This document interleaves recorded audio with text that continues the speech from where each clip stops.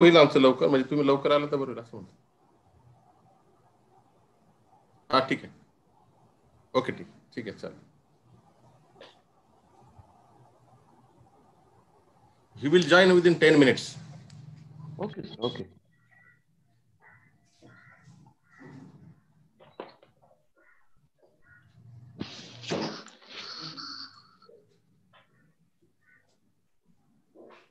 Prasadji, how is going in ncl full fledged Yeah, yeah, almost. Yes. Yeah. now we have a lot of problems in other labs uh, there are many people are covid positive in Trichy and Hyderabad. Yeah, IIT Madras yesterday said they had some problem. Mhm. I heard, yeah.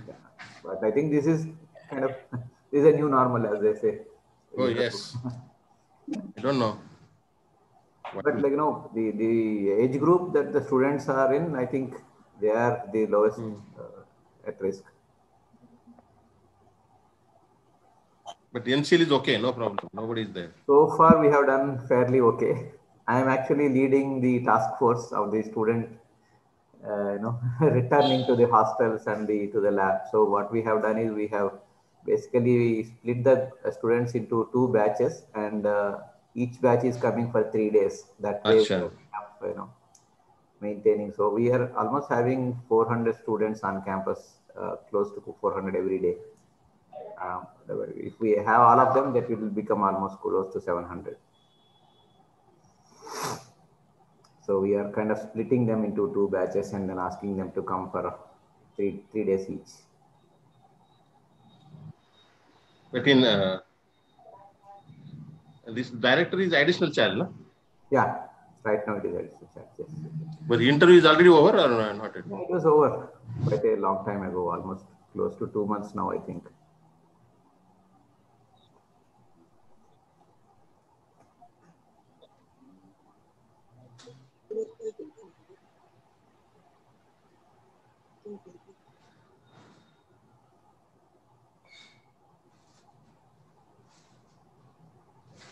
How are things, Umesh?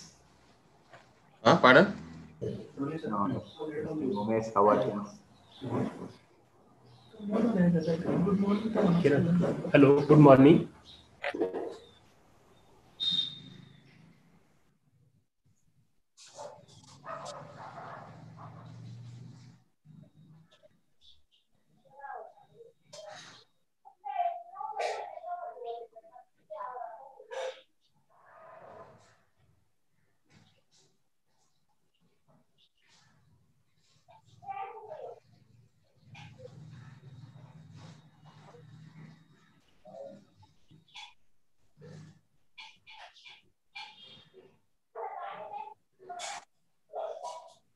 Dr. Kale, should we get going? About- yeah Maybe then, like, you know, think we can Mr. Yadav can add, uh, join Yeah. because he said 10 minutes. We already close to five minutes now. So in another five minutes, he might join. Meanwhile, we can finish the other agenda. If you, okay professor today uh, whether we can start Yes, sir. We are ready. yeah Shall we start? Yeah. yeah yeah Yes, yes, yes, please. Go ahead and start. Okay. Thank you very much, sir. Uh, my colleague will. Okay. Good morning, sir. Good Now, morning. We will start our session.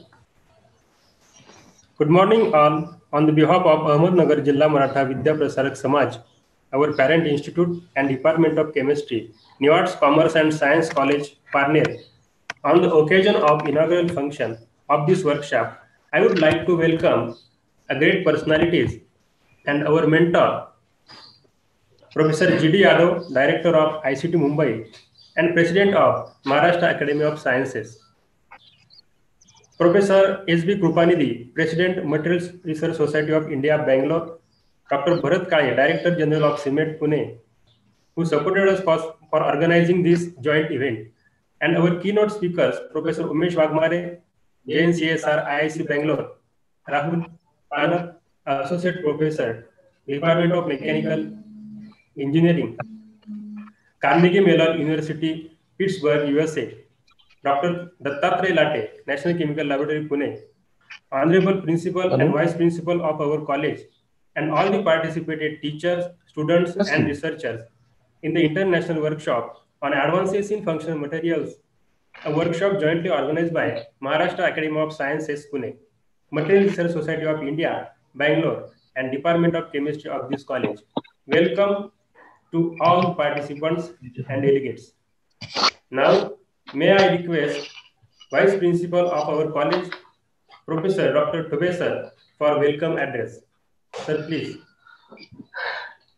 Good morning, sir. Am I audible? Yeah, yeah.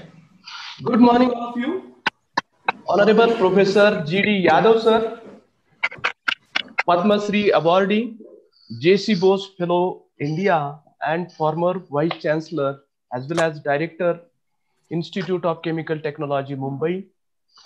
Honorable Professor Umesh Wagmare, sir, Shanti Swarup Bhatnagar awardee, Jawaharlal Nehru Center, Bengaluru, Dr. Bharat Kale, sir, Director General CMET Pune, Professor S.B. Krupanidhi sir, President Material Research Society of India, ISC Bengaluru, Professor Rahul Panat sir from USA, Dr. Datta Late, our alumnus and scientist from NCL Pune, Honorable Principal of our college, Dr. Ranganath Ahir sir, participants from various institutes, convener of this workshop, Mr. Anil Dole, my colleagues, on the behalf of our parent institute, Ahmednagar Jilla Maratha Vidya Prasarak Samaj, Ahmednagar, and New Arts Commerce and Science College, Parner, I wish very warm welcome one and all in this international workshop sponsored by Maharashtra Academy of Sciences, Pune.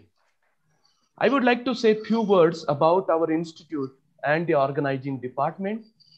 Our college is established in 1977 in the form of arts and commerce faculty, and it is extended in the form of science faculty in 1992.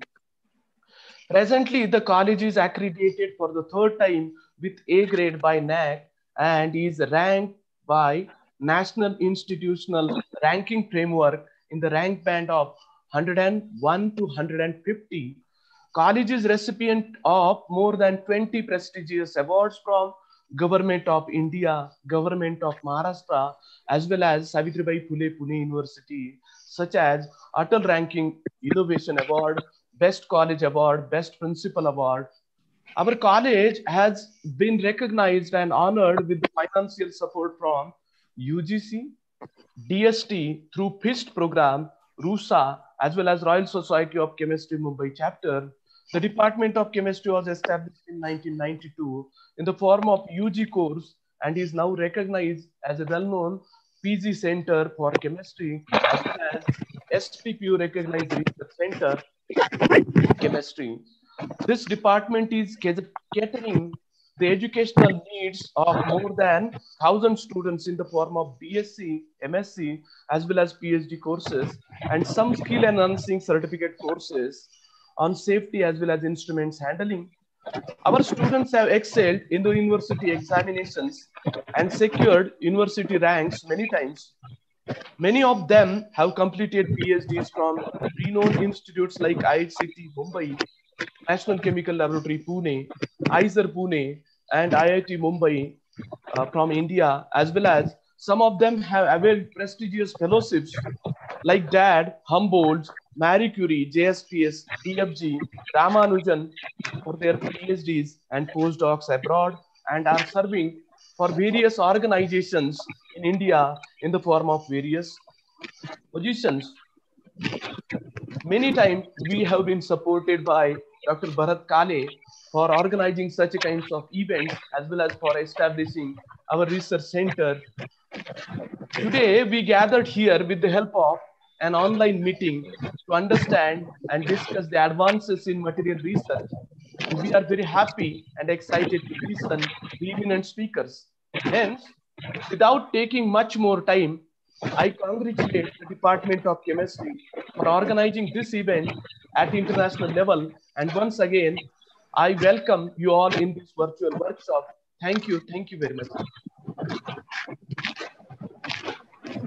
Thank you very much, sir, for your welcome address. Now we have to move towards the inaugural addresses.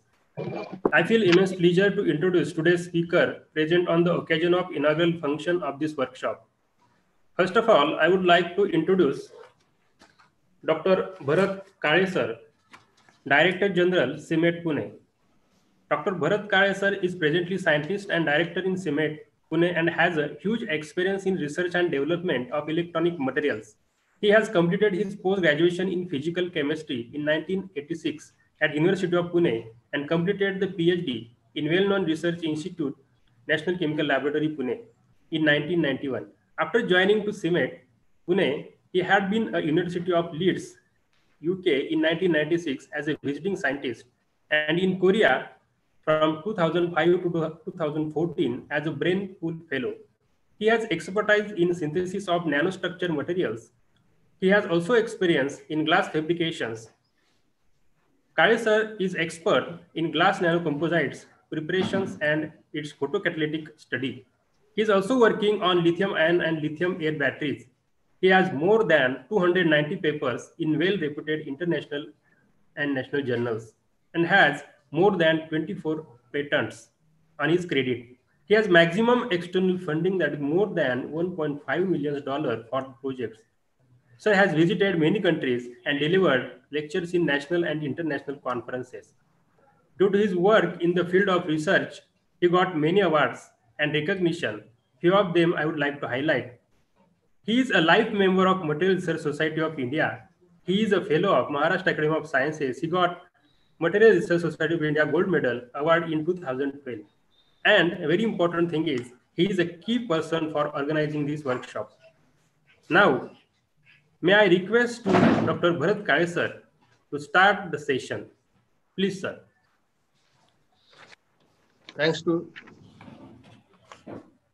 thank you, thank you, thank you, and thanks to uh, um Art and Science, Art, Commerce and Science College Parner for organizing this uh, event. First of all, I would like to thank uh, uh, MRSI President, um, Professor Krupanidhi sir, because uh, he has given us valuable time today. Also, Professor uh, Yadav, he is a president of Maharashtra Academy of Science. So both the organizations are looking for the uh, promotion of science uh, in the country, basically um, MSc in the Maharashtra.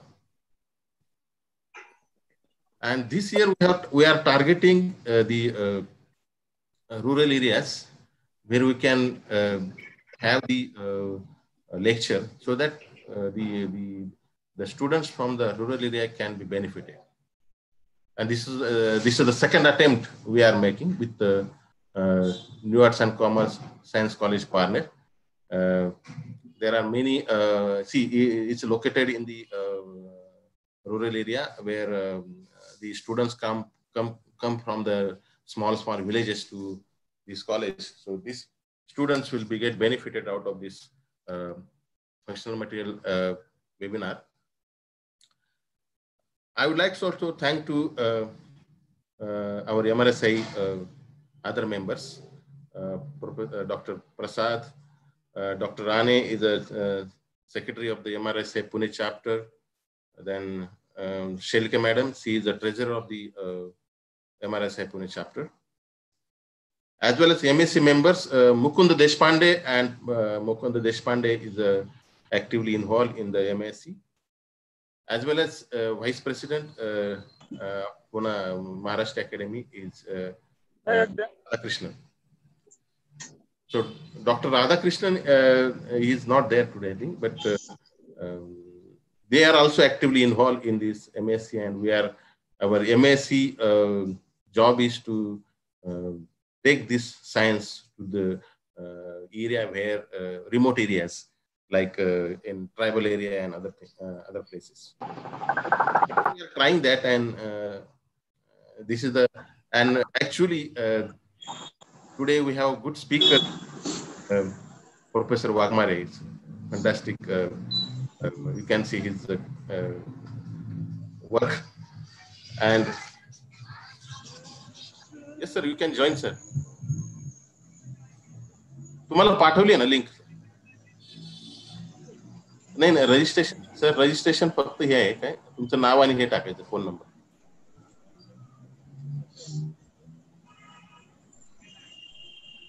Hmm. Hmm.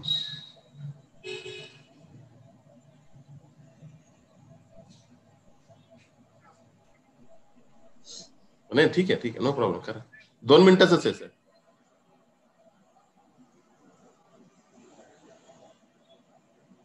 Yes, Professor Yadav is joining uh, very soon.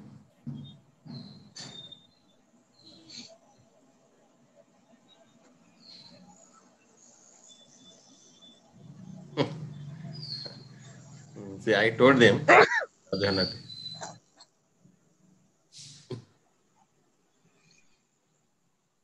आलंय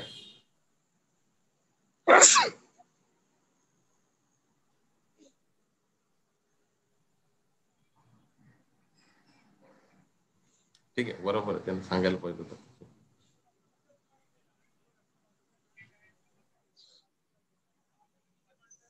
येईल sir. नाही नाही त्याच्याखाली link आहे ना. Link आहे. येईल आता लगेच. आहे ना? नाही तीच लिंक त्याच्याखाली ती रजिस्ट्रेशन नंतर खाली एक लिंक आहे सर.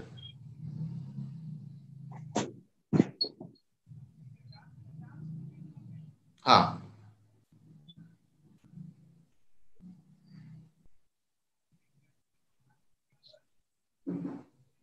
हा तीच तीच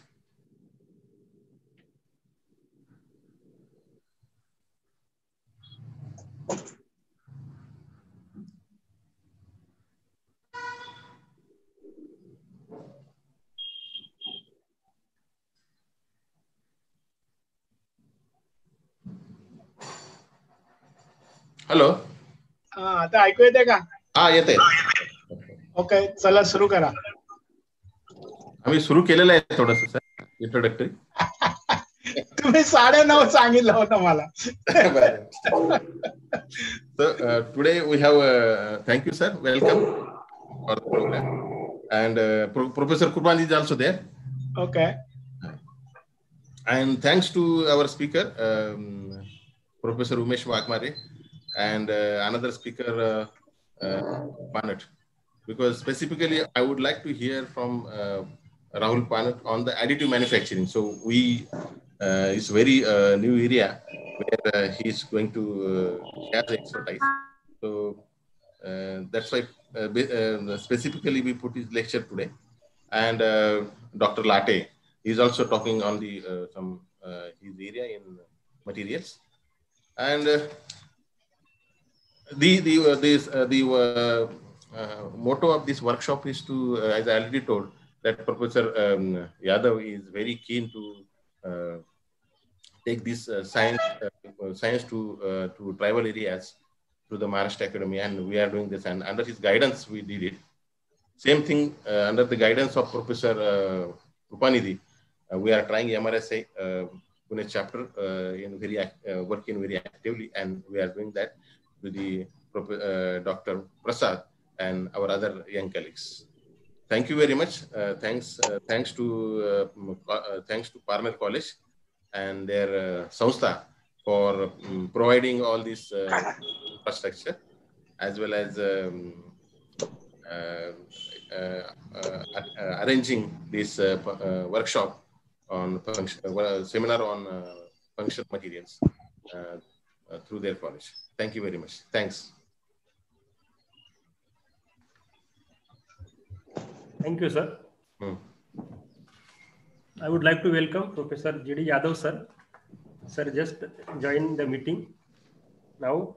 Uh, next eminent personality I would like to introduce is Professor S.B. Krupanidhi, President, Material Research Society of India, IIC Bangalore. Professor S.B. Krupanidhi is a presently professor and president of MRSI, IIC Bangalore, and CMET, uh, IIC Bangalore, and has a huge experience in research and development of ferroelectronic materials. He has completed his post-graduation in applied physics in 1975 at Andhra University and completed the PhD in Delhi University in 1981. He had been a University of Queens, Kingston in Canada from 1981 to 1984. As postdoctoral fellow from 1984 to 1988, he had been a principal scientist Motorola, USA.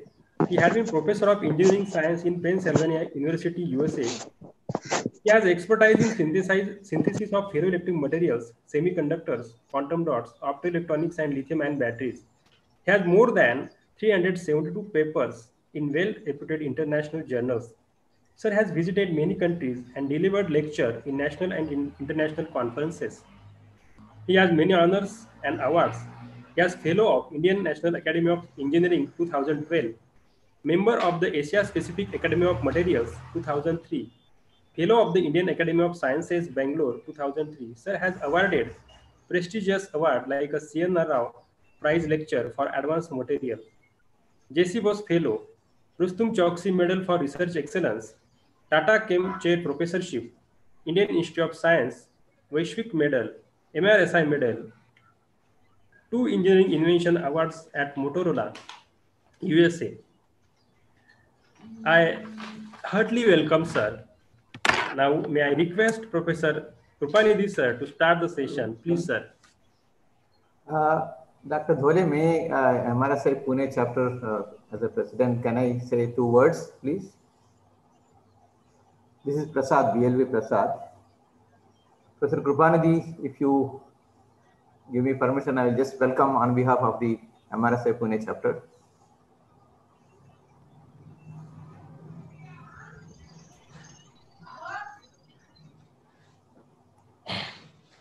At Kale, may I just say a few words? Two words? Yeah, yeah, yeah, sir, please. Yeah, uh, good morning, one and all. Uh, Professor G.D. Yadav, President of Maharashtra Academy of Sciences and uh, former Vice Chancellor ICT Mumbai, uh, uh, Professor Krupanidhi, the MRSI India President, Professor Thube and Dr. Dhole of New Arts, Commerce and Science College Parner, Dr. Kale, the local, a big support to MRSI Pune chapter and the Director General of CMET Pune. I welcome you all uh, uh, to this uh, half a day international workshop on advanced functional materials. On behalf of MRSI Pune chapter, I thank all the uh, people who are involved in this uh, organization. Uh, today we are uh, starting on a slightly sober note uh, because we just lost uh, a true Indian and son of the soil, Padma Bhushan awardee, a great leader of eminence, Professor Roddam Narasimha.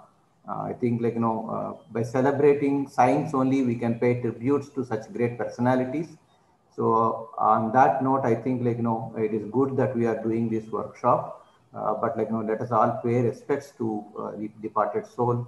And uh, I pray that like, you know, the family gets the strength and we all scientists uh, are uh, as a big family uh, in his this one, you know, let us pray for his, for the departed soul. with this, thank you all for giving me this opportunity. Over to you, Dr. Dhode. Sorry to take you, take this time. Thank you very much for this opportunity. Thank you. Thank you very much, sir. Now we are very much fortunate to have a renowned personality, Padma Professor G.D. Yadav, sir, Director of an ICT Mumbai.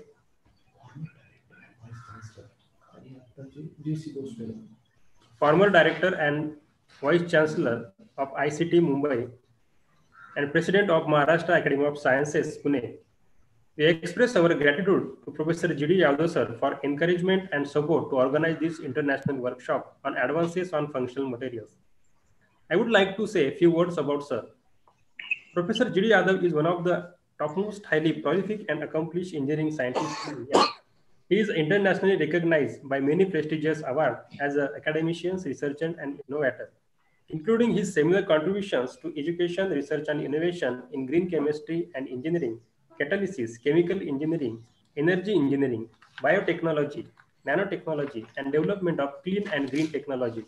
He served as the founding vice chancellor and R.T. Mody Distinguished Professor and Tata Chemical Darbari Seth Distinguished Professor of Leadership and Innovation at the Institute of Chemical Technology, Mumbai. He currently holds the titles of Emeritus Professor of Eminence and J.C. Bose National Fellow in ICT.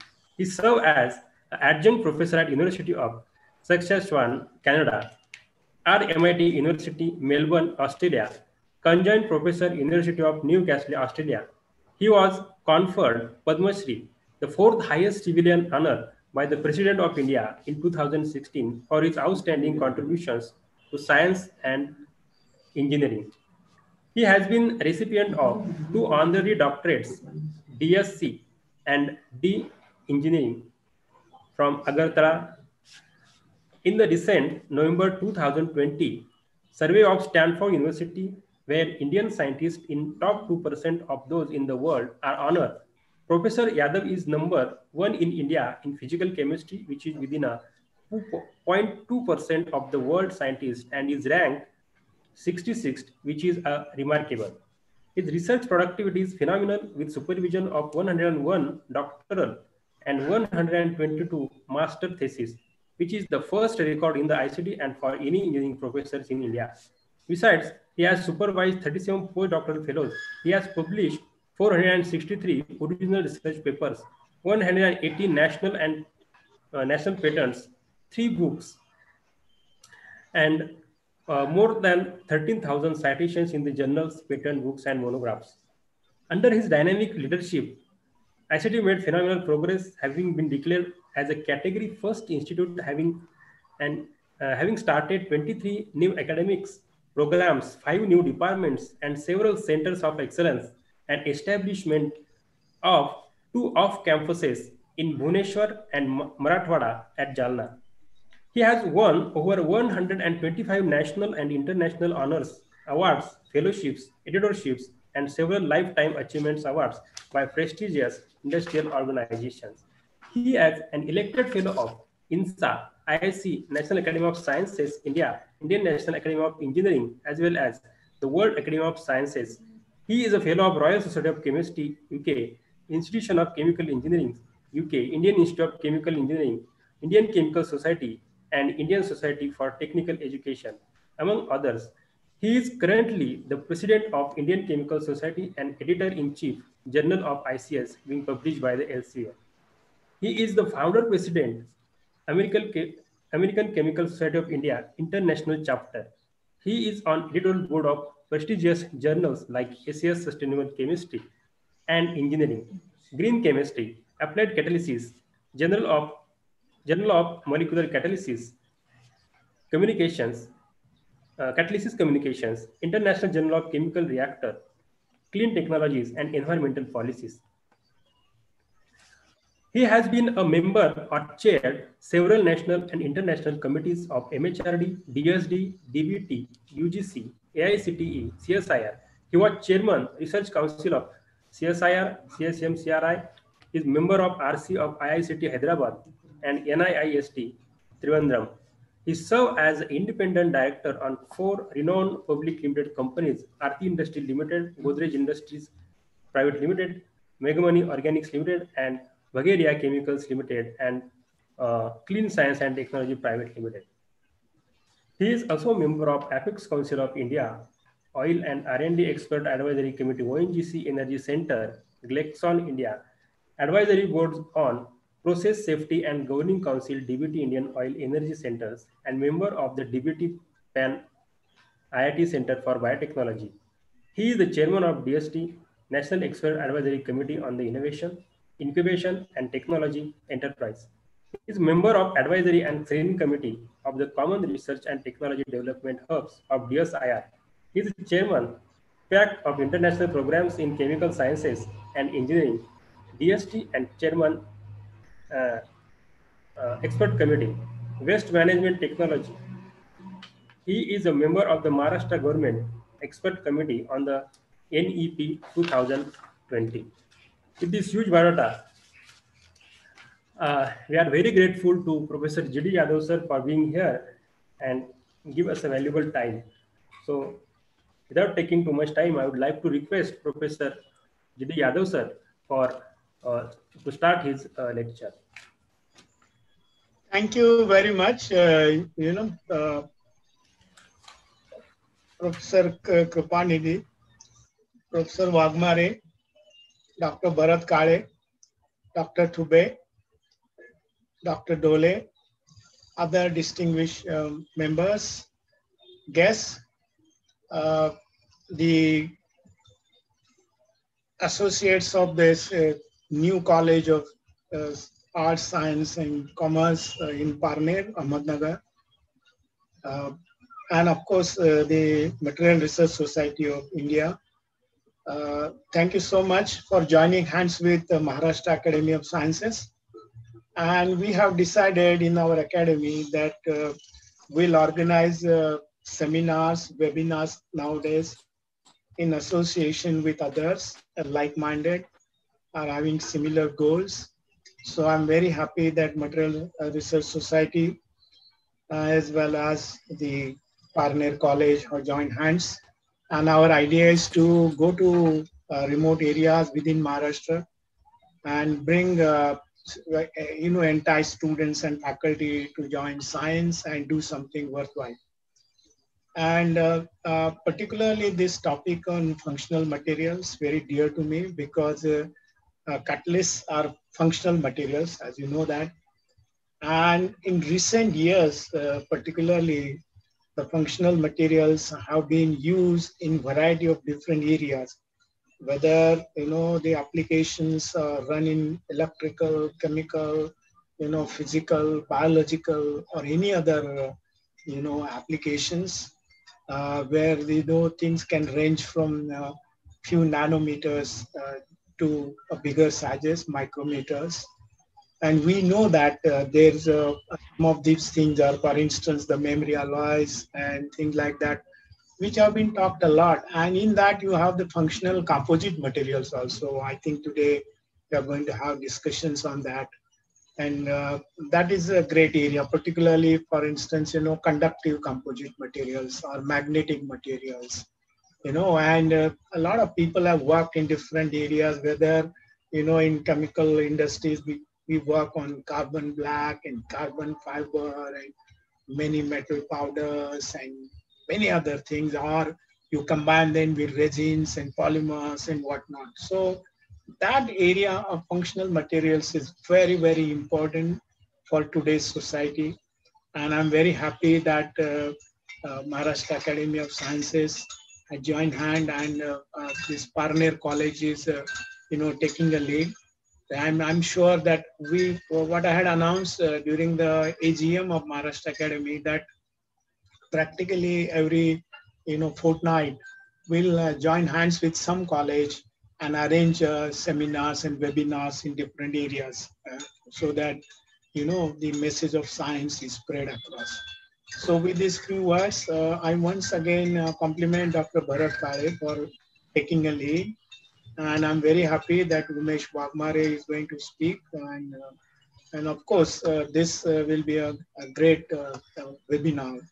I'm sorry because I have to join another meeting at 10 o'clock. you know, so so I, I, I'll have to leave, but I wish the webinar a great success. Thank you very much. Thank you, sir. Thank you very much, sir. Now, may I request Professor Krupanidhi, sir, for few words uh, on the occasion of inaugural function. Incidentally, I'm, I'm sorry, I forgot that we paid tributes to Roddam Narasimhan. He was a great engineer and who was respected so much uh, in scientific and engineering community. So we pay tributes to him. Krupanidhi, sir. Okay. Good morning to all. Good morning, sir. Yeah, a little down because we just la lost a very good friend of mine, Roddam Narasimhan, friend for so many years.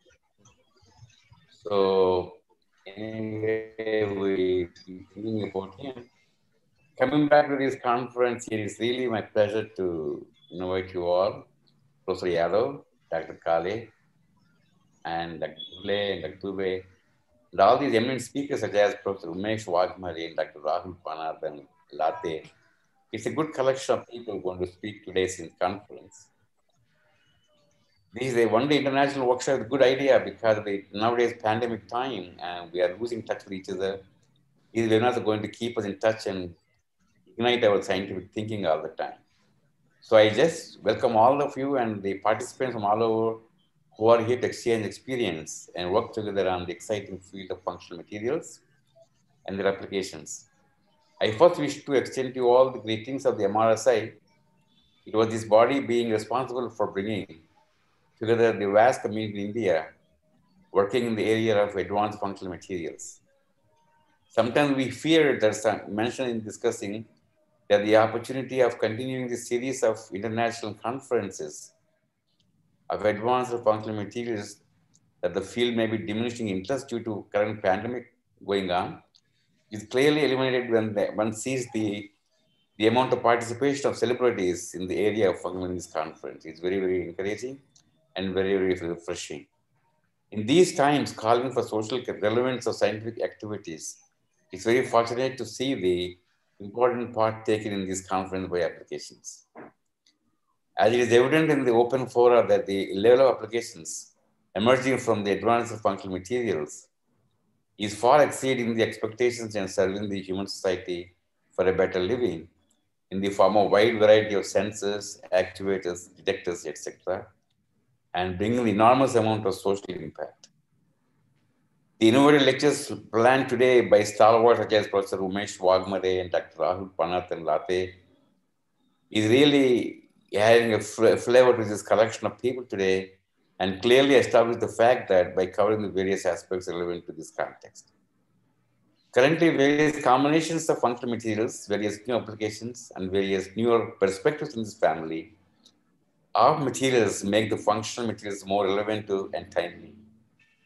Before closing my address here, I, I would extend further thanks to institutions who greatly helped in organizing this conference, MRSI, Maharashtra Academy of Sciences, and the New Art Science College. Before I turn over the conference to the organizers, I'd like to thank the organizers and all participants for taking immense interest in making this conference a success. This conference definitely a wonderful addition to our calendar. Let me now close by wishing you all a delightful and stimulating evening. Thank you very much. Thank you, sir. Thank you very much, sir.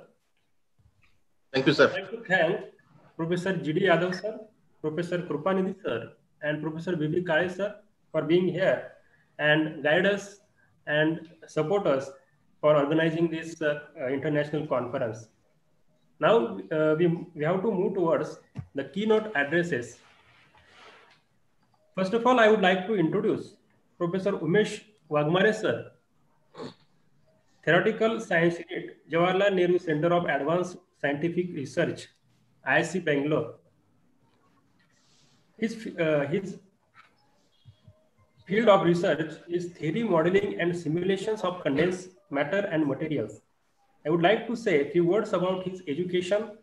He has completed BTech Engineering Physics in Physics in 1990 from Indian Institute of Technology, Bombay, and MS and MPhil in Applied Physics in 1994 94 from Yale University, New Haven, USA. He had completed his PhD in Applied Physics in 1996 from Yale University, New Haven. During 1996 to 1998, he had been a postdoctoral fellow at Physics Department, Harvard University. From 1998 to 2000, he had been a research associate at Physics Department, Harvard University. From 2000 to 2005, he joined assistant professorship at Theoretical Science Unit, JNCASR, Bangalore. 2010 to 2012, he was adjunct professor at Birck Nanotechnology Center, Purdue University. From 2014, he is adjunct professor in Tata Institute of Fundamental Research. Since 2009, he is a professor at Theoretical Science Unit, JNCASR, Bangalore. He visited many countries as a visiting professor. Sir has published more than 250 research articles in national and international journals and seven chapters in books. He is editor of many journals. He is editor of Pramana Journal of Physics. He has membership of several bodies. He is a secretary council Indian Academy of Sciences, Bangalore, member of the editorial board of Solid State Communications, member of the Research Council Advanced Materials and Powder Research Institute. Bhopal, uh, he's a member of Nanoscience Advisory Group, uh, Government of India. He's a member of Physical Sciences Committee, CSIR Government of India. He delivered more than 20 invited talks in national and international conferences. He made a significant contribution to the field of research particularly in ferroelectrics, electronic topological transitions, nanoscale materials, mechanical deformations and of materials, multiferroics, and dilute magnetic semiconductors, materials for energy and environments, development of formalism and methods. Due to his exceptional work in the material research, he got several national and international awards, particularly few of them Shanti Swarup Bhatnagar Prize in Physic Physical Sciences, CSIR India in 2010, Infosys Science Prize in 2015. He is a fellow of Indian National Science Academy 2014. He was uh, Indian Citation Award. He got Indian Citation Award in 2010. Thomson Reuters Research Excellence Award in 2012.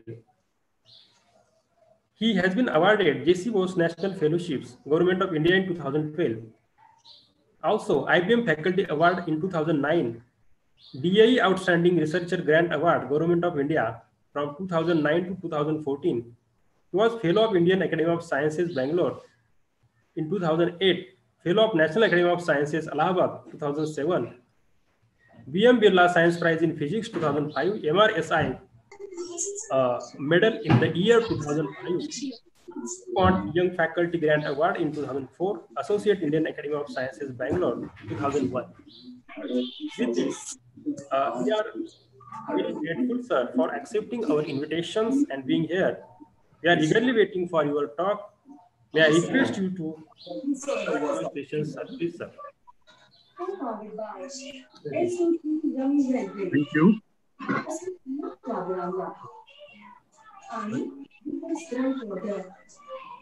Hello, can you hear me?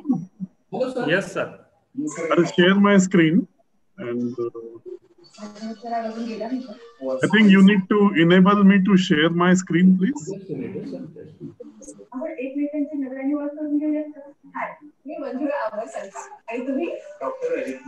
So ask everyone else to mute their mics, please.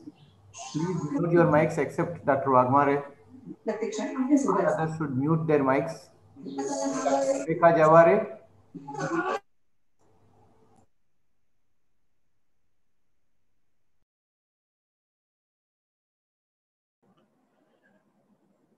Okay, can you all hear me now? Yeah. Yeah, yes, Umesh, we can hear you. Yeah. Thank you very much, Dr. Dole. It, I'm honored to be here with Professor Yadav, Professor Krupanidhi, Professor Prasad, Dr. Thube, Dr. Kale, and Professor Panat, and Dr. Late. Uh, and all of you, my friends, I'm looking forward to this opportunity where I have uh, been enabled by Maharashtra Academy of Sciences and MRSI to have interactions with uh, students and teachers from uh, new college uh, in Ahmednagar. Uh, and also, uh, it's a good opportunity for me. I must thank Professor Dr. Dare Kale for reaching out to me and getting me involved in this. I really appreciate Dr. Kale's effort in making this possible. Uh, I'll get started with my talk now. Uh, it, this talk is uh, generally about ferroelectric crystals, something Professor Krupanidhi is a great expert in.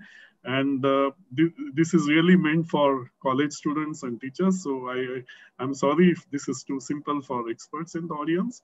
I'll also emphasize on the fundamental science and applications that come out of this uh, and has a strong link with the research activities I do uh, in Bangalore. So let me get started.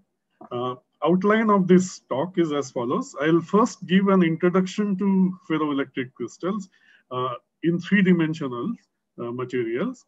And uh, these are very useful functional materials and very suitable for the theme of today's workshop. Uh, then I will talk about ferroelectricity at nanoscale because all of us want to have miniaturized devices and want to know what happens to these functional properties when the device becomes too small. Uh, and are there limitations on the size limitations on devices? In the second part, I will talk about ferroelectricity in two-dimensional crystals, uh, something which started from work in my group. Uh, and this is sort of takes the ferroelectricity at nanoscale to the next level. And this topic also relates to what Dr. Late will be talking about uh, in 2D materials, uh, particularly MOS2 and niobium nitride. And finally, I will talk about uh, some very exciting development, which I hope even uh, Professor Krupanidhi will find interesting, uh, something we call as scale-free ferroelectricity in hafnium oxide and where we show a combination of nanoscale two-dimensional dipolar sheets, uh, which are sort of part of uh, 3D crystal. So let me first introduce what is ferroelectric materials. Uh, it's a class of smart functional materials where I, will just use a mouse. Just give me a second. Okay, you can see the mouse. Uh, if this is a ferroelectric material, it has an electric dipole moment present in this inside this material. And if you apply a pressure on it, mechanical stimulus, it changes this dipole moment and you can detect it using electrical circuit. And that's how it can be used as a sensor. Conversely, you can also apply electrical voltage to this material and change this dipole moment electrically and that results in mechanical response, expansion or contraction of this uh, chunk of material. And this operation is called actuator operation.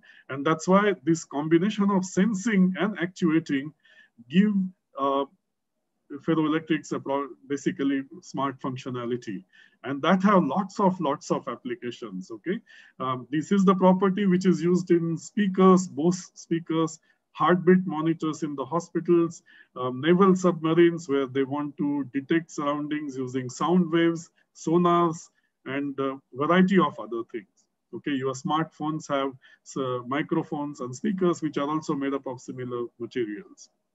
Uh, another very important property of ferroelectrics is basically called switchability. And if you apply large negative voltage to this material, you can flip this electric dipole moment down. And that can be used as storing computer memory in the form of binary information like up giving you uh, one and down giving you zero. And that gives the functionality of what is called non-volatile computer memory, meaning even if you switch off the electric power to this material, the dipole moment is spontaneously present and it can retain the memory. Non-volatile means even if you switch off power, the device can store the memory. So behind these technological properties, there's also very interesting science of materials and properties which are tunable by electric field and stress. And these materials are very sensitive to boundary conditions, that is surroundings. You know, that's why, um, although these materials are like electrical analog of magnets, all of us have seen magnets in school days uh, as something we play with for experiments, but ferroelectrics are not so common, and that's because they are very sensitive to boundary conditions and surroundings around them. Behind these technological properties, the fundamental science comes from this uh, something called as ferroelectric transition, as shown here. If you increase temperature of a ferroelectric material, just like a magnet passes through Curie temperature, at high temperature, this phase is called as paraelectric phase. And this is an example of barium or lead titanate, where at high temperature, the crystal structure is cubic, beautiful structure called cubic perovskite structure, where the center atom is titanium surrounded by six oxygen atoms inside a cube of barium atoms. And this is a unit which keeps repeating in all three directions. Okay, as you cool this crystal down, it breaks symmetry. And this is a very fundamental concept in physics, basically breaking of symmetry at a phase transition. And in the context of barium titanate, it breaks inversion symmetry. Inversion means if you reverse spatial coordinate r to minus r, the uh, if the system remains the same, like here, it's called centrosymmetric crystal, whereas this low temperature phase is non-centrosymmetric, and this breaking of inversion symmetry occurs by displacement of this positively charged titanium atom away from its centrosymmetric position, okay? And that gives you electric dipole moment. And this is the spontaneous dipole moment, just like a magnet has a magnetic moment present in a ferroelectric at low temperatures. And this displacement is accompanied by change in the unit cell shape. It becomes tetragonal unit cell, for example, giving you different C and A parameter of the crystal. Okay, so why is this phase transition important? Because the functional properties that I told you in the last slide are present and possible only in the low temperature phase. This is called ferroelectric phase and this is called paraelectric phase. And functional properties are basically emergent properties which arise as a consequence of this broken inversion symmetry in the low temperature phase. So linear piezoelectric constant I mentioned basically means if you apply electric field, it changes the lattice constant and vice versa. And nonlinear hysteresis basically means if you apply large enough electric field, the polarization dipole moment can switch from up to down, means this titanium atom is shifted up in this uh, positive dipole moment case. And if the same positive charge dro drops down, you get a negative polarization or dipole moment. And this can be done by applied electric field. This curve is called hysteresis curve. The linear piezoelectric property is what governs technological applications of sensing, actuation, micro electromechanical systems, speakers, and sonars, and a number of other applications. And nonlinear hysteresis is what is responsible for use of these materials in memory application.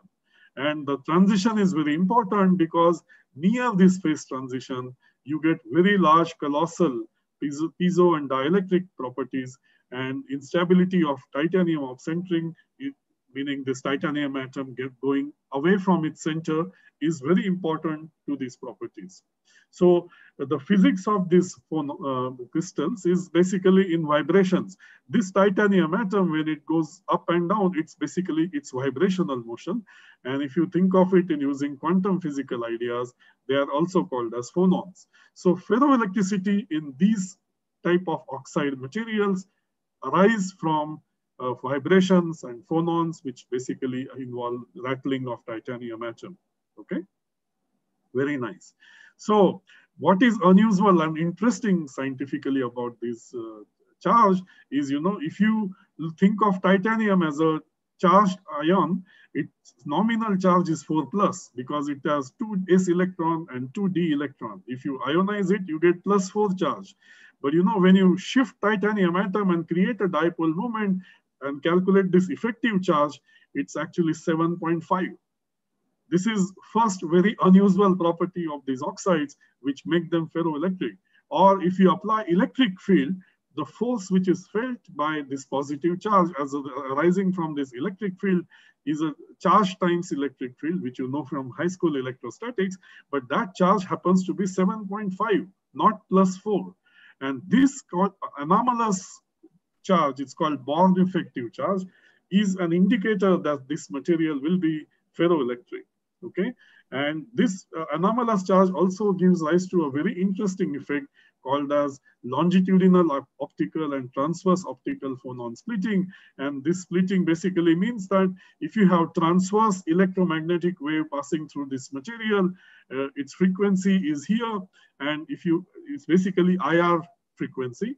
And if you have a longitudinal field, it gives rise to anomalous splitting, and that's called as LOTO splitting. So these are vibrational waves which are longitudinal, and these are transverse. And these are the waves which will couple with IR radiation, and this material can be used for IR sensing as well, and applications in IR spectroscopy. So you will be wondering why, if you are a chemist in the audience or physicist, you will ask, where does this anomalous charge come from? And that's probably very important to ferroelectricity in these oxides. So what we showed using our calculations and theory is this is paraelectric phase of barium titanate and this is ferroelectric phase of barium titanate. And in the bottom, I'm showing you barium zirconate. Barium zirconate remains paraelectric down to zero Kelvin. Okay, so that's why I'm showing you two materials which contrast between ferroelectric and not ferroelectric material. In barium titanate, you will see you have p orbital of oxygen as shown here, which hybridizes with d orbital of titanium. And uh, this is the cubic phase. And if once you have a ferroelectric dipole moment, a little amount of charge from right titanium atom displaces to the left titanium atom. As you see, there is no more d charge left, and here is extra electronic charge. And this is called as charge transfer. And if you look at the Born effective charge, which I told you is very anomalous in barium titanate, most of it comes from this charge transfer. And in barium zirconate, which is not ferroelectric, you get a charge, much smaller charge transfer. Okay, so what electronic origin of ferroelectricity in this uh, uh, oxide perovskites is basically uh, hopping of electronic charge from one d orbital uh, of titanium to d orbital of another neighboring titanium atom, hopping through this oxygen atom. Some of you may be familiar with magnets, and in magnets, also similar thing happens, but these electron which hops in magnet is having a spin. Whereas in this case, there is spin is zero, and you have basically a charge hopping. And that it's, that, that's why it's similar to what is called as double exchange. Okay, so this is the electronic origin of ferroelectricity in this important class of oxide ferroelectric materials. Born effective charge is also anomalous in this other interesting material, particularly lead telluride or germanium telluride.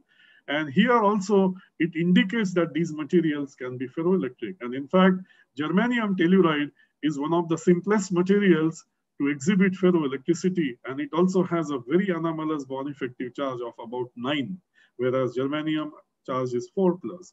And the origin of it actually is also involves vicinity to metallic state and also the fact that germanium is 2 plus and it has a lone pair of electrons in 5s orbital which plays an important role. Okay, so this was an introduction to ferroelectrics in three dimensions. Now, you know, we want we are interested in ferroelectricity at nanoscale because one would want to develop very high density devices and integrated circuits from ferroelectric materials. By the way, if there is any question, please do stop me during my talk.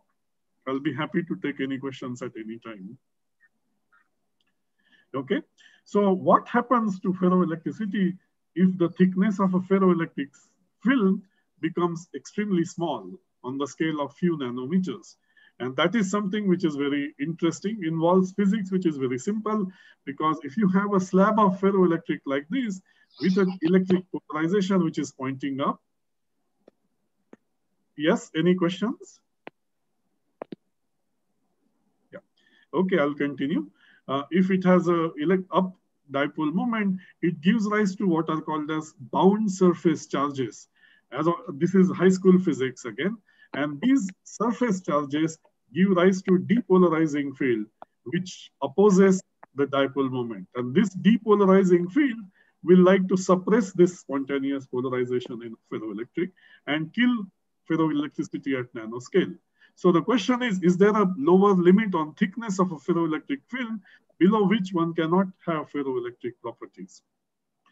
Well, in real applications, a ferroelectric slab is always surrounded by a metal electrode as shown here. And metal electrodes have, all of you know, free electrons in them, which carry electricity, right? So moment you have a dipole moment with, in a ferroelectric film, uh, electrode has free electrons which get attracted to the positive surface charges of a ferroelectric. And on the opposite side, electrons get repelled and you get a positive uh, layer of positive charges inside a ferroelectric in some thickness, narrow thickness of inside the surf below surface of the metal electrode. And these charges, as you will see, compensate for these surface charges in the electric field, right? These positive charges will be canceled by negative charges in the metal side. And as a result, depolarizing field will suppress. And what it means is if you have electrodes which are sandwiching a ferroelectric film in a device, electrodes will actually support survival of ferroelectricity at nanoscale films. So that's the interesting thing. You know, when you work in nanoscale devices, properties depend not just on the material used in making the device, but also what is interfacing with that device, which electrode you use. Sorry. Indeed, this was shown in 2004 in, by an Argonne group in science paper, uh, where they looked at ferroelectricity as a function of film thickness, and they showed that the ferroelectric transition temperature drops rather sharply when the thickness goes to few nanometers. Okay, and what they also showed using electron microscopy is uh, you get basically stable, stable domain structure where polarization is dipole is up and down, forming what are called a stripe-like domain structure in a nanoscale ferroelectric field. My group did molecular dynamics simulations to understand why this happens. And our simulations basically included a ferroelectric slab shown here with local electric atomic scale dipoles, which I introduced to you earlier, basically titanium atoms, surrounded by two metal electrodes as shown here. What we showed was very interesting. If you have a very good perfect metallic electrode, the ferroelectric transition temperature remains high and it remain, uh, basically drops gradually when the unit cell thickness comes below 40 angstrom or 4 nanometer, then the ferroelectric transition temperature drops. But then we showed that if the metal electrode is not good, that's bare metal electrode, you kill ferroelectricity. In fact, what we showed is the phase transition occurs from paraelectric phase to a ferroelectric domain phase, meaning you have a thin film which will have up and down domains, exactly what was shown experimentally in 2004. And the reason for it is if you have a bare metal electrode, it cannot suppress the depolarizing field, which gives rise to stabilization of this domain structure, okay? And if you have a domain structure like this, indeed, the smart functionality of ferroelectric field will certainly change at nanoscale. So that prompts us, can we take this two-dimensional, uh, sorry, the thickness limit of ferroelectrics to the ultimate level? And that's why ferroelectricity in 2D materials is an important, interesting subject scientifically. The reason is it has a lot of potential for applications. It will have smart functionality, it will uh, combine and memory capability, and that will be combined with semiconducting electronic properties, which are also possible in 2D material, which Dr. Late may talk about. Uh, the second aspect of this is fundamental science, because as I explained, ferroelectricity at nanoscale is an interesting fundamental question. And the specific question we want to ask is, can ferroelectricity with out of plane polarization exist in 2D? And you will, what I will convince you is actually electrons and phonons couple very strongly in 2D materials and that make it possible to have dipolar moment even in two-dimensional materials. Okay, so first let me tell you what electron phonon coupling is and why it is very interesting and useful. Um, those of you who have who are familiar with superconductors are probably already aware that electron phonon coupling is what is responsible for superconductivity in materials, which is of course another functionality which is very powerful and useful in number of applications. Electron phonon coupling also has interesting consequences in 2D materials. So what is electron phonon coupling means if you have an electron which is moving inside your crystal and there is a vibrational wave which is passing by, they two collide with each other and scatter away from each other.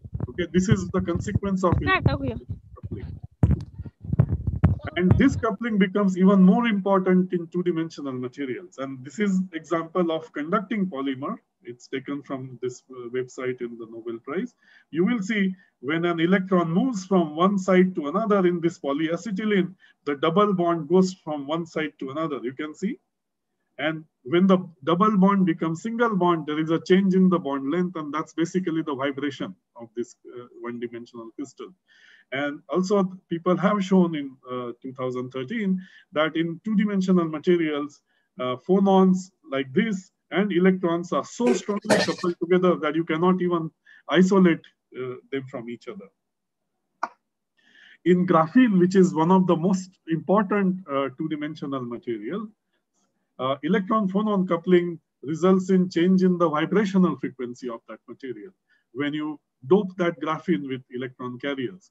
And you know, all of you, uh, I mean, uh, some of you may be familiar with a field effect transistor. If you make a FET from graphene, you know, you have source electrode, you have drain electrode, and this in here is a graphene channel which connects source and drain electrodes, and you may have a gate electrode at the bottom of it, which will, if, if you apply gate voltage, you will change the number of electrons in graphene. That's called doping in graphene uh, or tuning electron concentration in graphene. Now, you know, if you have a 2D graphene uh, material, it's very difficult to characterize uh, it at atomic scale. How many electron carriers does it have? How will you measure it in a lab? You know, so that's where uh, this electron phonon coupling becomes useful. And here is a proposal that you can use Raman spectroscopy, which is a non-invasive tool. Means what, what one does is it, one shines light onto this graphene channel and the vibrations of graphene changes the color of this light wave and it, the scattered light has a different color and change in the color basically means change in the frequency of light and that gives you the vibrational frequency. And what was shown is if you change the number of carriers in graphene, its vibrational frequency changes because of the electron phonon coupling. And then you can use Raman spectroscopy to measure electron concentration or carrier concentration in graphene. Okay, and this was shown in molybdenum sulfide also, another very important two-dimensional material where you know you shine light with a frequency omega L and measure a scattered light with a change frequency to omega s and changes this frequency basically depends on number of carriers which are present in this two-dimensional MOS2 channel in a field effect transistor which can be tuned using gate electrode okay so electron phonon coupling is very important in 2D materials in even characterization of a field effect transistor possibly okay so what we want to say is what is the relevance can we explore ferroelectricity in two-dimensional materials uh, using what is called as first principle theory? Um, and my research is all based on first principle theory and computer simulation. So I will just give you one very brief introduction um, to one slide introduction to this because of uh, limitation of time. Uh, but I, the reason I want to tell you about this theory is uh, this type of theory and simulations can be carried out on even a PC.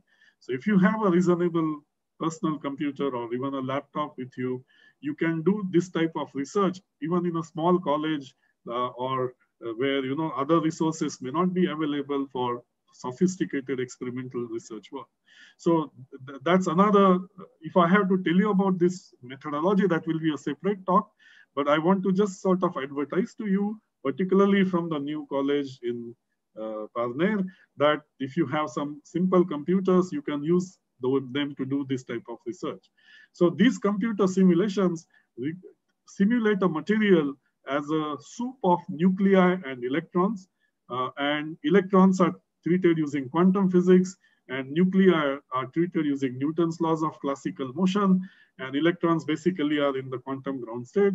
And that simulation is what takes a lot of time. And once you do this quantum mechanical calculation, you can obtain basically this type of figures which you may have used in classes to tell your students what type of bonding exists in the material as well or molecules and this total energy function that comes out total energy of a collection of electrons and nuclei is basically the interact atomic interaction potential and that's a very powerful concept uh, and can be simulated on a reasonable resources. And Walter Kohn, who developed this density functional theory, received a Nobel Prize in chemistry in 1998. So all the work I will talk about now in the next slides is based on this type of simulations, okay? And they can be easily done on even a small computer you may have with you. So uh, let me talk about uh, 2D materials, particularly transition metal chalcogenides. They can occur in two structures. One is basically 2H structure, where you know this is the top view and this is the side view, and this is MOS2. And this second structure is called 1T structure. It is centrosymmetric. So you, you will expect that this may have a dipole moment and this may not have a dipole moment. And this is the side view of it. Um, you know, the changing crystal structure results in totally uh, drastic changes in their electronic properties. And this is the way to understand it, you know.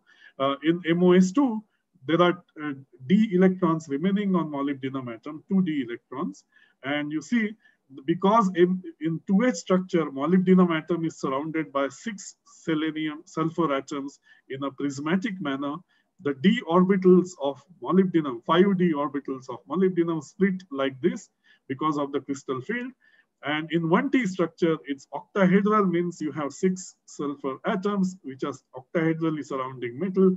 And because the electrostatic field of this uh, crystal is different, you get degeneracies of T2G and EG orbitals here.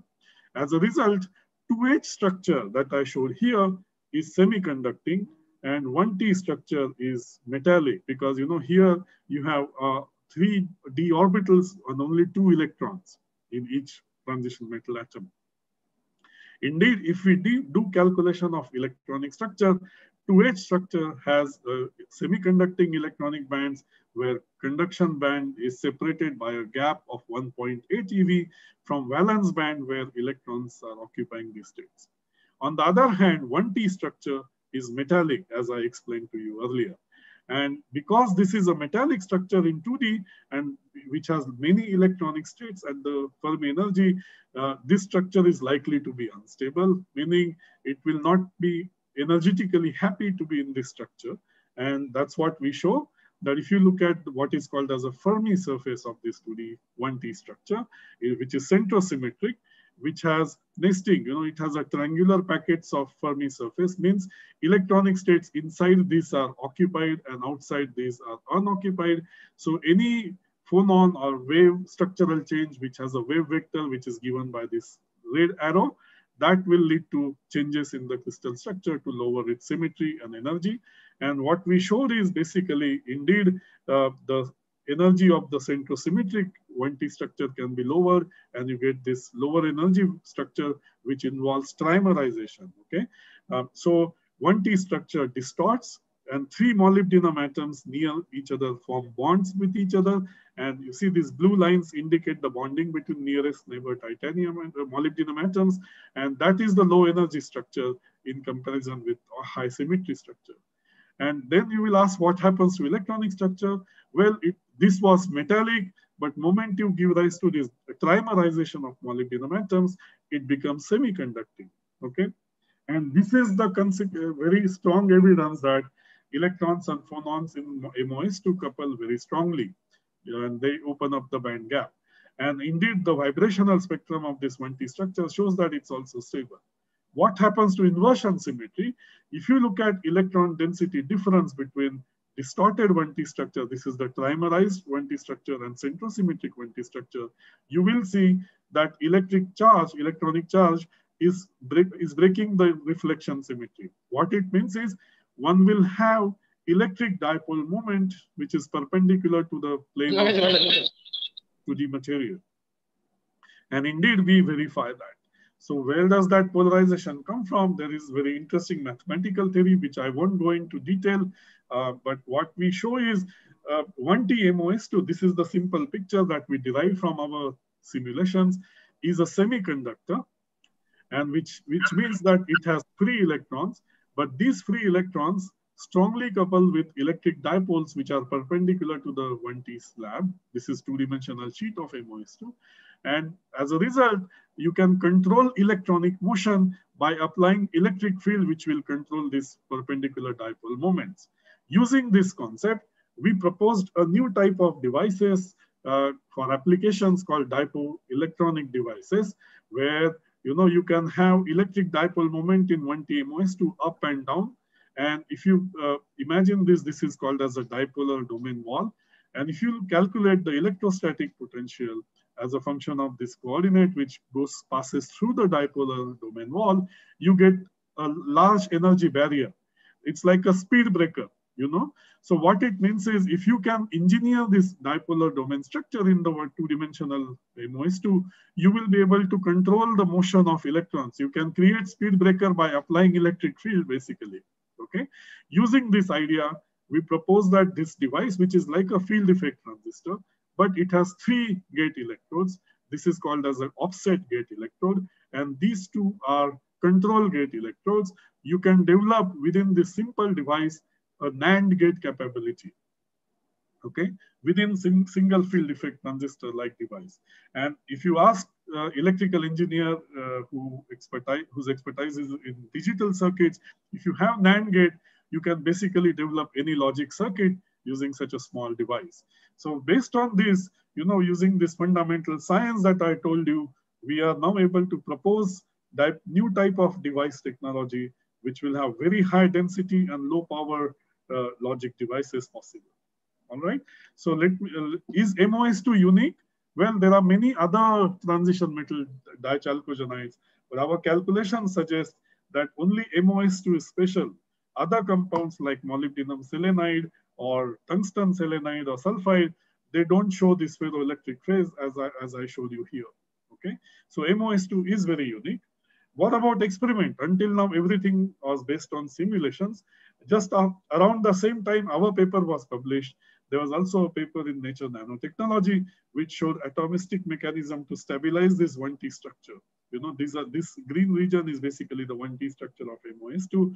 And we are now hoping that experimentalists will be able to verify the prediction that we have that strong electron phonon coupling gives rise to semiconductor to metal transition in MOS2 uh, thanks to electron phonon coupling. And what we have shown a, as a fundamental science is electron phonon coupling was known to be responsible for superconductivity and charge density waves long ago. But now we show that electron phonon coupling can also give you ferroelectricity, particularly in two dimensions where it is not otherwise possible due to depolarizing field. Okay, so this is a sort of uh, introduction to two-dimensional ferroelectricity. Followed by this work, there were many recent developments where people started looking for 2D materials which may exhibit ferroelectricity. So one of the materials which came up recently in science is basically tin selenide, okay?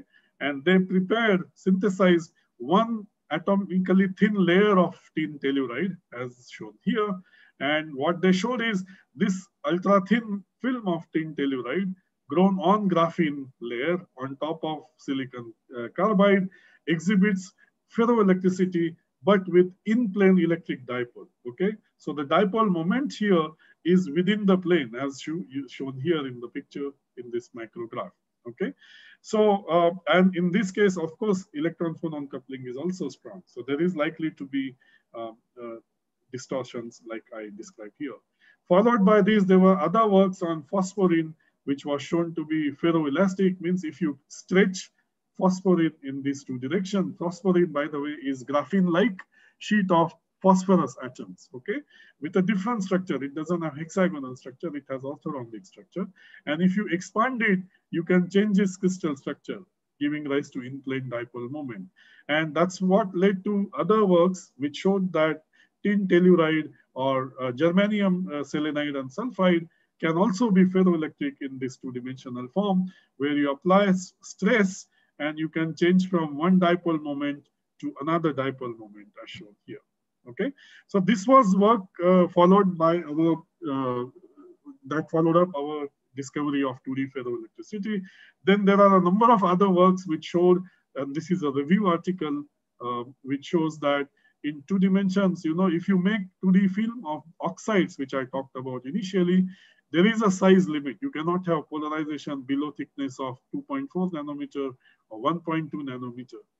But uh, if you go for complicated 2D materials, you can get in-plane polarization as well, or out-of-plane polarization in MOS2 that I told you, or you, you can have this uh, more complex chalcogenides.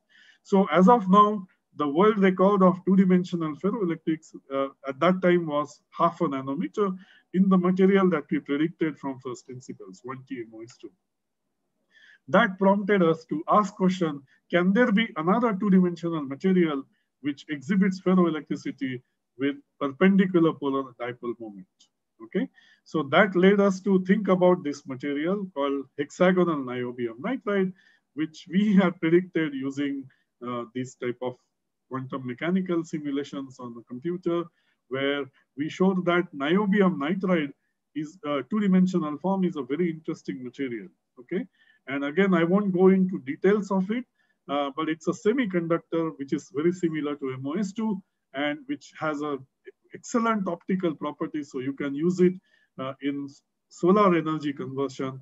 Its conduction band and valence band are also at energies where they can easily facilitate reduction of oxidation of water. And what it means is this 2D niobium nitride is suitable for photocatalytic splitting of water. Some of you may be interested in these properties. But more importantly, we showed that this two-dimensional niobium nitride have a very large gap in the vibrational spectrum. What it means is even if you heat up this material, it creates lot of vibrational thermal motion, but they don't decay off into acoustic wave. And you can, as a result, use it in hot carrier solar cell application. So the same two-dimensional material we showed has functionality to do solar splitting of water, and also you can use it for uh, photovoltaic solar cells. Then the question we asked is, can we make it ferroelectric? And you know, this is the example where computer simulations can play very powerful role in exploring new functionalities and properties in material which you already have with you. So that's what we led us to this work, where we asked, well, if you look at the side view of niobium nitride, you have positive charges of niobium, negative charges of nitrogen. So naturally you have a dipole moment, electric dipole moment, which is perpendicular to it, okay? But unfortunately, uh, niobium and nitrogen are so widely separated, you know, this uh, distance uh, between, Z distance between niobium and nitrogen is very large, 0.78 angstrom. As a result, although it has a dipole moment, you cannot switch it because it's too large a change in the structure to be introduced by electric field.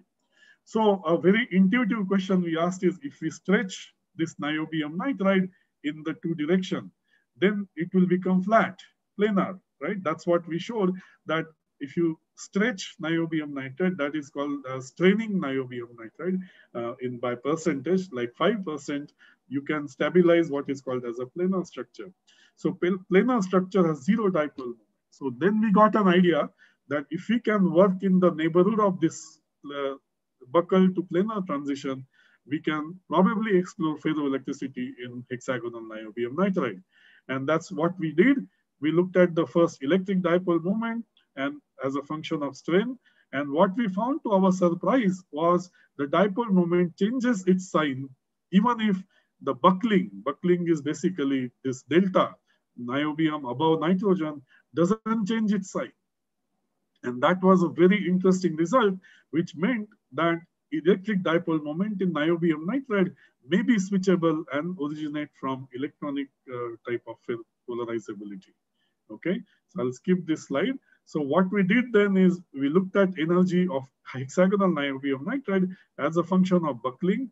And you see this is a buckled structure, buckled structure, and you have a flat structure which is higher in energy. Okay, and then we asked a question, can we now apply electric field to switch the structure or dipole moment of niobium nitride from this well to this well to this well. And indeed, that's what we find from our simulation. If you apply electric field, you start with this niobium nitride with a negative electric field. And if you apply opposite electric field, it first switches to the flat structure. In this picture, it goes to this energy well. From here, it hops to here. And then with further electric field in the opposite direction, it flips to the opposite side. Okay, so what it means is not only a hexagonal niobium nitride is ferroelectric, but it will allow you to have three-level logic, which is quite important to new type of electronic devices, where you know you can develop neuromorphic devices, for example, where you have three-state structure of niobium nitride, which can be utilized. We looked at electric dipole moment as a function of electric field, and it shows interesting hysteresis that I talked about earlier. And I won't again go into details. Uh, so again, I think I'm running out of time, so I'll skip this and show that uh, hexagonal in two-dimensional materials, uh, ferroelectricity can exist.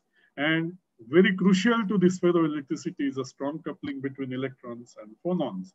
So the take-home message is Unlike oxides, which I talked about earlier in the introduction, where phonons were the primary players in giving rise to ferroelectricity, in 2D materials, electrons and phonons partner together very interesting way to give rise to ferroelectricity in 2D. Okay, so I will now go come to the final part of my talk. And basically that's the most exciting development, uh, at least from my group and my collaborator in Korea basically we showed that hafnium oxide is uh, ferroelectric, okay? And not only hafnium oxide is ferroelectric, it exhibits both nano and bulk ferroelectricity. It contains two-dimensional sheets of in-plane ferroelectric dipoles which are stacked in the perpendicular direction to give three-dimensional crystal structure. Hafnium oxide occurs in this fluorite-based crystal structure where uh, you can see these are oxygen atoms uh, I, and these are hafnium atoms. We have colored oxygen atoms in two parts. Blue means they have shifted up and red means they have shifted down, okay? The reason why it is a very exciting discovery is uh, hafnium oxide is already part of semiconductor technology. And if you can grow it in a nice way in silicon, which is already possible, you can easily integrate it Uh, with and develop ultimately high density memory devices within existing fabrication technology. Okay, so this is something we are very excited about, and I'll tell you now what the interesting science behind it is. So, ferroelectric, this is the structural origin of ferroelectricity. If you look at vibrational spectrum of cubic hafnium oxide, there are no unstable mode at gamma point. So you can't expect ferroelectricity in normal hafnium oxide. But there are other phonons which are unstable. These are basically phonons which involves displacement of one plane of oxygen atoms down and another plane of oxygen atoms up. Okay, so this unstable mode basically means you have dipole moment coming in one direction in this plane and opposite direction in the other plane. These are similar to antiferromagnet or antiferroelectric type of a material. And this particular phonon is called as antipolar phonon, means uh, dipole moment coming from different oxygen atoms are in opposite direction, okay? And this particular phonon basically involves oxygen atom displacements together, parallel to each other, and they will give rise to a dipole moment everywhere in the crystal. But what is unique about hafnium oxide is this beautiful thing that these two vibrations or displacement of oxygen sublattices occur in equal amounts. Okay, this is the magic of hafnium oxide, that polar phonon and antipolar phonon condense in equal amplitude to give you ferroelectric phase. You know, if you add up these arrows, you will find that in the blue one, there will be zero displacement of oxygen atoms. And in the red color, oxygen atoms will be shifting down or up, right? So this gives rise to dipole moment, which is up and down. In this zone, the dipole moment is up. And in this case, the dipole moment is zero, okay? So you get alternating two-dimensional sheets of spacer layer, which has zero dipole moment and non-zero dipole moment uh, type of ferroelectric.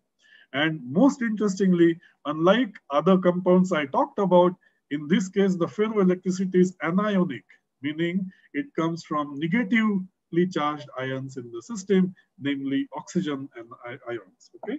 And this, by the way, is a very spectacular finding that three-dimensional crystal architecture of hafnium oxide gives rise to two-dimensional ferroelectric sheets. And not only two-dimensional ferroelectric sheet, they are beautifully separated from each other by this dead layer or what is called as a spacer layer.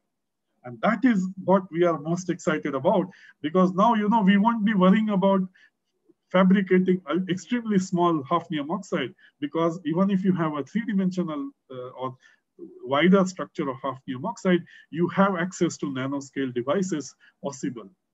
What is another spectacular aspect of uh, hafnium oxide is you can have these electric dipole moments and their domain structure. See up in this half of hafnium oxide, you have dipole moment which is up and in this half, dipole moment is down. And this is called as a domain wall which separates domain of up polarization from domain of down polarization.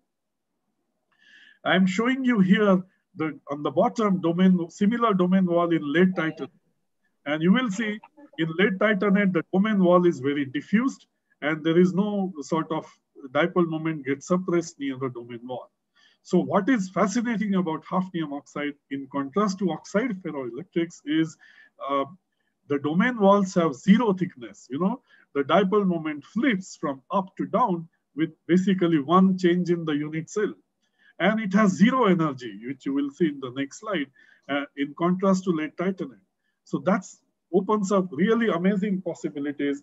You see, I can flip this dipole moment in only one two-dimensional sheet, and you know, you, I can go from homogeneously polarized state, ferroelectric state, given by this picture, to one in which one unit cell is flipped, and in this case, two layers of half, uh, ferroelectric dipole are flipped, and they all have roughly the same energy. See, this has same energy as this and same as this.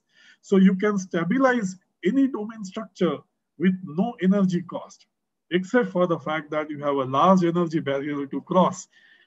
On the positive note, this large energy barrier is very good to stabilize this domain structure and store memory in these devices or material, but it, large domain barrier switching barrier also means that you need large electric fields to switch, unfortunately.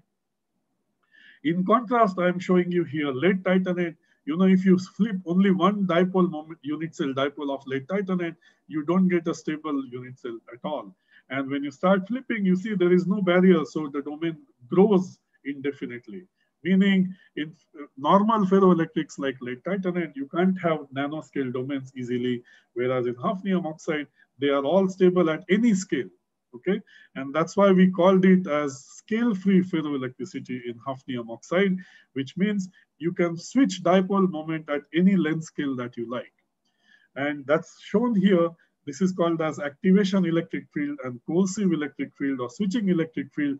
All perovskite oxide or other ferroelectrics fall in this curve where activation field is much larger than coercive field because the dipole moment form many domain structure, whereas in hafnium oxide, they have a slope one, and that was a very big, interesting puzzle in the literature.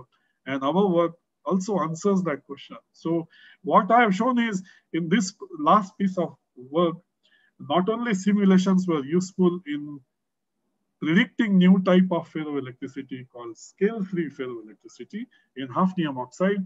Uh, it was also able to explain the puzzle in existing experiment in hafnium oxide, basically that you can have scale-free dipolar switching. And as a result, what we predict is you can have devices where you know the thickness of a device will be limited by which electrode you use. And you can have really ultimately high density storage devices in hafnium oxide. And these are some proposals we have. Uh, this is the ideal thing we can propose where, you know, you can have a memory bit whose width is about half a nanometer or one nanometer, but that's going to be very difficult because you can't really deposit metal electrodes or wires, which are that thin. In practical sense, you will end up having few nanometer wide deposition of metal electrode. You see the below it hafnium oxide, which can be bulk also because the dead layer will already take care of separation between different memory bits. And that opens up really new type of device technology. So my time is almost getting over. I will summarize my talk. Uh, I first introduced to you two ferroelectric crystals in three dimensions. They have spontaneous electric dipoles which respond to external stress and electric fields. And as a result, they are very sensitive to surrounding and hence interesting at nanoscale. Then I showed you that it's possible to have two-dimensional ferroelectric materials with the two examples given here.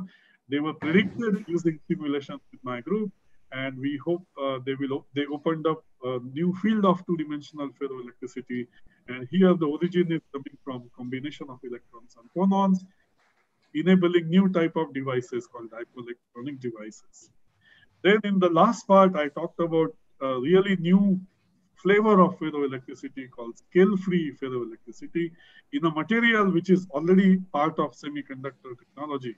So we are very excited about this last stage where two-dimensional ferroelectric sheets will allow you to have ultimately high density computer memories.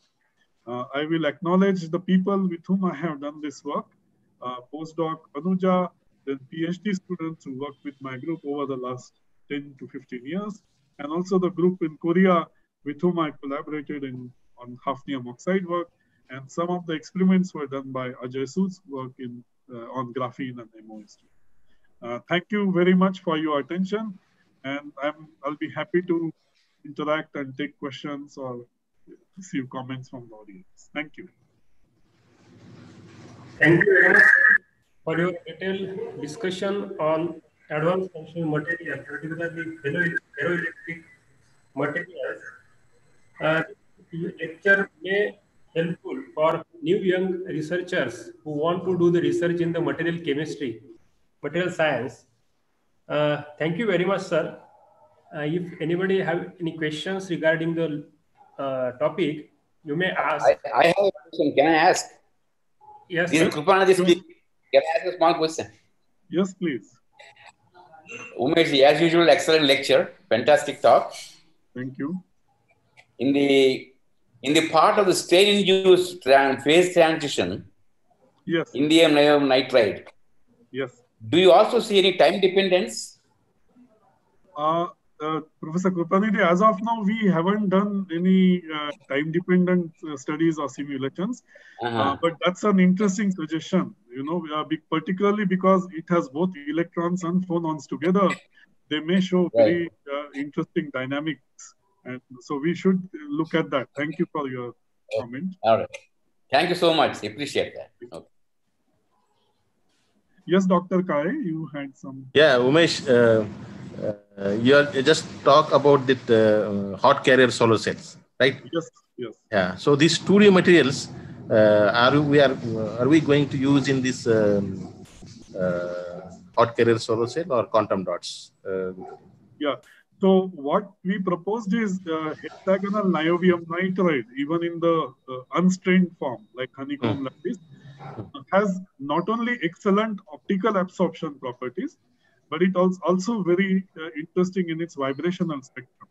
So uh, the reason we say it is useful for hot carrier solar cells is, you know, the, the limitation on efficiency of a solar cell comes from the fact that much of the solar energy gets dissipated into vibration thermal motion. Know, the if you have low efficiency, it means energy is getting dissipated in some form, and it's typically uh, the excited electrons by light lose their energy to vibration.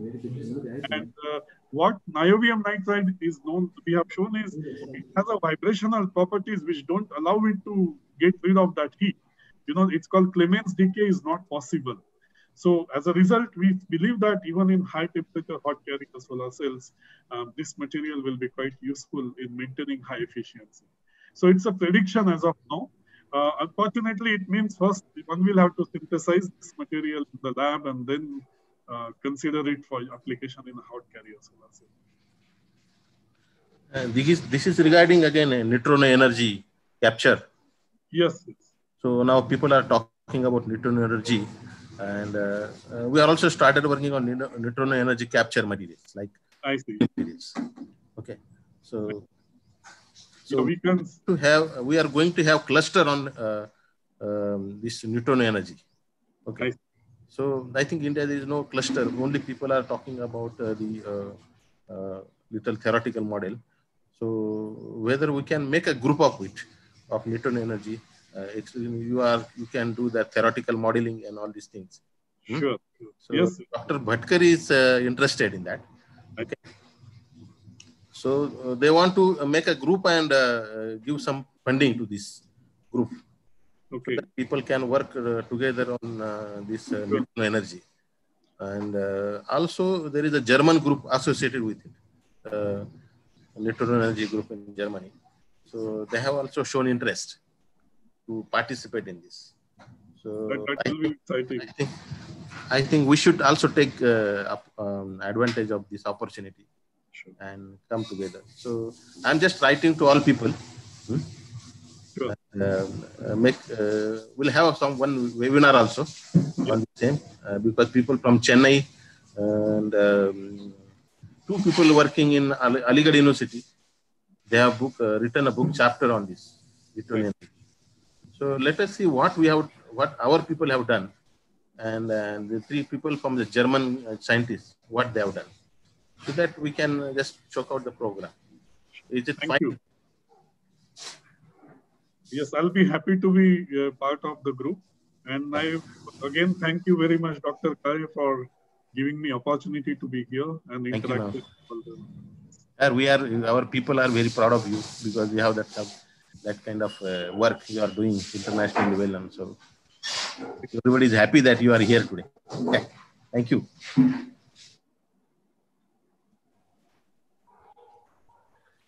Thank you, Professor Waghmare, sir. Thank you. Uh, being a part here and uh, become a part of this workshop. Now we are waiting for the next session of uh, Professor Rahul Panat. I would like to firstly uh, to introduce Professor Rahul Panat sir. Professor Rahul Panat sir is a presently professor at Department of Mechanical Engineering, Carnegie Mellon University, Pittsburgh, USA, and has a huge experience in research and development of advanced additive manufacturing for structural materials, biomedical devices, flexible microelectronics, advanced energy materials, physical and chemical sensors. I would like to say a few words about his academics. He has completed his BS Mechanical Engineering in Pune, uh, Pune University, India in 1993 to, to 97. Uh, MS Mechanical Engineering, University of Massachusetts at USA uh, from 97 to 99. And he had been completed his PhD in theoretical and applied mechanics from University of Illinois, Urbana, USA. Uh, he has more than 75 papers in well-reputed international journals and has more than 10 patents. Sir has received more than $4.8 million funds from different funding agencies for the project. Sir has visited many countries and delivered lectures in more than 40 national and international conferences. Due to his work in the field of research, he got many awards and recognitions. Few of them are Strominger Teaching Fellowship Award in December 2019, Divisional Award by Intel for outstanding efforts in the development, and this award sir has got continuously from 2007 to 2010. Lean Six Sigma Green Belt Certification Award at Intel in 2014. Henry L. Langhaar Graduate Award, University of Illinois at Urbana. Sir got the gold medal of Material Research Society of India in 2010 and Mavis Memorial Fund Scholarship Award, University of Illinois, Illinois at Urbana in 2002 and 2003. Uh, and he also got research fellowship of University of Illinois at Urbana from 1999 to 2000. And sir has also received the National Merit Scholarship by the Government of India in 1991. Sir, we are very thankful uh, for being here and delivering the lecture for us. Sir, we are very grateful for accept, accepting more invitations. May I request you to start your session, sir? Please, sir. Okay. Uh, yeah. Thank you. Thank you, Dr. Dole. Um, let me um, share the screen. Uh, so can everyone see my screen? Yes, sir. Yes, sir. Okay. Okay. Yeah. So, Yes, uh, sir. okay. So first of all, thank you so much, um, um, Dr. Kare, for um, uh, the the kind invitation. Um, Dr. Uh, Thube and Dr. Mahir, um, as well as Dr. Late. I also uh, uh, have uh, I, I also thank Professor Waghmare and Professor uh, for for uh, being here and, and sharing their work as well as Dr. Late. So uh, let me start let me start my talk. Just yeah okay. So um, uh, the the outline of my talk is as follows. So this talk is slightly different than what what you heard before. This is more engineering oriented and uh, focuses on 3d printing at uh, micro scales using nanomaterials and uh, mainly focuses on devices how to make devices and and um, how we can advance these for for betterment of of healthcare as well as um, uh, creating high uh, uh, capacity energy materials. So uh, first I'll talk about nanoparticle 3D printing technology, which is, these are very recent ad, uh, advancements and um, these uh, fabrication techniques were just not available in the past. So these have opened very, very exciting possibilities um, we'll, I'll talk about 2D and 3D structures that are enabled by 3D printing. And then I will talk about several devices. Uh, most of them are biomedical devices, such as brain computer interfaces, uh, biomedical decals for um, uh, in situ monitoring of uh, bio, uh, biomarkers, um, as well as temperature uh, sensors, and then detection of viral antibodies. I'll then talk about lithium ion batteries and conclusions and future direction of this exciting area of research. Um, so uh, uh, Dr. Uh, Dole did a great job in, in uh, discussing where I came from. So uh, with my background, so I don't need to go through this slide, but all I will mention is that I have very strong ties with Pune. I grew up in Pune. Uh, in fact, in Pune University campus, where my, my father was a faculty member, and um, um, later on went into different areas, but all related to ultimately manufacture, uh, mechanical engineering as well as uh, materials science. Uh, so since 2017, I have been at Carnegie Mellon University and uh, my research is focused on nanoparticle-based fabrication methods. So uh, what is um, additive manufacturing, um, which is same as 3D printing? Um, so in very simple terms, right, for students, uh, additive manufacturing is is adding material rather than taking it apart, uh, taking uh, or, or um, taking material away to create a part. It is as simple as that. And the way additive manufacturing um, uh, is used to make parts is that you start with some kind of powders or, or nanoparticles or microparticles, and then fuse or sinter them together using some form of energy. Um, if the length scale of the structures you are making is greater than about one to five millimeters, um, the additive manufacturing methods are listed here. And typically laser powder bed fusion, for example, or, or electron beam sintering um, are the key methods to make such parts. Subtractive or semi-additive methods are, of course, our traditional manufacturing methods like lathe, uh, drilling, and milling and such, right?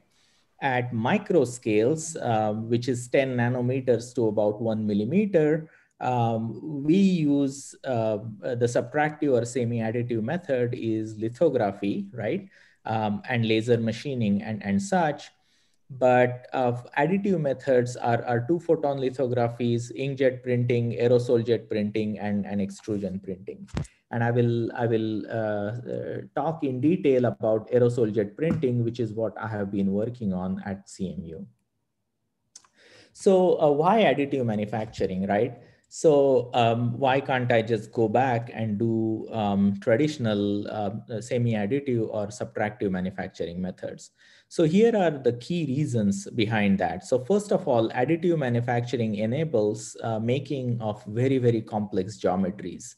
And this includes 3D shapes, which is very difficult to make using lithography. Um, second one is introduction of new materials. So uh, there is no chemical compatibility here, right? Because we are starting with some kind of powders or particles and fusing them together. Ideally, one I can mix any number of particles, right? And fuse them together and create my part. Um, the third important advantage is novel microstructures are uh, possible. This is because if I start, for example, with na uh, nanoparticles and make a part, uh, each nanoparticle becomes a grain in itself. And then one can control the, uh, how the grain evolve um, as a function of time uh, based on this. Um, and uh, this is, of course, additive manufacturing uh, creates minimal waste. So it's a, it's a more energy efficient method. And um, the other very big advantage in productization or developing a product, uh, especially start for startup companies that are intensely using research concepts to create, create parts, they need very cheap way of making a part, which is um, enabled by 3D printing because rapid prototyping is, is possible. Again, uh, please interrupt me at any time if, if you have any questions, and I'll be very, very happy to, um, happy to answer. Uh, so uh, printing of nano and microparticles um, is, is the, really the research area I'm going to talk about. And this consists of um, a very simple method of a direct write process in which the, the nanoparticles or microparticles, uh, which is dispersed in some kind of liquid is dispensed on a substrate.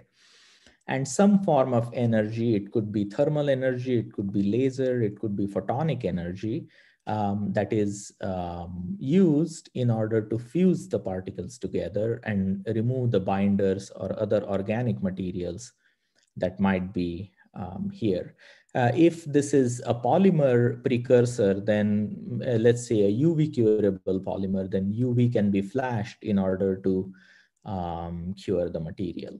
So the concept of micro and nanoparticle printing is not very complicated at all. It's a very simple thing. We, we take nanoparticles, we deposit them on a substrate and use some kind of thermal, some kind of uh, energy source to, to, to fuse the particles together.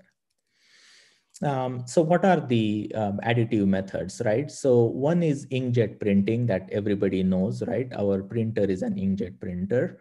Um, uh, there is extrusion printing where you just simply apply pressure to your functional material that you're dispensing. Um, the third one is uh, um, aerosol jet printing where you have a carrier gas that um, uh, creates a mist or, or pressurized gas that can create a mist of droplets that contain the functional material. And then that functional material is uh, carried by a gas and then you deposit at uh, that at certain location and um, two photon lithography is another way where um, you would have um, beams of um, photons that that intersect at certain point giving enough energy for the polymer to um, cure and uh, by rastering this through the liquid volume or precursor volume we can create additively a very, very complex and very, very accurately placed uh, structure with micrometer length scale accuracy. So um, people have used these methods in the past. So the first example on the left is called was called dip pen nanolithography. Um, this was work published about 20 years ago where people could go at a location, uh, pick up some molecules and place them at nanometer precision. Um, this uh, method really never got commercialized because um, the, the speed of writing was, was extremely small. Uh, for any practical use. Uh, there is extrusion pen type of uh, uh, printing, which is a group at Harvard that is working on this to create these interdigitated batteries. And then using inkjet printing, we can print on some um, substrate to, again, create uh, uh, components such as passives. So uh, the, the printing method that we, are, we have been using at uh, Carnegie Mellon University is called aerosol jet 3D printing. In this method, we uh, uh, use either ultrasonic energy or pressurized gas to um, um, convert nanoparticle ink into a mist of droplets. And each of these droplets is about one to five microns in diameter, uh, each containing nanoparticles, which are um, anywhere between 3 to 30 or uh, 50 nanometers in, in uh, size. And then these droplets are focused on a, um, on a substrate uh, at a scale of around 10 micrometers. So um, starting from the mist here, uh, we can deposit the structure on any given substrate. Um, so this is a video I'm going to play and the comet-like thing that you see here is um, nanoparticles uh, that are getting printed on a substrate. And uh, uh, uh you will see later that there will be a laser beam that comes in and sinters these nanoparticles to create um, this electronic circuit in the time that we saw this video, right? So you can see now the laser beam is, is uh, sintering this, these lines and um, uh, creating a continuous uh, conducting line on a two-dimensional surface. So does everybody uh, see the video?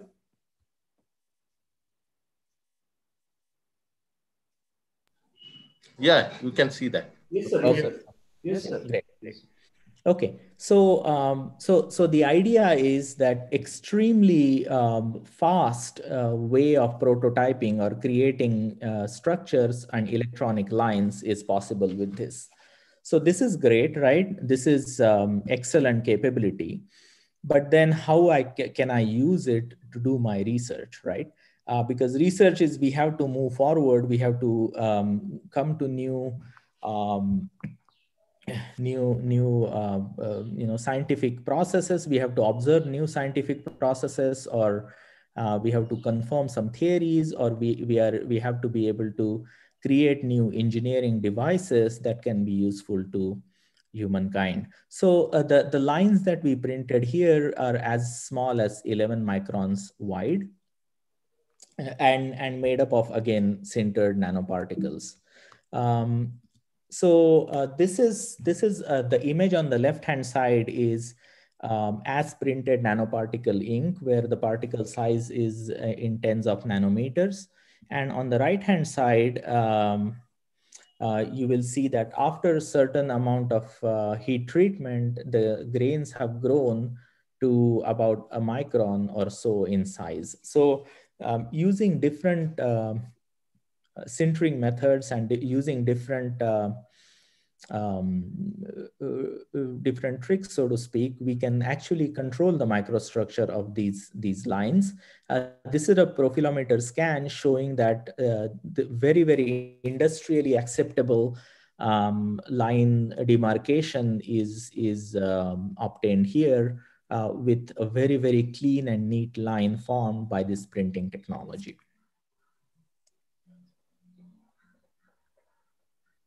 So pretty much at the time I entered academics from industry after my experience at Intel, um, I started working in uh, uh, nanoparticle 3D printing, and this uh, sector was at this stage where people were uh, printing these uh, nanoparticles on, on two-dimensional surfaces, right?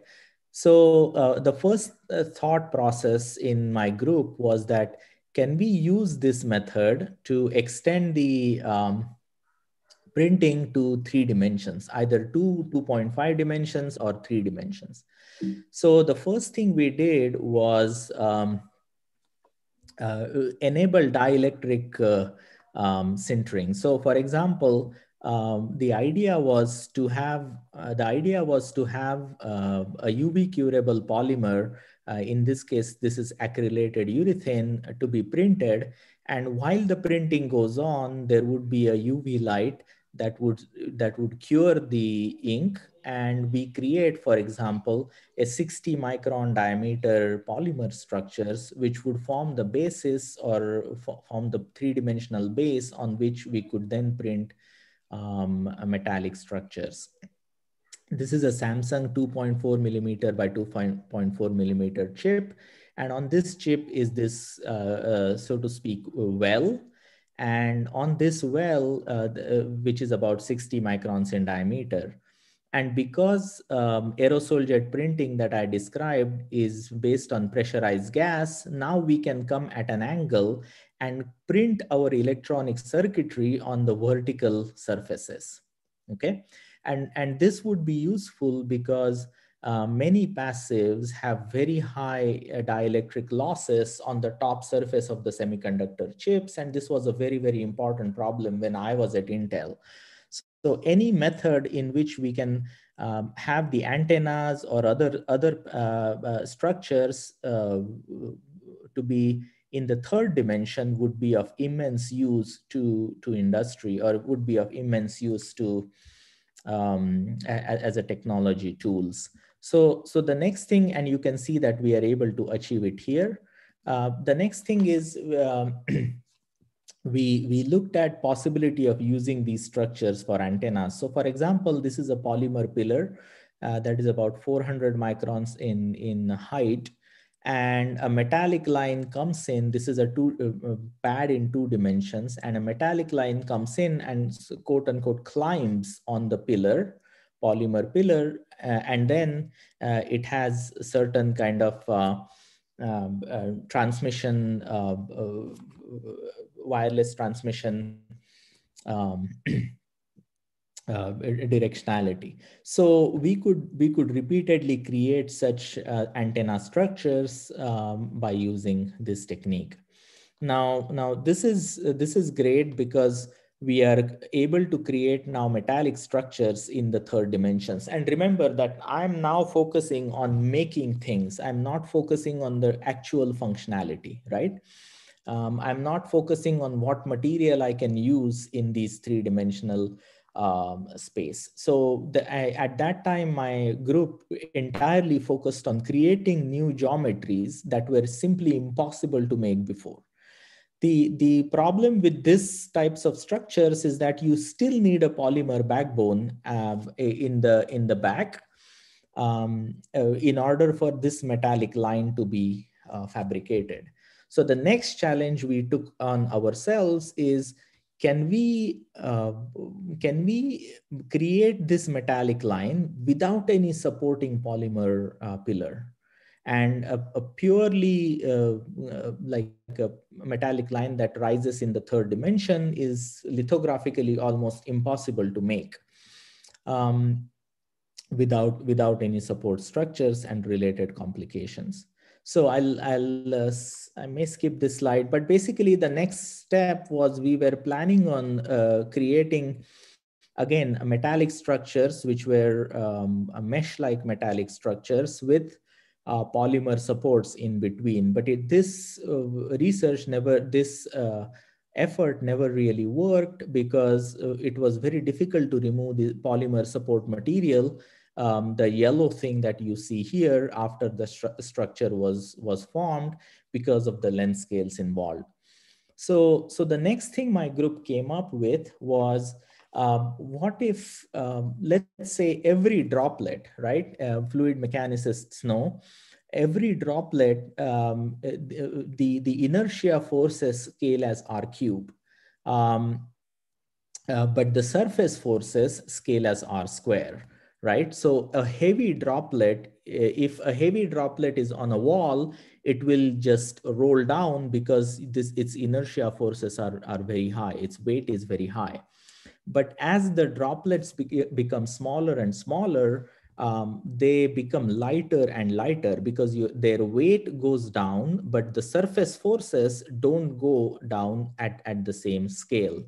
So the idea we came up with was um, uh, could we stack these droplets one above the other in, th in three dimensions?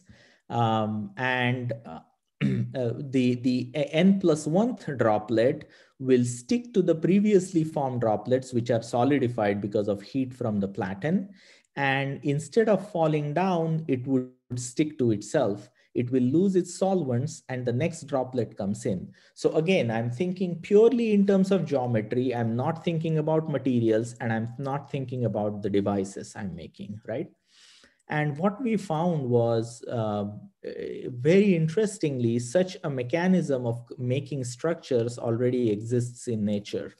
So in Namibian desert, there are these beautiful desert roses that form over millions of years and they are formed when sulfur containing droplets um, get get uh, evaporated um, and at night time they are they are brought into the desert uh, area. And in the morning um, the sunlight removes the solvents and the sulfur for example keeps on dropping on the surface. So if there is a seedling that has formed it starts to grow and results in this beautiful three-dimensional structure and and essentially this is what we would be we were looking at.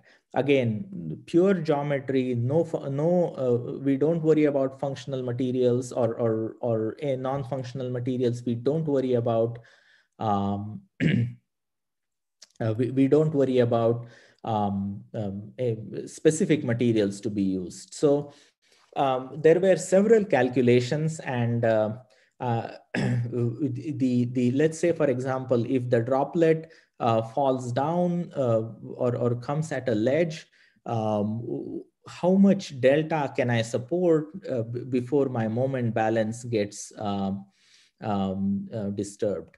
And that would determine the angle theta that I can create these three-dimensional structures at. Now, remember, we are using absolutely no support structures here. Um, and these are all micro scale structures. So our calculations showed that um, this type of angle, the minimum angle would be between 30 to 40 degrees for the droplets that we were um, um, looking at.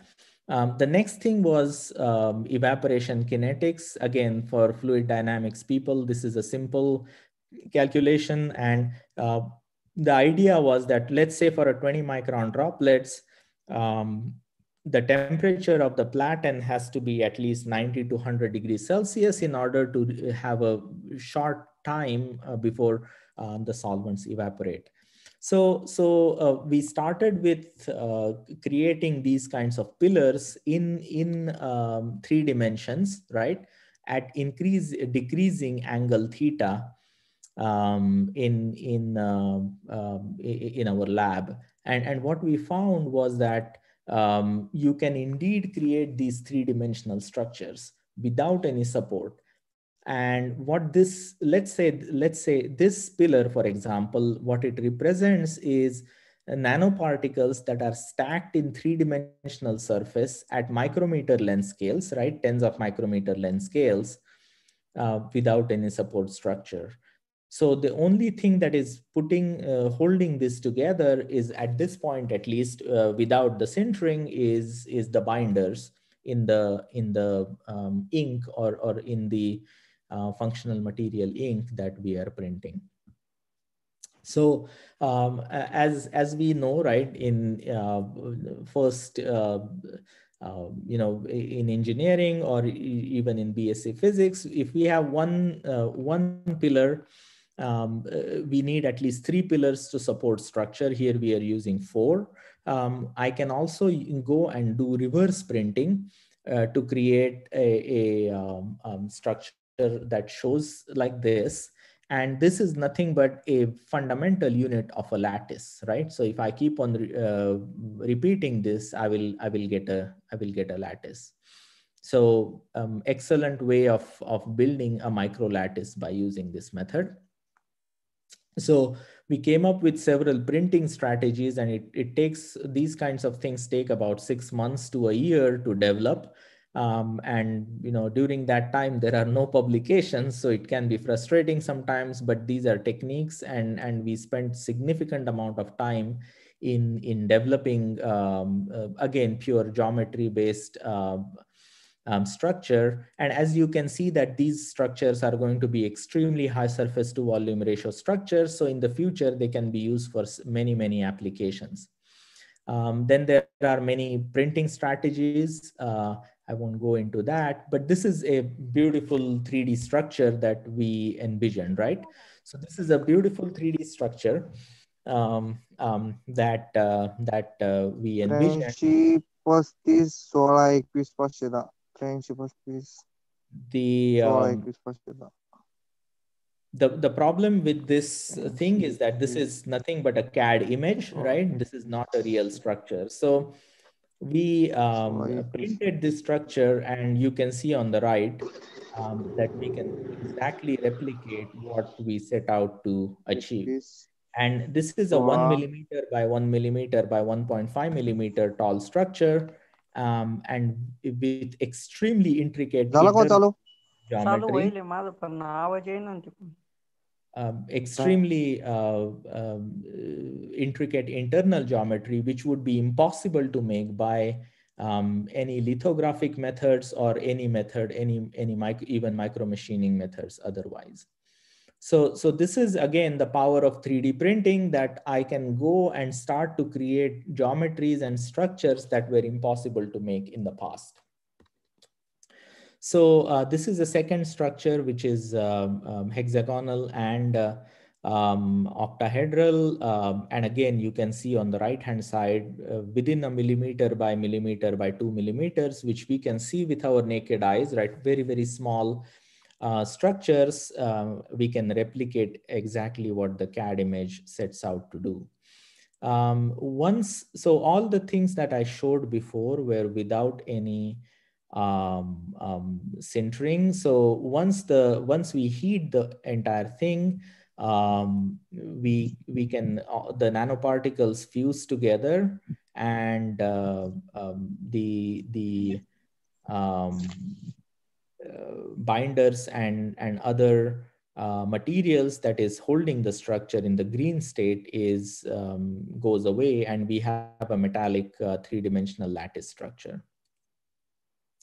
A, a, focused ion beam uh, section shows that there are internal um, porosities as expected from, from sintering of nanoparticles. Um, so in other words, this method can now create, so again, look, looking purely at geometry, we can create structures that are uh, a, a, millimeter to a centimeter in size, uh, where unit lattice is of the order of hundreds of uh, micrometers, 200 micrometers, for example, where each of the pillars uh, is a pure metallic solid pillar with uh, um, about 40 to 50 microns in diameter and then uh, these are sintered nanoparticles. So you have some nanoscale um, structure itself. So this is a hierarchical way of uh, making things um, uh, at, with, with a control of over five orders of magnitude in length scale, which otherwise would be very, very difficult to do um, by conventional manufacturing methods. Um, once we are able to create these structures without any support, then kind of sky is the limit, right, uh, so to speak. And uh, we started to make various pillars and started to look at now, okay, now we have uh, uh, uh developed a completely new method of making things, three-dimensional structures, microstructures using nanoparticles. Now, where can we use them?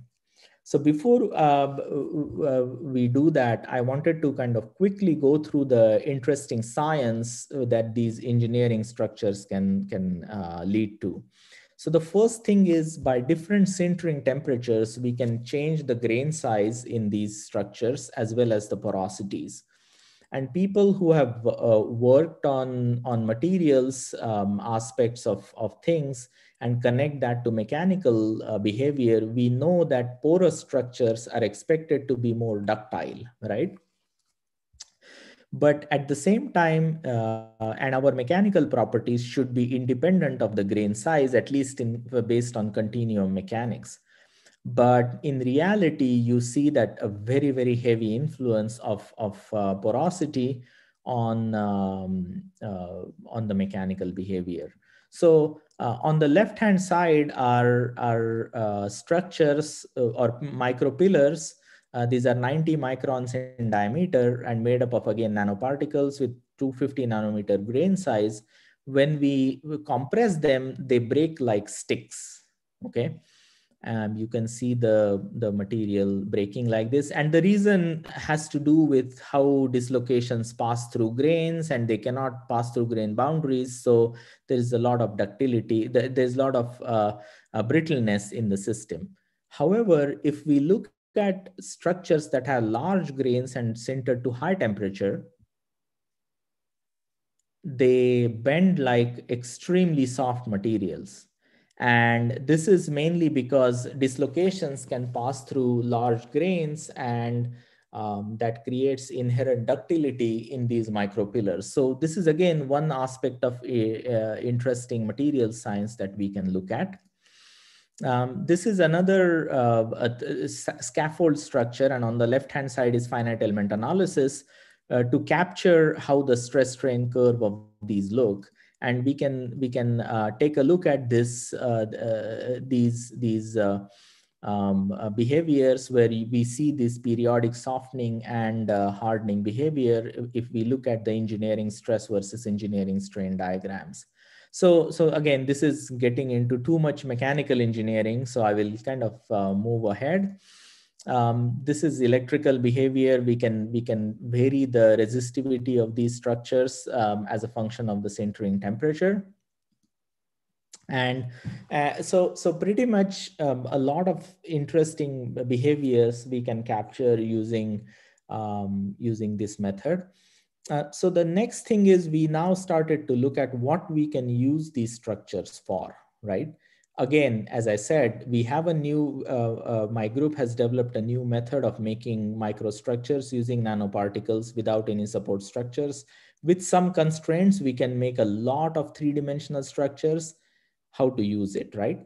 So the first application we looked at was at brain-computer interfaces so um, I don't know if if this is a very well known uh, field uh, in in uh, in material scientists yet, but um, people have uh, people who are paraplegic or, or quadriplegic who cannot use their hands and legs, for example.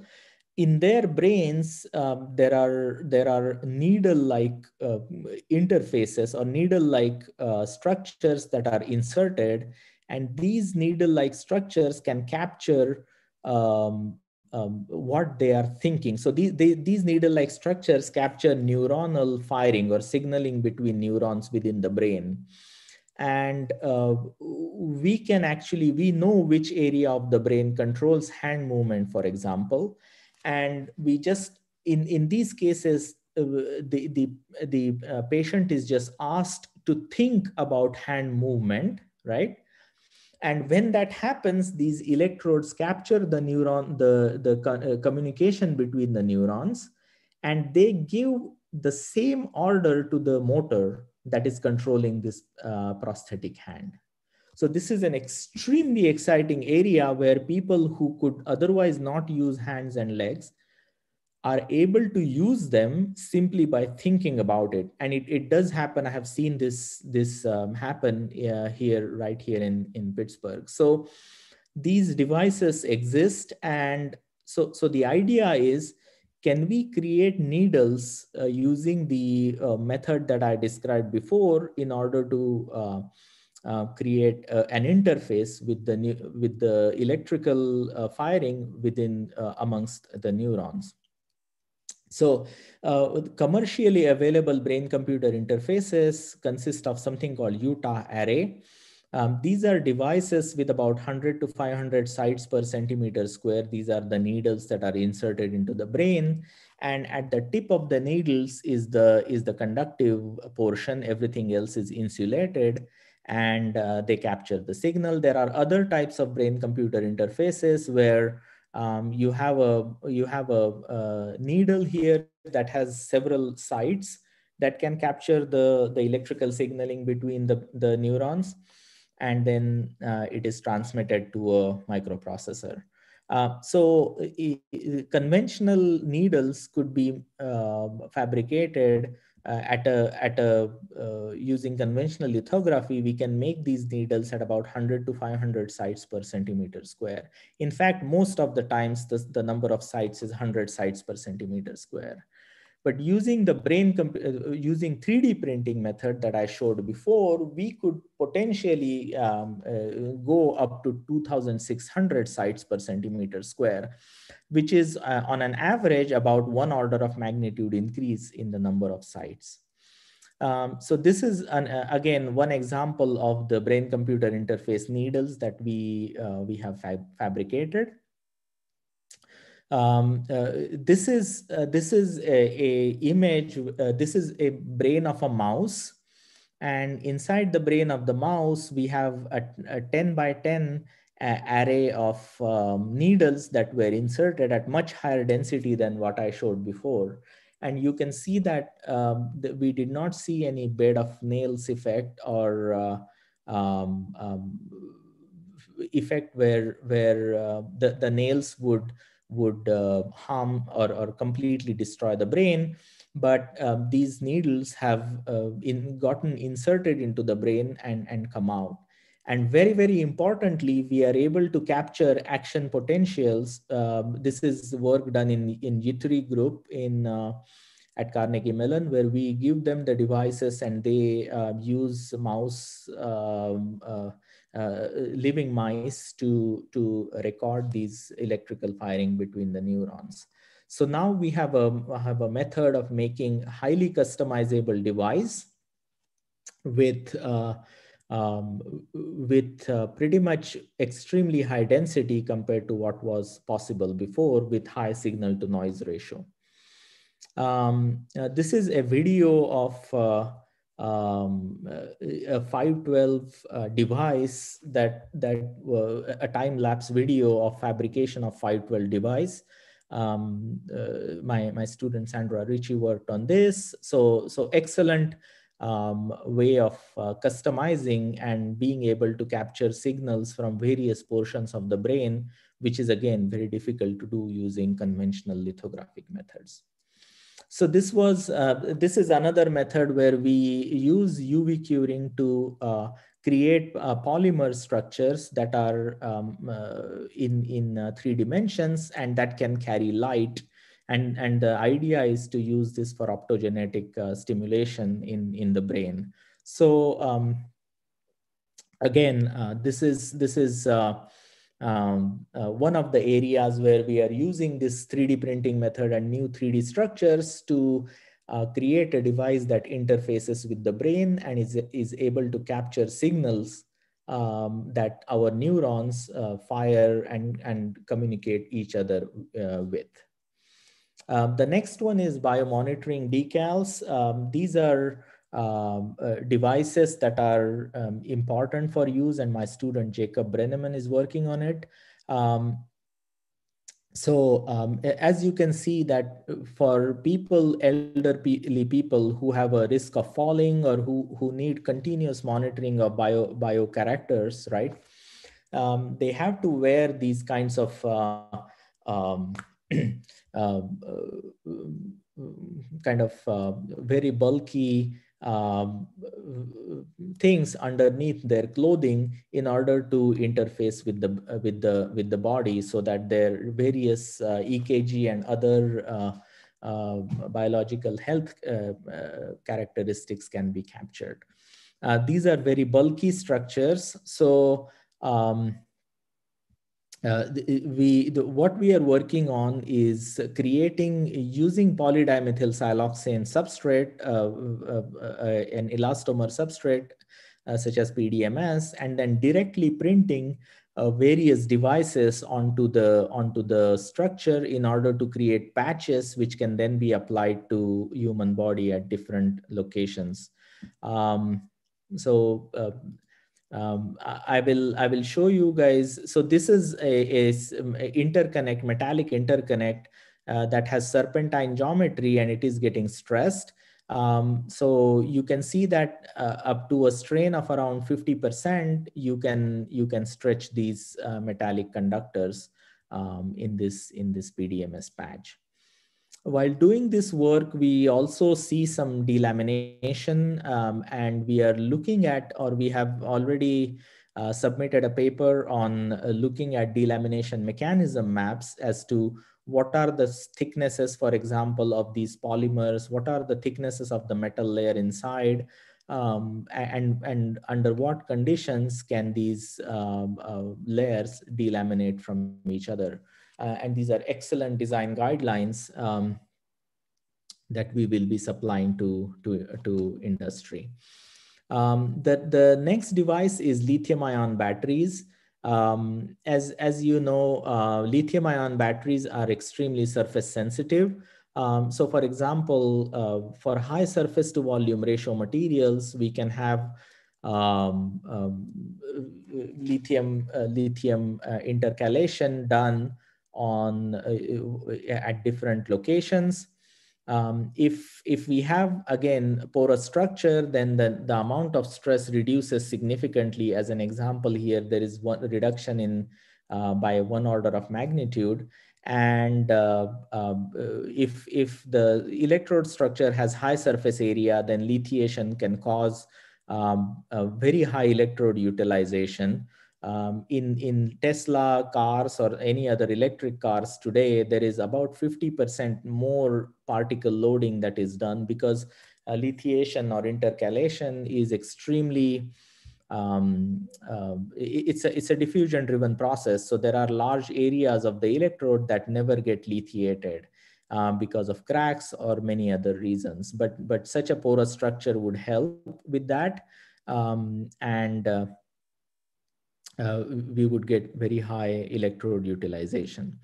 So what we did was again used our uh, geometry method, right? And uh, uh, uh created uh, a, three-dimensional scaffold type structure where we have these um, pillar structures um, using FIB. We can show that there are um, um, there is porosity here. And when we use this for um, as, as lithium ion batteries, we get about four times increase in uh, um, um, specific capacity in this case, uh, which is very close to the theoretical maximum uh, capacity one can get. So, so potentially this work can have, uh, can lead to um, um, significant increase in, in charge capacity. We believe that for um, uh, different materials, we would get up to 1.5 times the charge capacity and can potentially revolutionize the, the energy storage field. Um, and and again, this is uh, you know this this manufacturing method has been has been patented, and um, we are we are actually talking with some some companies and investors to to take this to the to the market. Um, the, the next one is a very interesting work that we recently did. And um, I wanted to purposely keep my talk like uh, 45, 50, 45 minutes so that we have ample times for questions. But um, uh, what we have done is we use this 3D printing method again to create these micro pillars, right? as we showed before. And then we coat them with uh, reduced graphene oxide and uh, we we have a chemistry using which uh, uh, the the antigens are then connected. So antigens are the uh, molecules on the virus itself. So whenever we introduce a liquid that contains um, uh, COVID-19 antibodies, um, these antibodies think of these uh, antigens, which are just nothing but protein molecules, as part of a real virus, and the antibodies try to attack it. And this signal is captured within about uh, 11 seconds. And so, so you can see that without and with antibodies, the um, electrochemical impedance signal is, is increased um, significantly. And uh, the RCT increases significantly and this work is is is in press right now um, uh, in in advanced materials and will come out soon. But the main thing is we are now starting um, um, to we just recently received permission to uh, carry out human trials um, in in pittsburgh here so that we can convert this discovery into um, into, into an assay. So again, we are using 3D printing to create microstructures using nanomaterials and then using these different geometries to, to create different very, very useful devices. Um, so I just wanted to run this video um, um, that that uh, we we uh, the, the work we did i think this explains everything very very concisely. So any number of slides won't won't help.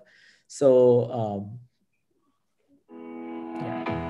my group has created an electrochemical device that can detect covid-19 antibodies within 10 seconds. This is the fastest detection time that has been reported so far the device is of the size of a US quarter and is connected to a smartphone platform for easy and convenient readout.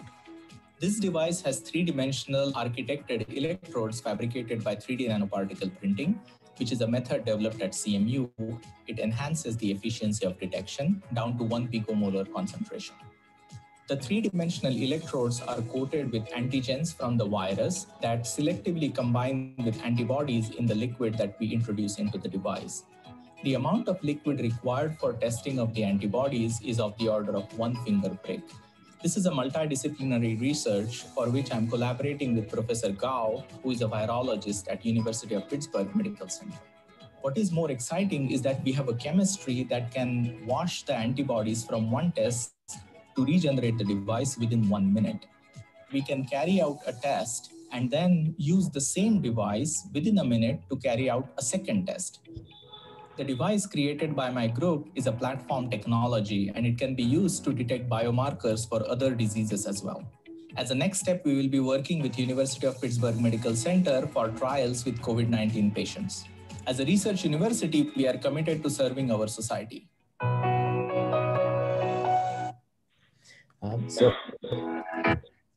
yeah. So uh, uh, so so uh, you know what what i personally feel is that these nanoparticle 3d printing methods or um, additive manufacturing methods have generated an extremely exciting possibility of, of creating new geometries materials and uh, microstructures. And um, we can we can we can envision a device that has a power source that can be 3d printed right uh, we can envision a device in which communication uh, um, uh, things such as antennas are, are 3D printed as well.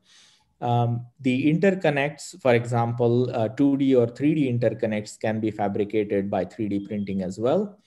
Um, uh, we can have the planar interconnects that are that are uh, generated by 3D printing, and then we have a sensing element uh, which which could use any type of um, sensing mechanism right? It could be electrochemical it could be bioelectric uh, um, uh, mechanism and, and, and so on and so forth. And all of them integrated into a one single um, device that is convenient for the patient to use for example or that is um, uh, convenient to manufacture or, or has some kind of advantage over the current state of the art. Um, so I want to kind of conclude with uh, uh, uh, mentioning that progress in micro nanoscale 3D printing has, has led to progress in, in uh, understanding of some of the fundamental concepts, right? For example, diffusion and uh, mass transport is something that uh, you know, this is a work I did not mention, but we have created very, very um, excellent uh, platforms where different theories can be tested out. Um, uh, we can have materials and mecha uh, material science and mechanics um, evaluated using this.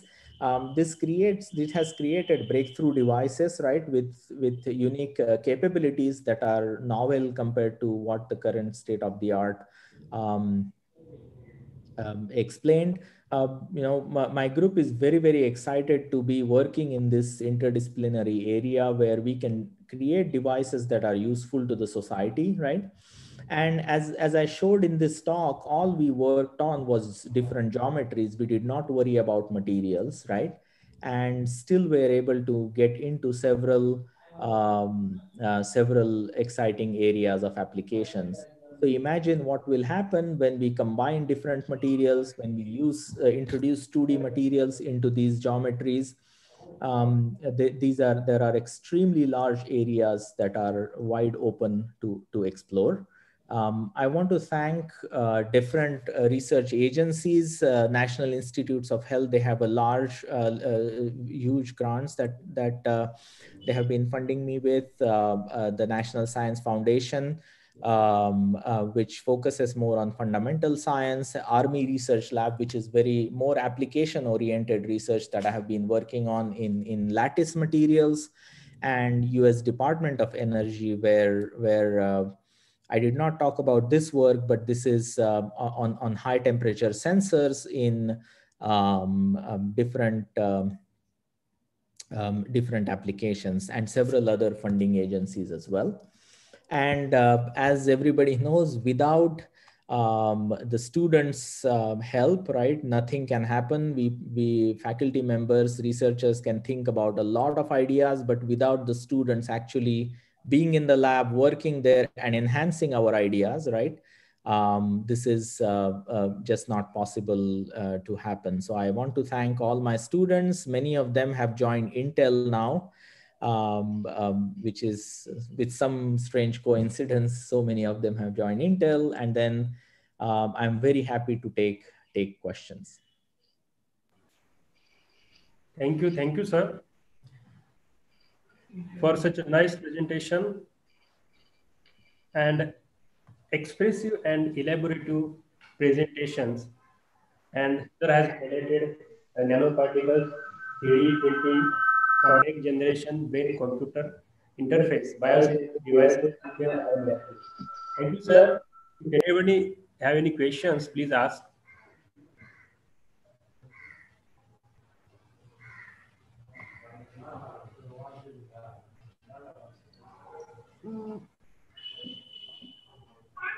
Hi, Rahul sir. Yes. Uh-huh. Yeah. Uh, is it possible to multi-layer uh, uh, 3D printing in uh, that uh, uh, nanoparticles? So, so you are asking whether there are multi-material 3D printing possible? Yes, uh, multi-layer uh, materials like organic. Uh, uh basically, I am uh, working in uh, breath analysis, breath analysis sensor. So there is a some kind of multi-layer, mono-layer capped material. So it is possible to do in 3D printing. Yes, yes. So the the minimum layer thickness we can print is about 200 nanometers. So um, it is it is uh, so so we can perhaps do some uh, preconditioning of the substrate and then uh, try to print as thin layers as possible um, but typically 200 to 250 nanometer thick. So if you have particles that are that size then um, um we can have one single layer of particles. But getting a one um, atomic layer structure is uh, will be something that uh, uh, will be challenging but I, am sure it's it's uh, something that that can be thought about. Okay. Okay some uh, some uh, we need to be wait for some while because we need to be 5 nanometer to 4, 4 nanometer to 5 nanometer multi-layer capping layer. So that's why it is not possible right now in uh, 3D printing. I think so. Uh, right, right. But at the same time, the there could be some, uh, you know, some treatment of the su- substrate in which there is some attractive force that enables only single layer or few layers to to remain there. So there needs to be some post processing treatment, but but this can be thought about. Yeah. Okay, okay thank you. Thank you very much, sir. Thank you.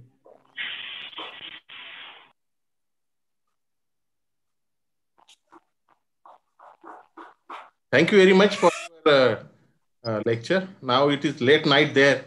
Yes, it is past one time. Hmm? in the morning. So I'm, yeah. but I'm really glad that uh, you know I could share the work and. Um... yeah, regarding this uh, battery, uh, that you see that uh, the materials uh, which you are that, that self-standing film you have done, I think it is without support. Without support, right? So that is the silicon anode or silicon base? So, so we we tried silicon based, but silicon based anodes expand contract extremely uh, violently. So they the the structures break in a few cycles, right? Um, so what we do is uh, this is uh, um, LFP um, uh, anode and then uh, mixed with silver uh, nanoparticles as well. This is basically LFP. Uh, LFP and silver, yes, yes. LFP yes. and silver. These are the two materials we have been able to.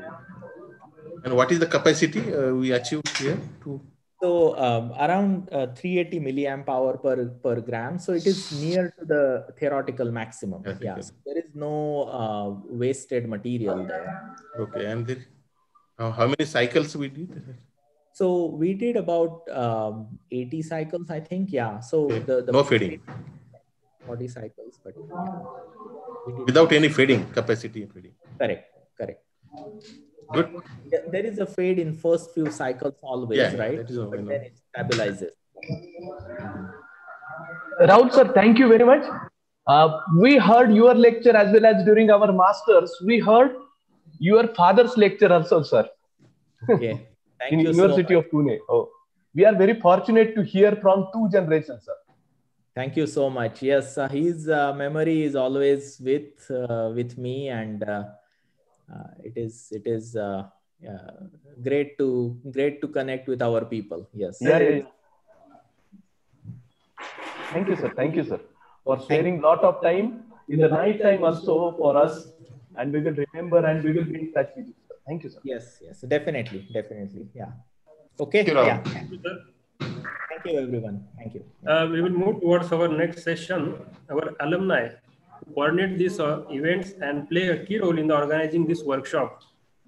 Dr. Dattatray Late. He is a scientist at Physical and Material Chemistry Division, National Chemical Laboratory, Pune.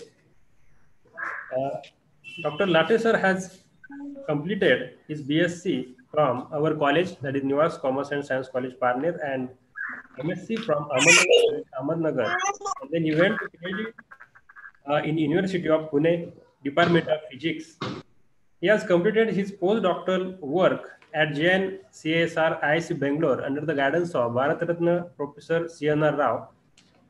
And further, he went to postdoctoral work in Northwestern University, USA, under the mentorship of Vinayak Dravid. He has been published more than 100 research articles in the international journals like uh, Advanced Functional Materials, Advanced Material. Sir has research interest in nanomaterials, nanoelectronic devices, light emitting diodes, semiconductors, photodetectors, nanoswitches, non-volatile memory devices, piezoelectric to generate cell-powder nano devices, and uh, nanotechnology for water purification and waste management. Uh, Dr. Dattatray Late, Late sir has got many awards like uh, CINT USA Research Project Award 2015, DAE BRNS Research Project Award 2015, DST Young Scientist Fast Track Project Award 2014, Ramanujan National Fellowship of DST Government of India 2013, Postdoctoral Fellowship of Northwestern University, Chicago uh, from 2010 to 2012, DST Nanoscience and Technology uh, Postdoctoral Fellowship, JNCSR, Bangalore, DAE Park, JRF and SRVF University of Pune 2004. So thank you very much. Uh, I would like to request you, sir, for starting your sessions. Please, sir. Uh, uh, thank you, uh, Professor Anil, uh, for nice introduction. Can you hear me clearly? Yes, sir. Yes, sir. Can you see me also? Yes, yes sir. sir. Okay. Uh, so thank you, Anil, uh, for a very nice introduction. Uh, at the outset, I like to thank Professor Dilip Dubey and principal of my college, Professor R.K. Ahir, for this kind invitation to deliver a talk on our experimental work, which we have carried out uh, in the last seven to eight years. I also like to thank uh, and express my sincere thanks to uh, Dr. B.B. Kale, Professor G.D. Yadav, and Dr. B.L.V. Prasad, Maharashtra Academy of Science and Material Research Society of India. I also like to thank to Professor S.B. Krupanidhi, Professor Umesh Waghmare, with whom I have worked closely, doing past on some of the research projects. Today, I'll be showing uh, uh, some of the work or what chemistry and recipes we have developed for synthesizing various 2D materials and 2D hybrid materials and the kind of application it has in a real-time technological devices. Uh, before moving, uh, I like to just heard, we have just heard very exciting talk by Professor Umesh Waghmare and Dr. Rahul Panat. And uh, before I move further, I like to thank uh, uh, the funding agencies without which it is difficult to carry out such kind of work. I also like to thank uh, current and past students for their hard work and sincere sincerity in the work. I also like to thank my mentors, teachers, collaborators from various parts of the world. Uh, I have just mentioned here, I have worked with uh, um, Professor Dr. B.B. Kale, Professor S.B. Krupanidhi, Umesh Waghmare uh, on some of the common projects on 2D hybrid materials and there. So before just I move, I like to introduce a journal which is AIP Advanced Thesis, where I am fortunate to be an editor. we are welcome to submit your paper uh, to this very exciting journal. It's very fast publication journal and publishes mostly original research and review article. Also, also uh, editing one special issue on optoelectronic devices. Those who are working on the kind of optoelectronic devices, they are welcome to submit a uh, research original research article or review article. Uh, the deadline is actually 30th January 2021. So they can submit the article. There is another journal which is known as IOP SciNote is also exciting journal. So all are welcome to submit your research article to these journals as well. So before just um, I move to next slides, I just wanted to know, uh, inform you that achieving science or success in science does not depend on the specific geographical position. It completely depends on your dedication, the ability of the excellence of the outcomes we have uh, in your hand. And so today I'm going to talk about uh, the devices, or 2D materials devices and the hybrid materials uh, for various applications. For example, improving the energy harvesting devices and technique which demand actually innovation across the device evolution scale from materials to circuit. As a result, it brings together researchers from various disciplines such as the energy device, energy science, the uh, chemistry point of view, the physics point of view, the engineering devices, and engineering people, they can ultimately come together and they can make 2D hybrid materials devices for various applications. For example, the ultimate aim of all these devices, 2D materials and 2D hybrid materials is to the propose is to develop a cell powered devices based on this 2D material. Because 2D, why 2D? Because it having a large surface area, because of having large surface area, there are many exploration happens in 2D hybrid materials and energy harvesting devices related.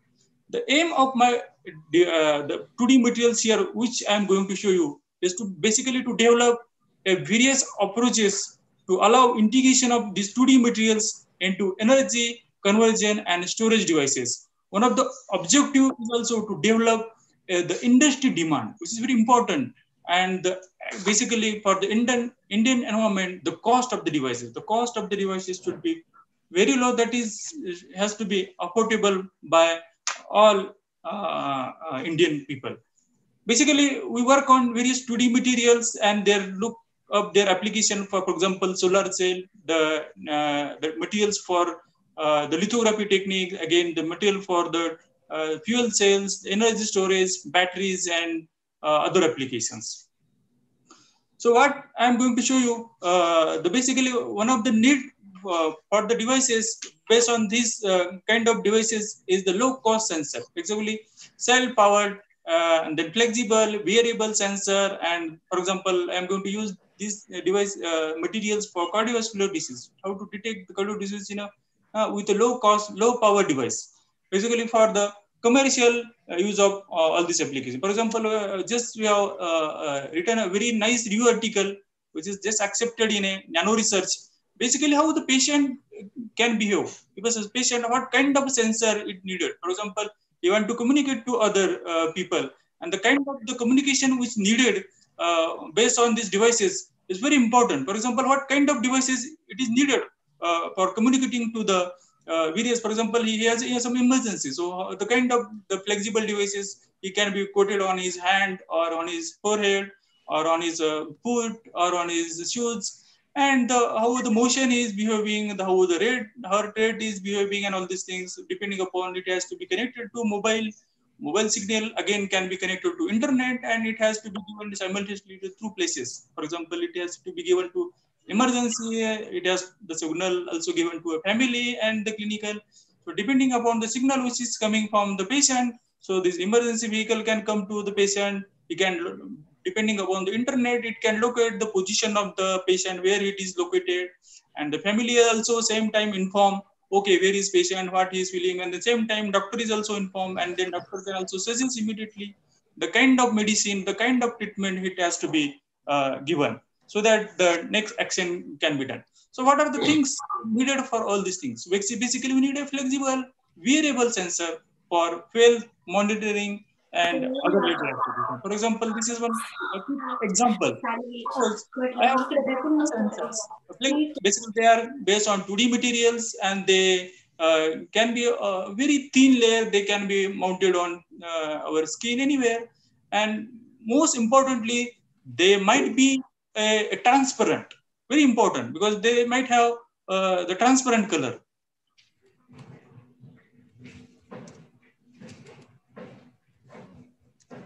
Yeah, can you see my slide right? Yes, yes, yes. I think uh, there was a slight problem. Yeah, yeah. Yes, yes. Okay, just move. Huh? Okay, I think I think I'll just uh, because uh, there is a slight network issue. I'll just off my video. Yes.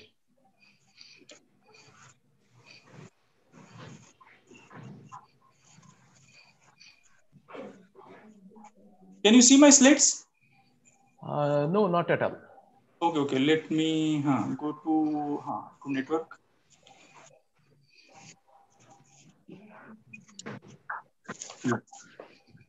Okay, can you see? No, no, right? I think it is just uh, still uh, showing uh, this network is moving. I don't know. I think we need to wait for a moment. Moment, right? Yeah, yeah, yeah. Or you can make it off and again restart. Uh, yeah, that can be done. Yes. Stop slide sharing and again start slide sharing. Okay, okay.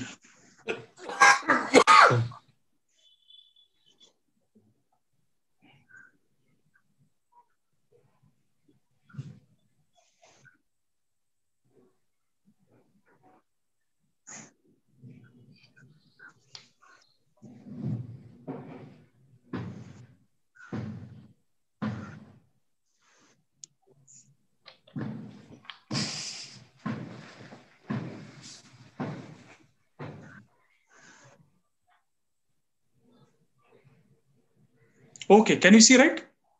Uh, yes, but yes, yes. Okay, uh, just go to next slide and maybe.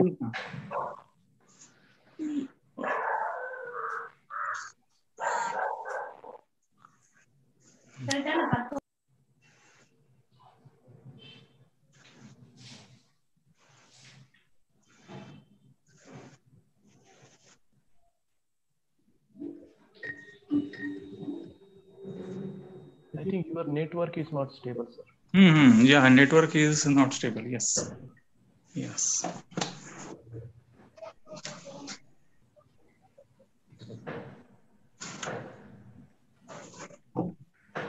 Maybe I'll just restart again.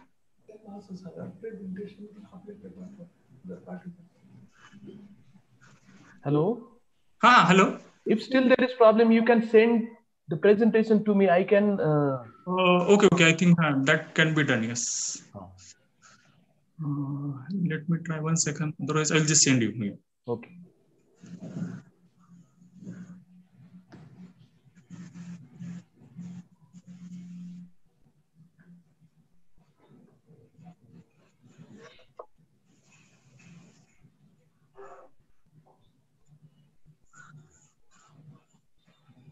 I think okay. I'll just forward you, sir. I'll just forward Yeah, you. yeah. yeah.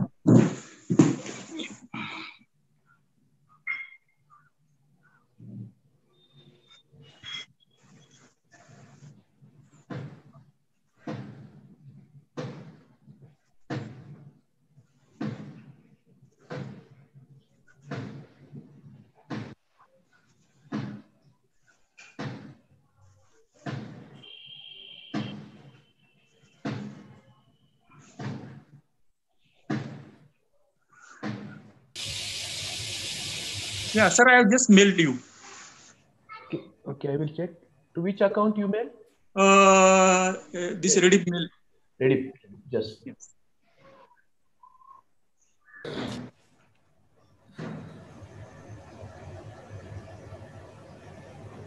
Okay, by the time I'll just try once again if it is coming.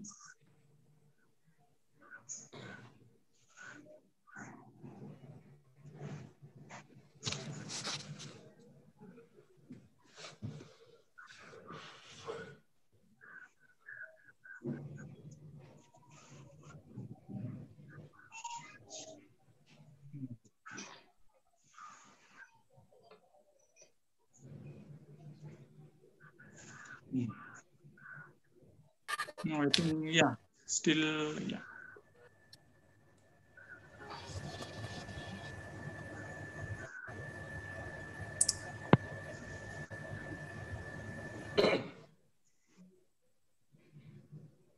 Yeah, I think, sir, uh, you can share. Yes. Okay, he's asking Microsoft password. Oh, it is. It should not.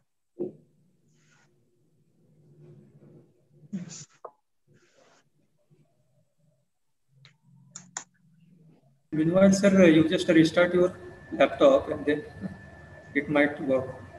Hmm. Okay, I'll just.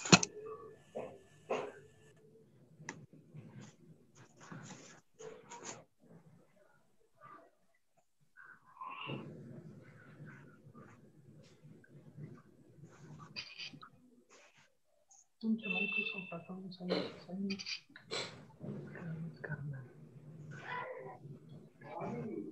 भार उत्पन्न होता है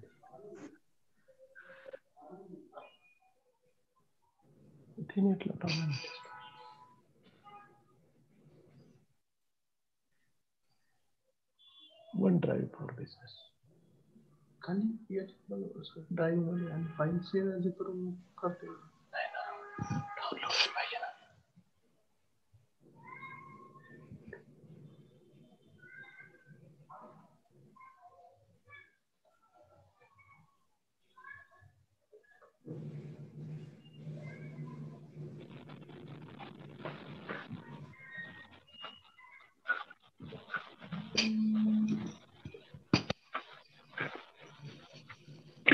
sir हा sir. हा password सांगतो मी तुम्हाला. बघा डी एस झिरो सेहेचाळीस झिरो आठ. D L D A Das. D A S zero सेहेचाळीस झिरो आठ. बघा ओपन होते का? हा.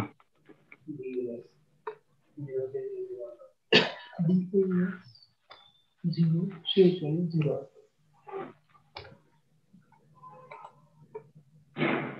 नाही ना। Das Das D A S zero सेहेचाळीस झिरो आठ। Capital small I think small आहे स्मॉल बरं ठीक डी कॅपिटल टाकून बघा। डी कॅपिटल अदरवाईज बाकी स्मॉल हा.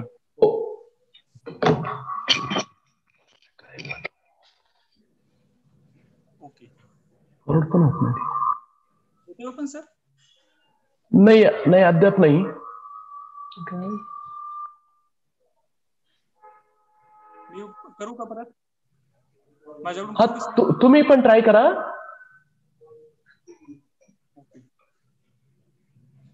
तुम्ही पण ट्राय करा दोघांच्याकडे ज्याचं ओपन होईल करू।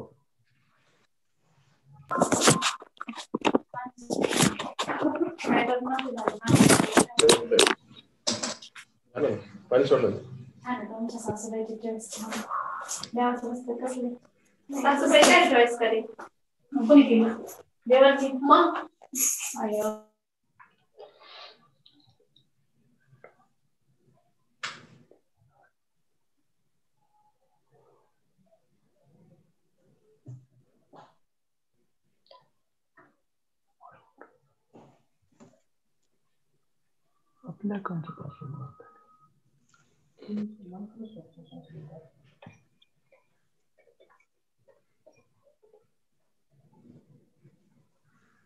Ok.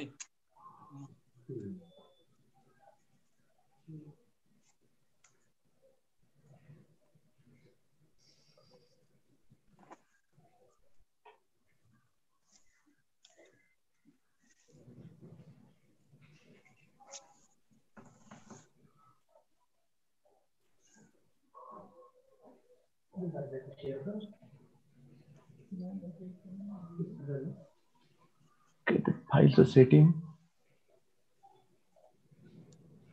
Uh, hello? Hello? Ah, sir, uh, can you see? Yes. Oh, oh, oh, oh. For this thing. Yes, sir. Yes, sir. Next slide. It shows. Sir, please keep this slide and go ahead. Hello during the transition of slide it is taking some time by the time i'm also trying to download let's see what is happening No, it has uh, no maybe large size image. That's why huh, taking. Huh.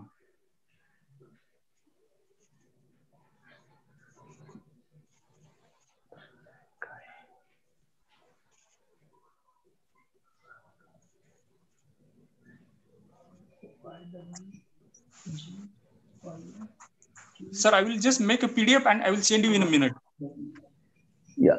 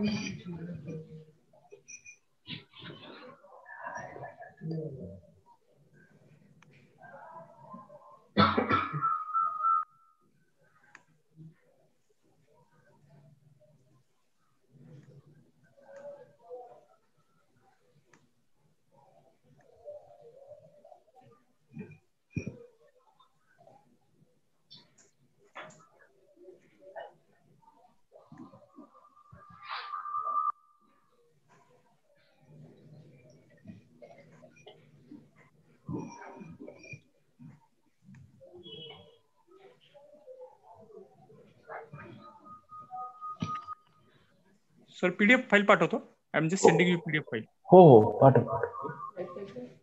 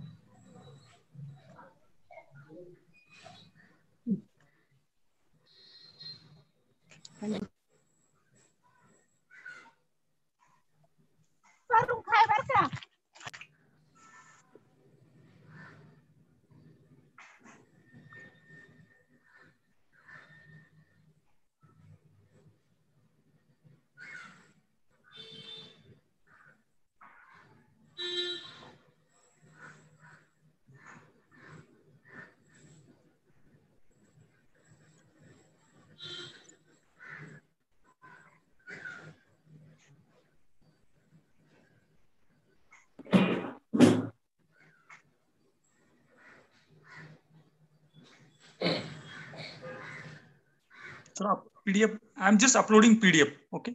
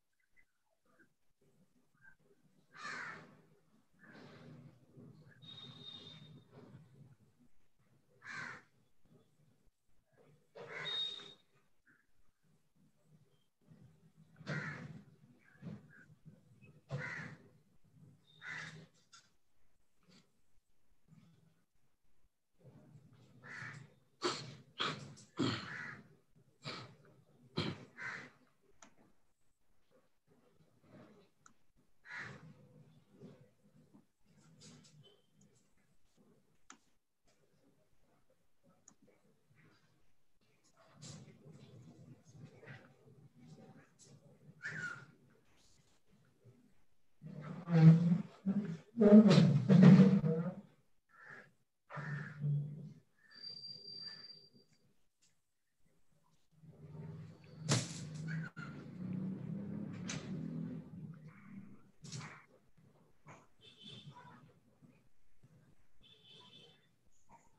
चार ATM number पर्यंत पोहोचण्याचा प्रयत्न करत आहात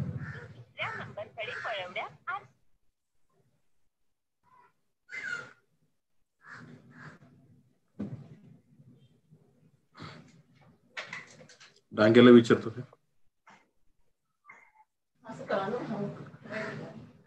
त्याला सांगायचंच नाही ना कशाला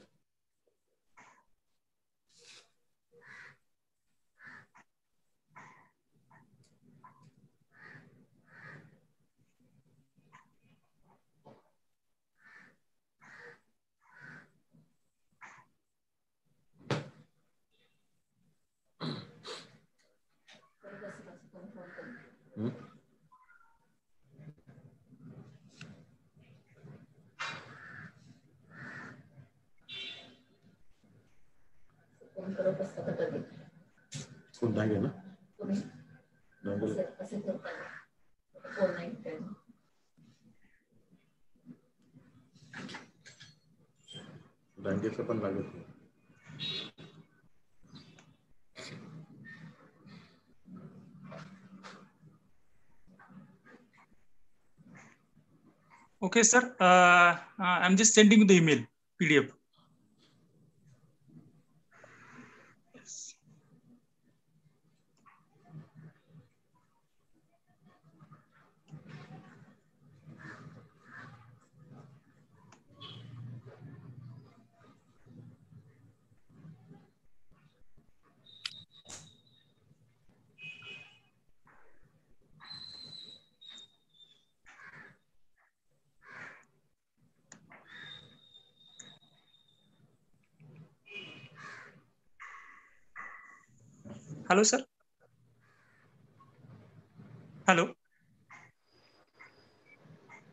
Sir you are mute हाँ हाँ हाँ बोला बोला। हाँ। सर जो I have just send you email हाँ ठीक है। रेडी प्लस ना? हाँ ready plus okay okay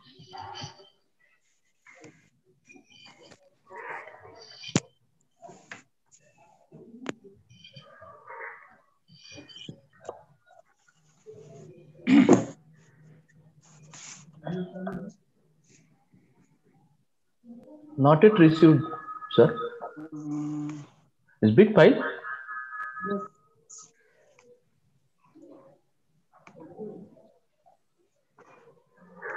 Refresh करा, sir. Just refresh. Got it? Not it not yet.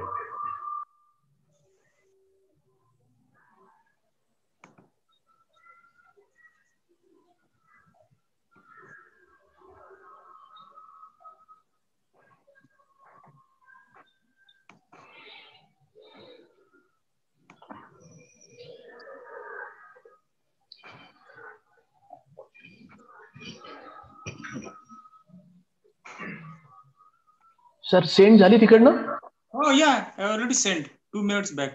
Just refresh.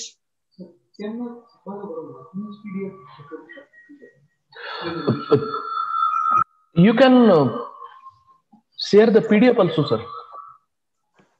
Oh, yeah. Hmm. PDF can be shared Oh. because it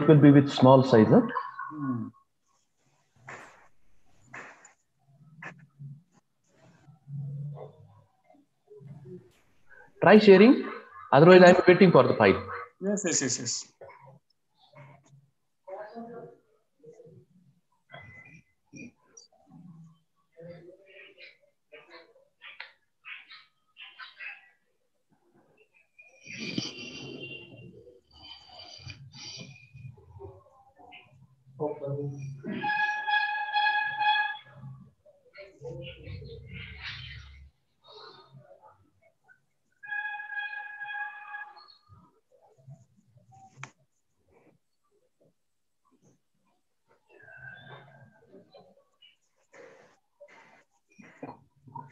Can you share?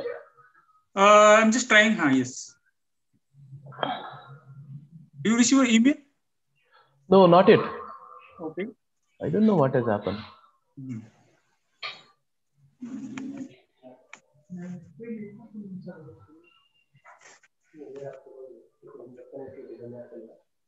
Okay.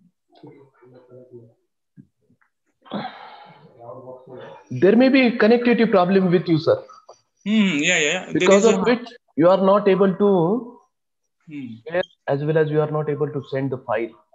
Yes, uh, but it is showing it is has been sent. Okay. Uh,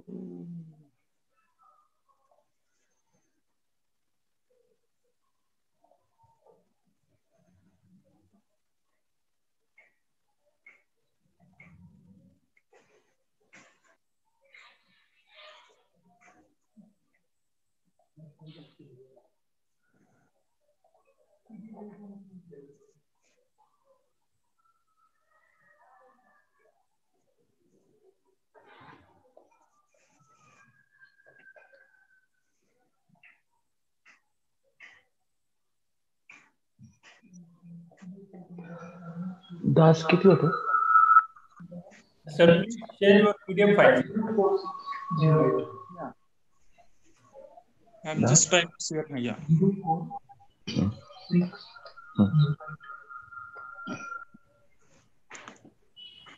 Sir, do you receive email? Not yet. Oh, surprising.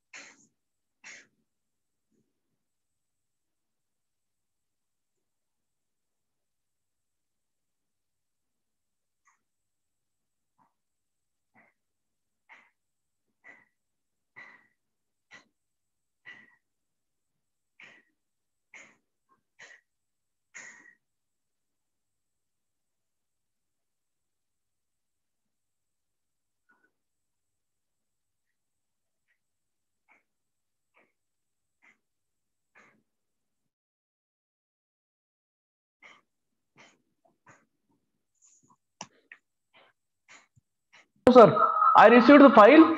I will share the file. Okay, okay, okay, okay, okay.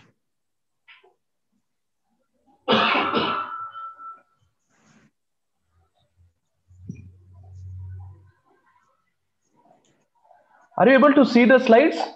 Uh, let me see. Yes, sir. Okay. Yes, sir.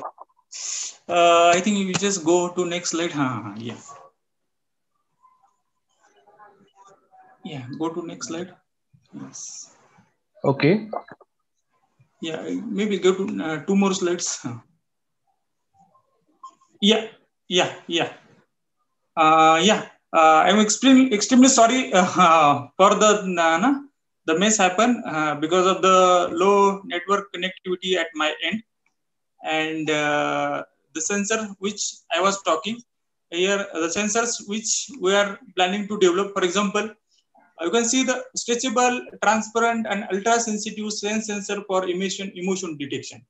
For example, I have connected uh, two sensors, uh, one at forehead and another at near the mouth. You see the kind of the sensor response, the measured in terms of electrical signals such as a measured uh, resistance uh, as a function of time. You see, if a person start laughing, how the resistance gets changed. The moment he start uh, stop laughing, how the resistance gets changed. And uh, at the same time, if the resistance at forehead, if the person starting uh, crying, how resistance get changed. You can see that there is a large change in resistance, right? And that means the, the chemistry, biosensors, and all these things, you need to understand how I the, there is a large change in when the person is laughing, the when the person is crying, and all these things. They need to understand all these things. For example, the same kind of measurement we can do it when the sensor is kept near the mouth. We see how the change in resistance takes place, and the moment uh, another when the person start laughing and the person start crying and the person start crying stop crying the, the, the kind of resistance measurement can be done uh, according to the uh, this methodology. Uh, sir next slide please. The kind of materials needed uh, uh, for uh, the fabricating the kind of the sensor are various 1d materials 2d materials and all these things all the technological things has to be come together to make uh, the kind of sensor based on flexible devices, basic principle, then all kind of this sensor is basically uh, piezoelectric or piezoelectric, piezoresistive, chemoresistive, and many other things. Uh, the chemistry need to be understand well before making such kind of devices. Next slide, please, sir. Yeah, basically, uh, uh, what we need actually, we need, uh, this is experimental uh, result published in uh, by Rojo et al. in 2015. The kind of materials we needed, actually, we take a PDMS and then a coat a film of PU, PEDOT PSS, and then in between you can either coat the film of single wall carbon nanotubes, or maybe you can coat the graphene as a, a seed layer and let's see the, the response of the sensor as a function of strain as well as the function of change in resistance and all these things. You see, the time, the moment you start bending, see 0% to 1.6% to 2.1%, 2.5%, how resistance behave. The kind of sensor which we can mount on our skin is very important. For example, another time, the transmittance of the sensor is also important. And along with the sensor resistance change, as a function of resistance, uh, as a function of strain, and all these things. For example, you can measure the gauge factor and other uh, measurement to predict the which kind of sensor, the which kind of material is very good for our uh, skin and all these things. Next slide, please. The effort have been made uh, for the improvement of stability of and reliability of these kind of devices. For example, this sensor need to be integrated together for example, they need to communicate to each other. For example, they need energy harvesting and uh, same time the sample handling devices need to be developed by considering specific service need. For example, the sensor which we were uh, made are wearable, basically wearable sensor. Basically, they are also smart. They need smart electronics. Basically, you have to interface with the software, different electronics part, circuitry, telecommunication. Basically, we need to understand the the chemistry behind the skin, for example, various biomedical applications and all these things, basically to integrate all kinds of sensor materials to integrate a sensor so that it can be flexible as well as it can be a fast uh, response and recovery time. And this kind of sensor can be implemented to the skin. Uh, next slide, please, sir. So, uh, so kindly looking all these aspects. So we're working on the materials like graphene and graphene like other 2D materials. For example, there are n number of uh, 2D materials along with the kind of materials there are certain advantage and disadvantage of graphene. For example, graphene is a zero semi-metal. There is no gap between conduction and valence band. So it's just the conduction band and valence band, they are just touching to each other. So basically, and then the kind of 2D materials, there are because the inorganic layered material, basically they have naturally a band gap and band gap can be tunable depending upon the thickness of these materials. And there are certain advantages if you can make a hybrid materials. For example, you can code, uh, you can make graphene at 2D structures, heterostructures along with these 2D materials. And then one can make a hybrid device to get a certain advantage and make this uh, uh, the devices workable. For example, you want to make a kind of devices, the what kind of things we do? Next slide, please, sir. For example, we grow a lot of these 2D materials. There are a lot of these you know, transition metal dichalcogenide cogenerated families. Once we identify materials, for example, we identify MOS2. Once we identify MOS2, okay, for example, which layer of MOS2 is very good for the sensing application? For example, this, uh, uh, the biosensor application, maybe two layer of MOS2 might be very good, or maybe three layer of MOS2 is good. Once we identify this theoretical background, we go the material. So we choose different kind of methodology. We do a lot of chemistry uh, to grow all these materials. And then once we grow the materials, basically we study all these properties. For example, crystalline quality of the material, layer stacking, how many layers actually are present when one material is grown. For example, how much cal calculate the thickness of the thickness measurement by using AFM, TEM, and all uh, sort of other measurement technique. Then optical properties this is very important because you need to understand how the material is behaving and all these things. Once you have done all these things, mechanical properties, whether they are uh, na, mechanical robustness or not, no. Once we identify the mechanical properties good enough, then we can make electronic device and then we'll do electrical properties measurement and then we convert into a, a sensor or flexible sensor and then uh, the kind of measurement we do. Uh, next slide, please, sir. So basically, uh, graphene, uh, very attracting materials since uh, past uh, decades because it is atomically thin carbon sheet. The graphite which we find in our pencil is simply a stack of, stack of graphene layers as number of layers are much more. So whatever we write on paper is still a graphite because number of layers are more. Graphene is mother of all graphitic dimension. We just we can just wrap up the graphene sheet, you'll get the zero dimensional buckyball structure. You can roll the graphene sheet, you'll get one dimensional carbon nanotubes. You can stack graphene layers on each other, you will get three dimensional bulk graphite structure. Basically, graphene consists of, consists of parallel sheet of carbon atom in a hexagonal lattice. Graphite is made from graphene sheet. One millimeter of graphite has 3 million layers of graphene. Graphene, which is composed of one atom thick sheet of carbon atom, hexagonal, is being produced today, but only limited quantities and at high cost. When this material can be mass produced, the cost effectiveness, its impact could be quite destructive. For example, the potential to realize the ballistic transport at room temperature. This is one of the important property of this graphene. And along with why people are interesting to work on this material because it has a certain advantage. For example, it is the first example of 2D atomic crystal. Another advantage is it has promise for number of application. And what really makes graphene so special is its electronic properties. It's zero overlap semi-metal with valence band and conduction band touching at point K and K naught.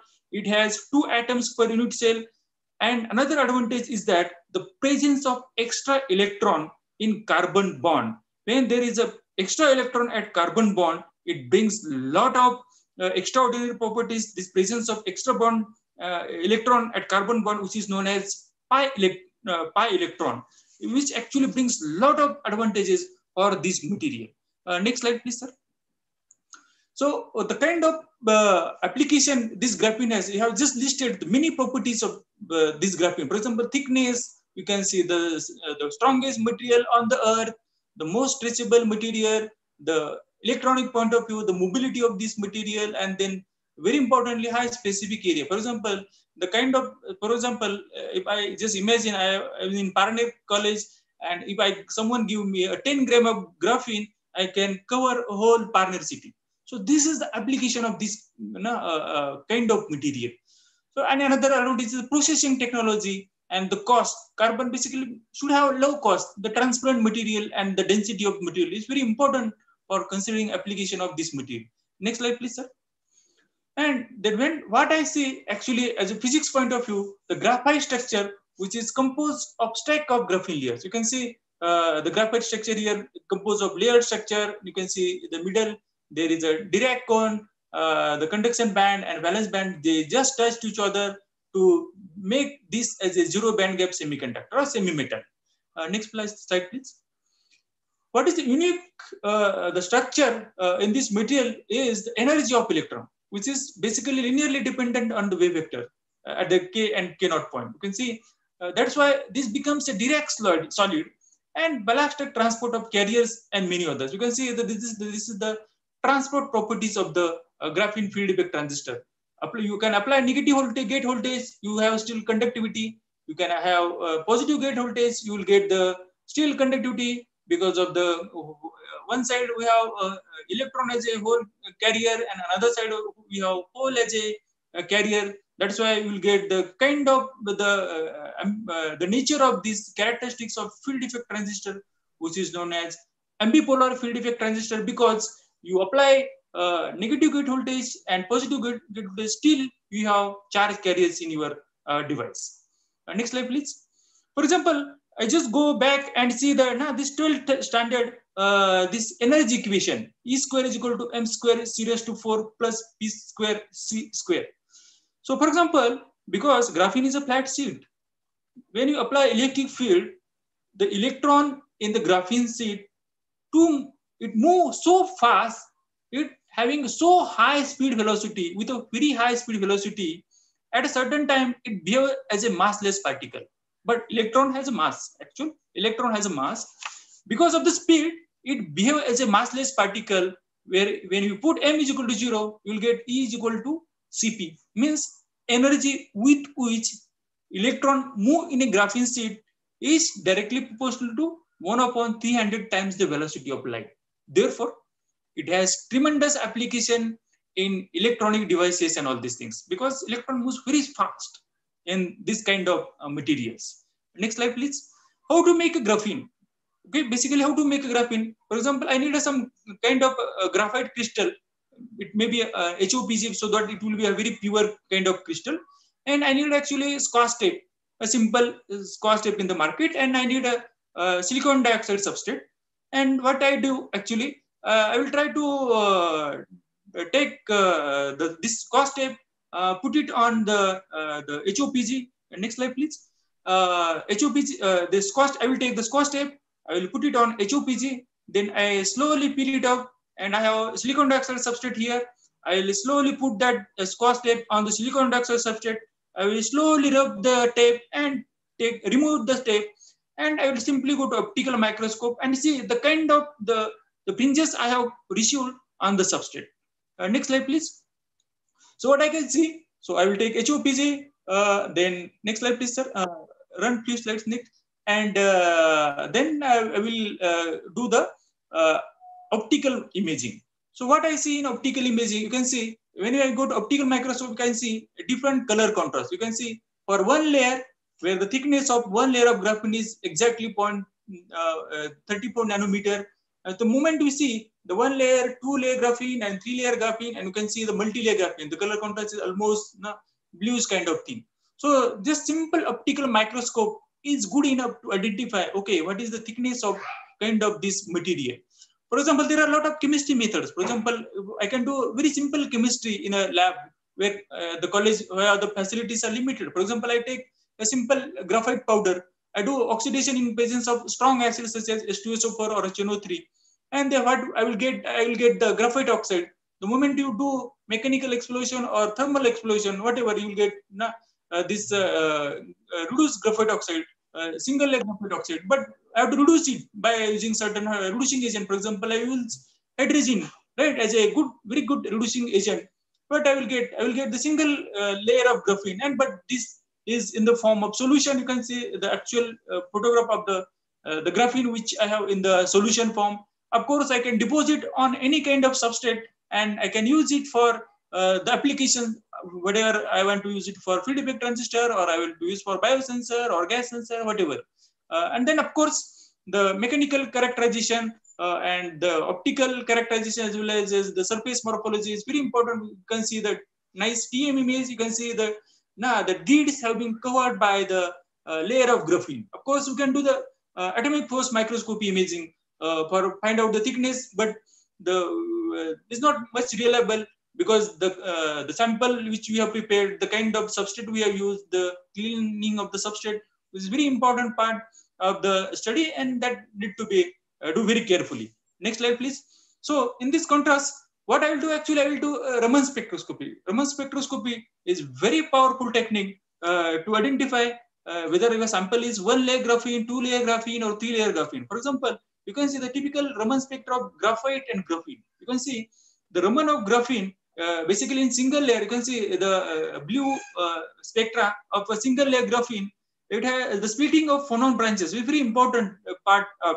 You can see uh, it might be uh, there might be a d peak in this spectra. There is no d peak because uh, d peak around 1350 centimeter, 1350 centimeter centimeters, which is appears because of the d peak present in the graphene the presence of disorder in sp2 hybridized carbon system results in a resonance Raman spectra and thus makes Raman spectroscopy one of the most sensitive technique to characterize disorder present in the sp2 carbon material. For example, there is another band, you can see G band, uh, which is known as E2G band around 1500, right? Basically, this G band appears due to the stretching of carbon-carbon bond in a graphite material. It is highly sensitive to strain effect in sp2 system and thus can be used to probe surface modification happen on the surface of graphene. There is another, you can see the highly intense 2D band around 2500 to uh, 2800. All kind of sp2 carbon material exhibit a very strong peak in the uh, this range in Raman spectra. Basically, 2D band is a second order two phonon process and it exhibits a strong frequency dependence on the excitation laser energy. Therefore, this kind of band is used to find out the number of number of layers or thickness of graphene sheet uh, uh, which you have uh, exploited on the, uh, the substrate. Uh, next slide, please. You can see the moment, you can see the intensity difference also. You can see the G band and 2D band. The moment the, you may come to bilayer graphene, you can see the intensity of G band and 2D band is nearly same. And you can see the 2D band actually split into different band. And this has been well explained by the rebel double resonant Raman spectra. I'm not going to discuss here in detail, but this is very important. You can simply uh, distinguish uh, two, one layer, two layer, three layer, and multi-layer. And this happened because of the phonon splitting, band splitting, uh, and at uh, phonon splitting at basically KM is mirror things. And this has been, uh, those who want to read uh, care, detail, they can refer this paper published in Physical Regulator in 2004. They explain the phonon splitting and band splitting as a number of layers. next slide, please. Next slide, please. You can see the uh, nah, uh, the Raman spectroscopy of graphene with one layer, two layer. You can see one layer, the intensity of nah, this second band. You can see as compared to first band, first G band and 2D band, you can see the intensity is almost two, three times. In bilayer, you can see the intensity is almost similar in nature. Again, you can see, but 2D band, uh, the G uh, 2D band is splitted. Second band is splitted into multiple bands. Okay, but in one layer, it is only na single band, right? Single. You can cannot fit many multiple fittings. Okay, you can see three layer, then four layer. You can see five layer. How the intensity na has been industrially come down and all these things. How na, G band has been improved. Okay, next slide, please. Okay, again, Raman spectroscopy becomes very powerful technique. Okay, to characterize, okay, whether your sample is graphite or graphene oxide or reduced graphene oxide. This is very important question for the student at bachelor and master level, how to distinguish because all looks black. Okay, all look black means doesn't graphene or doesn't graphite or doesn't reduce graphene oxide, right? Okay, you can see the Raman spectroscopy. Uh, typical, you take typical graphite crystal and you see the Raman spectroscopy. You just monitor the G band. Okay, you will see the very sharp G band around 1581 centimeters. The remains the moment you do uh, convert this graphite into graphite oxide, because graphite oxide has a lot of functional groups. You can see the left side, lot of functional group has been attached. So because of that, it has introduced a defects. Okay, again, Raman spectroscopy becomes one of the powerful technique to characterize the defects. For example, now you can see the peak around 1363 centimeters, uh, 16, 1363 centimeters uh, as a D defect band. And you can see the moment of this now uh, G band from 1581 centimeter inverse to 1594. Okay, you can see this kind of the strain stretch it has because I just mentioned the G band is very sensitive to the kind of modification ha happen on the surface of graphene or graphite, right? Okay, it's just modified. Okay, then the moment you reduce the graphite oxide to reduce graphite oxide, you see the kind of the, the position, the intensity of D band and G band. Okay, you have a lot of defects in now in reduced graphene oxide. Therefore, the intensity of D band has been enhanced as compared to G band in graphite oxide. Uh, next slide, please. Okay, so we have made a lot of the kind of devices based on the exploited uh, this graphene layer and then the uh, graphene which we have produced by simple chemistry technique and all these things this required uh, the equipment which is scanning electron microscope equipped with the patterning uh, generator and align system. And basically uh, next slide please. What do we do? We take uh, the deposit material on the silicon dioxide substrate. The moment we deposit we deposit the polymer. The kind of polymer which needed is basically pmma we expose that kind of film with the uh, electron beam dose. And the moment we have uh, done the exposure, the development uh, to do the development of pattern, then you have to do a lot of processing. For example, you have to do uh, metal contacts and all these things. Afterwards, you have to do lift off in acetone. The moment you have done lift off and all these things, then you can again go to optical microscope and see the kind of device which we have made. Next slide, please. Okay, you can see this is process, the optical microscope image of the single layer graphene and the moment uh, the device has been fabricated, the same uh, graphene sheet uh, after fabrication of device. So this kind of devices, for example, we have made a four contact device and the moment you have four contact devices, you can see the electrical properties of this uh, device. You can see the piston device, uh, which is ambipolar in nature because graphene apply negative gate voltage or positive gate voltage, it shows the conductivity uh, towards the uh, device. Okay, next slide, please. Okay, do you can do lot of uh, this kind of application of these devices. For example, you can make graphene more p-type, or you can make graphene more n-type, depending upon the certain chemistry which you can play with the device and all these things. Next slide, please. For example, I have uh, the graphene prepared by this just simple chemistry method, where just ultrasonication, all these things. So can more, uh, can have a p pattern device, and the moment I have p pattern device, I can broadcast the uh, this uh, loose graphene oxide sample in between the drain source. I can anneal the device, and I can do the electrical measurement, and I can use it for certain application. Next slide, please. So, for example, uh, the kind of various graphene. For example, I can make a piston nitrogen doped graphene as well as I can do boron doped graphene. So that my intention is to make graphene more p-type or graphene more n-type, and then these can be used certainly for certain kind of targeted application. For example, this graphene n-dope I've used for NO2 uh, gas sensing application. For example, the stability of the gas sensor, for example, humidity sensor is very important in all these things. So we have monitored this kind of uh, the test uh, for longer time and find that this uh, graphene, uh, which we have prepared, a certain good uh, application uh, for uh, the stability test for the humidity sensor device. And of course, next slide please, graphene has tremendously lot of application, not only for the electronic devices, but for many other device application and all these things. It has certain uh, application to solar uh, cell ba battery supercapacitor as a electrode uh, kind of thing and the di display for the solar cell packaging and all these things because of the still uh, people are trying to open a band gap by using certain engineering uh, to this graphene of course the science and engineering has to be identified uh, has to be understand properly so as to use this material for some technological application uh, sir, uh, how many? How much time I have? Hello. Hello. Hello, sir. Ha, 15 minutes. You can extend 15 minutes, sir. Yeah, I will finish in a 10 minutes or 15 No minutes. problem. No problem. Yeah, yeah. I can, otherwise you can just, because they are No, no, waiting. no. since No problem.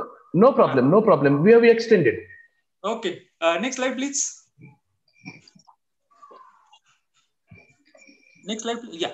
Uh, okay. Another kind of materials, uh, which is known as transitional metal dichalcogenides. Because, for example, one of the family of this material is molybdenum disulfide. You see, uh, the molybdenum is sandwiched between two sulfur atoms. The thickness of one layer of this MOS2 is nearly 0.62 nanometer. So this makes one layer of MOS2. So tell you what is the advantage of this material because graphene there is there is no band gap, but these are naturally semiconducting material. Depending upon thickness, whether you have one layer of MOS2, two layer of MOS2, three layer or multi-layer of MOS2, you can twin the na, band gap of this material. So depending upon certain application, okay, so two layer MOS2, three layer MOS2 may be useful for some kind of photo detector or biosensor application. Those so this can be optimized. Next slide, please. For example, there are certain materials. For example, you can take the example of boron nitride, MOS2, graphene. For example, the kind of band gap uh, this material having. You can see the the, the band gap of graphene, the one layer of MOS2, multi-layer, and then the another certain material. For example, we're also working on black phosphorus, very important material covering wide range of this uh, visible spectrum so that this material have the real technological application but, but because of the some stability issues people are certainly working on this material uh, but there are some limitation and but they will certainly find some solution for it Next slide. So for example, if you take an example of this, uh, uh, you can see the band structure of this MOS2. You can see the, the band structure of single layer MOS2 and bulk MOS2. You can see the moment uh, you know, bulk MOS2, see how the band gap is opening, right? For the single layer MOS2. You can see how band gap become wider as compared to bulk MOS2. When bulk, the band gap is around 1.2 electron volt. The moment you make a single layer MOS2, the band gap becomes 1.7, 1.6 to 1.7 electron volt. So this is fully uh, phonon dispersion of single layer MOS2, and you can see the this is a top view of the single layer of MOS2. Next slide, please. Again, uh, you can use uh, very nice chemistry uh, to synthesize these materials. For example, I take bulk MOS2 powder. It's really na, very cheap, available uh, in any kind of vendor. What you have to do actually, you have to do N butyl lithium. This is very uh, um, uh, cautious experiment. You have to monitor thoroughly because butyl lithium is very dangerous. And basically, uh, the moment you put it this powder into Nb2 lithium, you have to replace in hexane for three days. And what happened? Uh, this lithium, uh, this lithium has characteristics. It, it goes in between these layers. You can see the uh, the structure which I have shown MOS2. Lithium goes in between these things. And uh, what happened? You take the this thing after three days, and you just do ultrasonication. What happened? You will get separate out this few layer of MOS2. Okay, just you don't want to wait for three days. You want to do this ex experiment in one day. What you again you take this MO3 uh, precursor and this uh, 2K SCM precursor, and you do this uh, hydrothermal experiment. Okay, in presence of water, right? And you heat these things at for 180 degrees Celsius for 24 hours, and you can do this uh, remaining like separation and a filter out experiment, and you will get few layer of MOS2 okay you want to separate synthesize the material in just three hours for example what you take this kind of na, h2mo for precursor and this another nh4c nh2 precursor and you can heat this uh, uh, solution again for 500 degrees celsius at three hours and you will get few layer of MOS2. Next slide please okay just th those who want to wait for three hours they want to uh, synthesize material in just few seconds okay so what you going to do you take a laser technique uh, you take some, uh, uh, so for example, I have black phosphorus synthesized in presence of dispersed in IPA, some small crystals. of course, beaker, which I use is quartz beaker because I want to pass the laser beam through this beaker. And the moment you shine, of course, there are a lot of parameters. You have to insert argon because you have to avoid the oxidation and all these things. And you have to optimize the laser energy, the kind of argon gas flow and all these things. And then you can of course the synthesize these materials in just few seconds okay and of course uh, we are free to do a lot of this uh, imaging by using transmission electron microscopy uh, atomic force microscopy and all these things and then really imagine you can see real that this is a tm image of basing uh, in a few layer MOS. you can see nicely in a hexagonal structure and these are the boundary you can see that the distance between two boundaries also you can directly measure from transmission electron microscopy next slide please yeah, again, uh, this, the same technique which I have used for fabricating single layer graphene, there's micromechanical like Scotch tape technique. Here also you can take this uh, uh, highly crystal, uh, highly pure kind of uh, crystal of MOS2 and all these chalcogenides. And you can put the Scotch tape and then of course you can uh, remove the Scotch tape and put it on a SiO2 substrate and you can go to optical microscope. You can see the different, the color contrast and identify whether it was MOS2 is one layer, two layer, or multi-layer. Next slide, please. Okay, for example, uh, there is no uh, choice, uh, there is no uh, uh, uh, restriction that the kind of substrate thickness, the SiO2 thickness you can use. For example, I can use 50 nanometer SiO2, or I can use 300 nanometer SiO2, 500 nanometer SiO2, but we need to understand what is the color contrast. So next slide, please. So there is a very small physics behind it uh, to how to uh, identify the which kind of color contrast I am expecting. So just optical microscope is good enough actually to identify the number of layers present in any kind of this graphene uh, prepared by Scotch tape technique uh, from highly pyrolytic graphite or highly pure uh, kind of single layer MOS2. Next slide, please. Uh, the moment this is a simple okay, I would do simple 12 standard calculation. And if you I know the intensity of like intensity of substrate and I just do uh, the simple calculation. I'll, I'll, get the kind of optical contrast as a function of SiO2 thickness and the wavelength which I have used in optical microscope. For example, this calculation also can be uh, done for, uh, for example, certain number of layers as a function of wavelength use or as a function of SiO2 thickness used in the uh, uh, physics point of view. Next slide, please. For example, these calculations have been done uh, as a function of number of layers and wavelength use. For example, I have uh, varied the substrate also. For example, I have used 15 nanometer SiO2 substrate or I have varied the 300 nanometer SiO2 substrate or 500 nanometer. So that doesn't matter. We need to calculate what the kind of uh, layers present on in the calculations and the wavelength which you have used in the optical microscope. So that gives you the actual color contrast and that you can match with your experimental findings. Next slide, please. For example, again, uh, Raman spectroscopy become very important here. Okay, you don't have any other characterization to find out the thickness of the MOS2.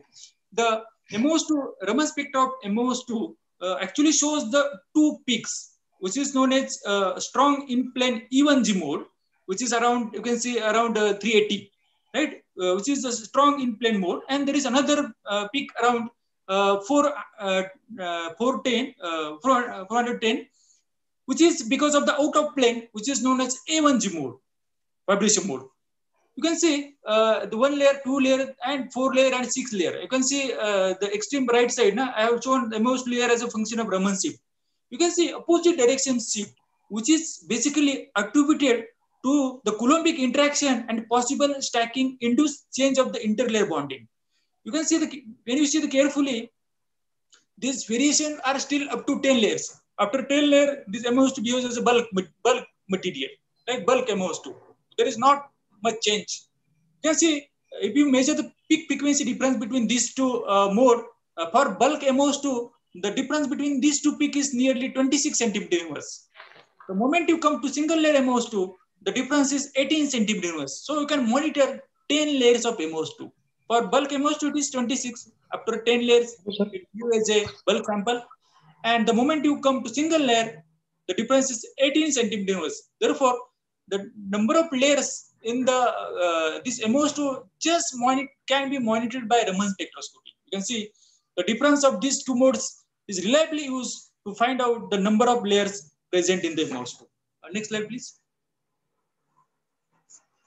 Again, uh, uh, this kind of uh, devices uh, application, it has been used in, for example, field effect transistor. Next slide, please, sir.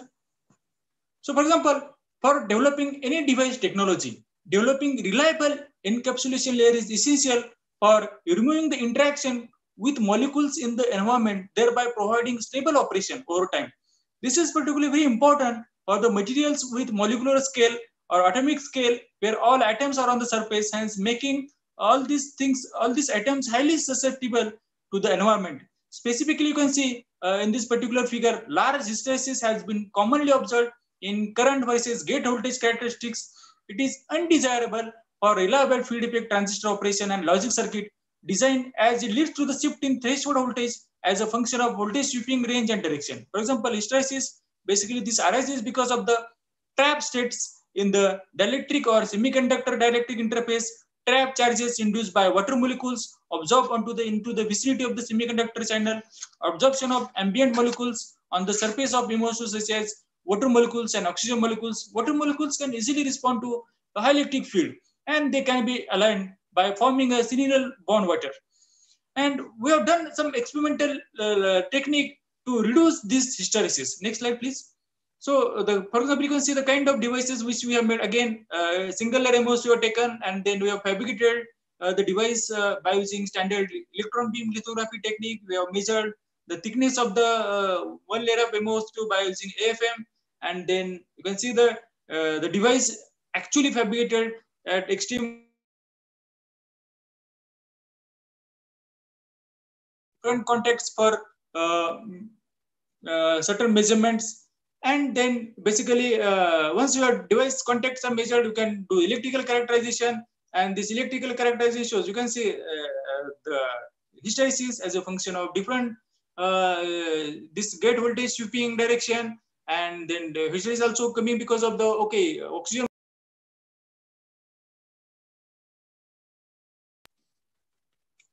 experiment has been done uh, in a uh, vacuum and without vacuum. You can see experiment also done uh, in presence of humidity, a lot of humidity because water molecules. Okay, you can try to increase the humidity level. You can see how hysteresis has been changed.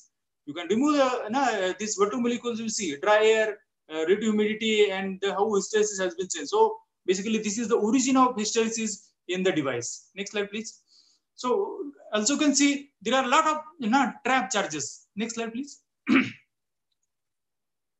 there are a lot of uh, traps. For example, the experiment has been done in presence of na, uh, light and without light in dark condition. You can see how the hysteresis, na, how the na, this uh, large hysteresis loop you can see. So again, it intersection between the dash line, you can see Joe, the threshold voltage has been drastically has been changed. You can see the total na, response of the same device at a function of various gate voltages, all these things. This also changes. So this is undesirable properties uh, for the kind of technology uh, has been developed for the various application. So what we have done, very simple experiment. Uh, next slide, please. So we have passivated this device just by 30 nanometer of silicon nitride thin film. Okay, when we have to deposit uh, this passivation, this experiment has been done at high temperature, for example, at 300 degrees Celsius. And uh, uh, we have to do again at high temperature and all these things. So we can imagine at high temperature in vacuum, all the water molecules have been removed and then the contact resistance also have been improved and all these things. And then uh, the channel have been clear and uh, the absorption of water molecules or oxygen molecules which are functionalized uh, on the surface of the this MOS2 has been removed in presence of while making this coating. And once we are done this coating, we have done the measurement. Uh, next slide, please.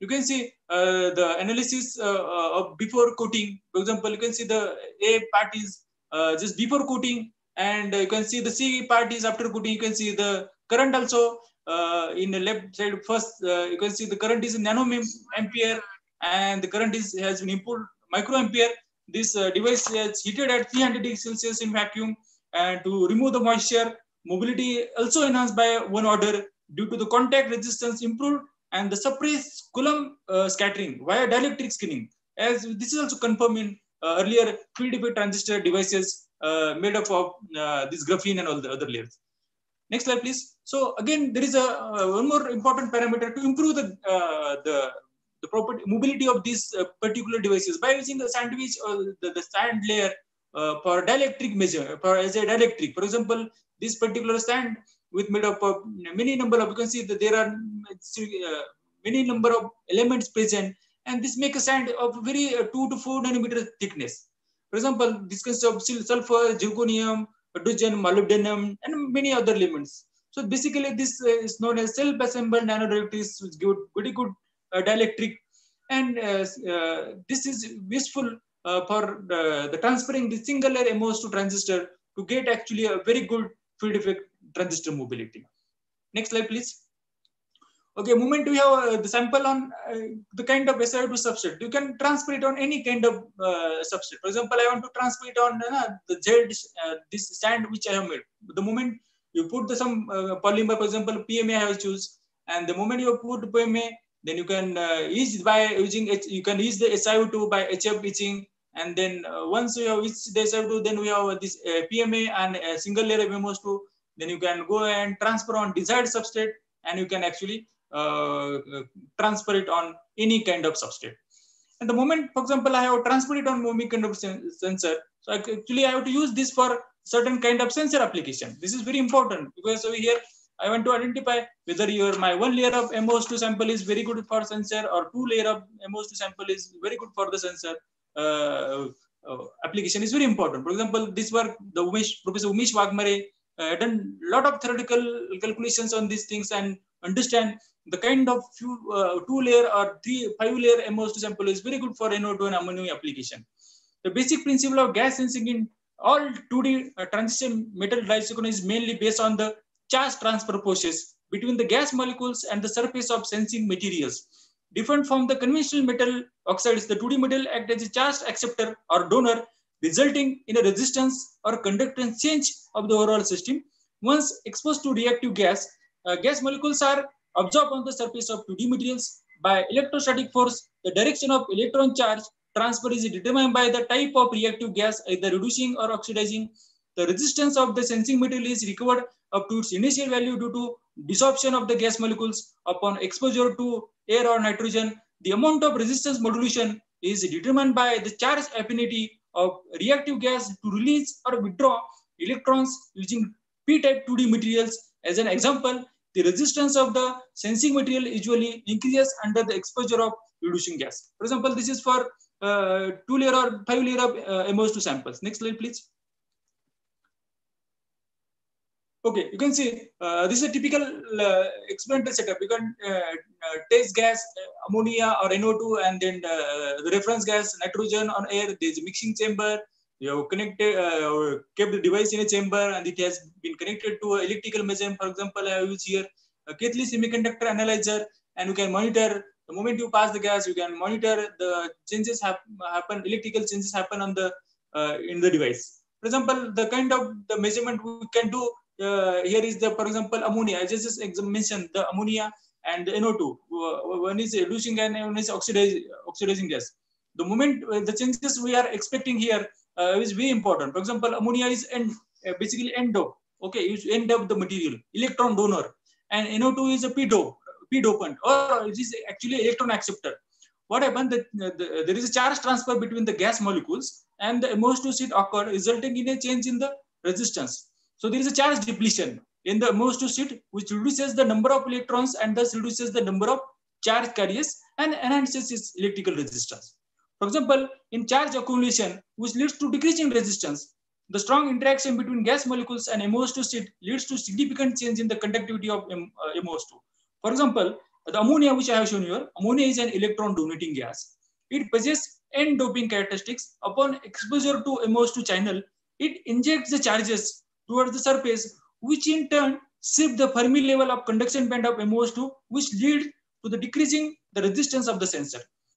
Basically, the sensitivity depend on ability of donating charges or absorption energy in the ammonia is much higher than as compared to other molecules. That's where the sensitivity of you know, the kind of NO2 molecule uh, which I have shown here is higher. So gas molecules were resorption on the MOS2 sheet uh, by uh, no, various kind of uh, method like argon flow, heat or UV exposure. by the way, you can uh, improve the uh, response and recovery time. Next slide, please. Yeah, you can actually monitor uh, ammonia gas concentration as a function of sensitivity. You can see this is measurement done for two layer MOS2 or five layer MOS2. Also, you can tune the sensitivity by applying the gate voltage. So this is the uh, first time we have introduced a technique. We can apply gate voltage and we can uh, actually inject certain kind of charges and you can improve the sensitivity. For example, this has been done for, you can see how much is the change in sensitivity. For example, you can see NO2 concentration and uh, see without uh, gate voltage and with, uh, with it uh, applying gate voltage. You see, there is a tremendous change in the sensitivity. You can control actually sensitivity. For example, uh, the kind of gas sensing molecules which you want to sense uh, for the application. Next slide, please. Okay, actually we have done this, uh, the devices were actually mounted on the chip and, and then have been monitored for certain application. For example, this has been used in industrial application, for example, ammonia gas sensing, all these things. So it has to be monitored and all these things, and then you can see how uh, the, this is the real optical image of the device. You can control uh, the threshold voltage as a function of uh, gas concentration as well. You can see how the threshold voltage is getting changed as a function of gas concentration. Next slide, please. Okay, the another important issue with the this kind of this material is this recovery time okay, how we can recover the device very fast. For example, you have done nah, the kind of red light. For example, you use the green light or red light, and you can see how the uh, there is a change in the recovery time. Still there is a chance of uh, improving the uh, recovery time. Basically, by shining these lights, you are able to um, remove lots of these gas molecules. They are sit on the your surface, and then uh, are trying to improve the uh, the of molecules uh, faster. Next slide, please. So I've done another experiment again with Raman spectroscopy. We want to find out whether your the gas sensing mechanism is basically a charge transfer or some other mechanism.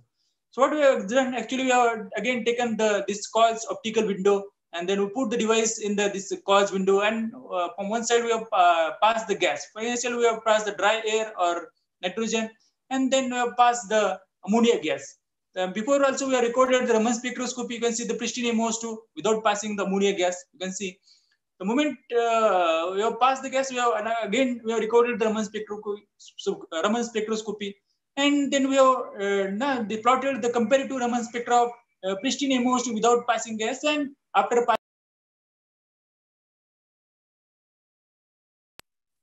uh, uh, MOS2 gas.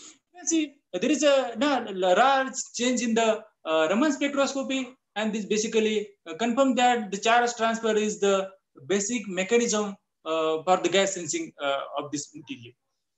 Okay, next slide, please. When you compare the, this uh, transitional metal dielectric as a sensor uh, as a traditional metal oxide. You can see the, in this kind of this all 2D materials, there is a high electron mobility, at, but all operate at low, low temperature room temperature. Basically, in metal oxide, we have short response time, low cost, long-term stability, scalable fabrication, but still we are at the beginning.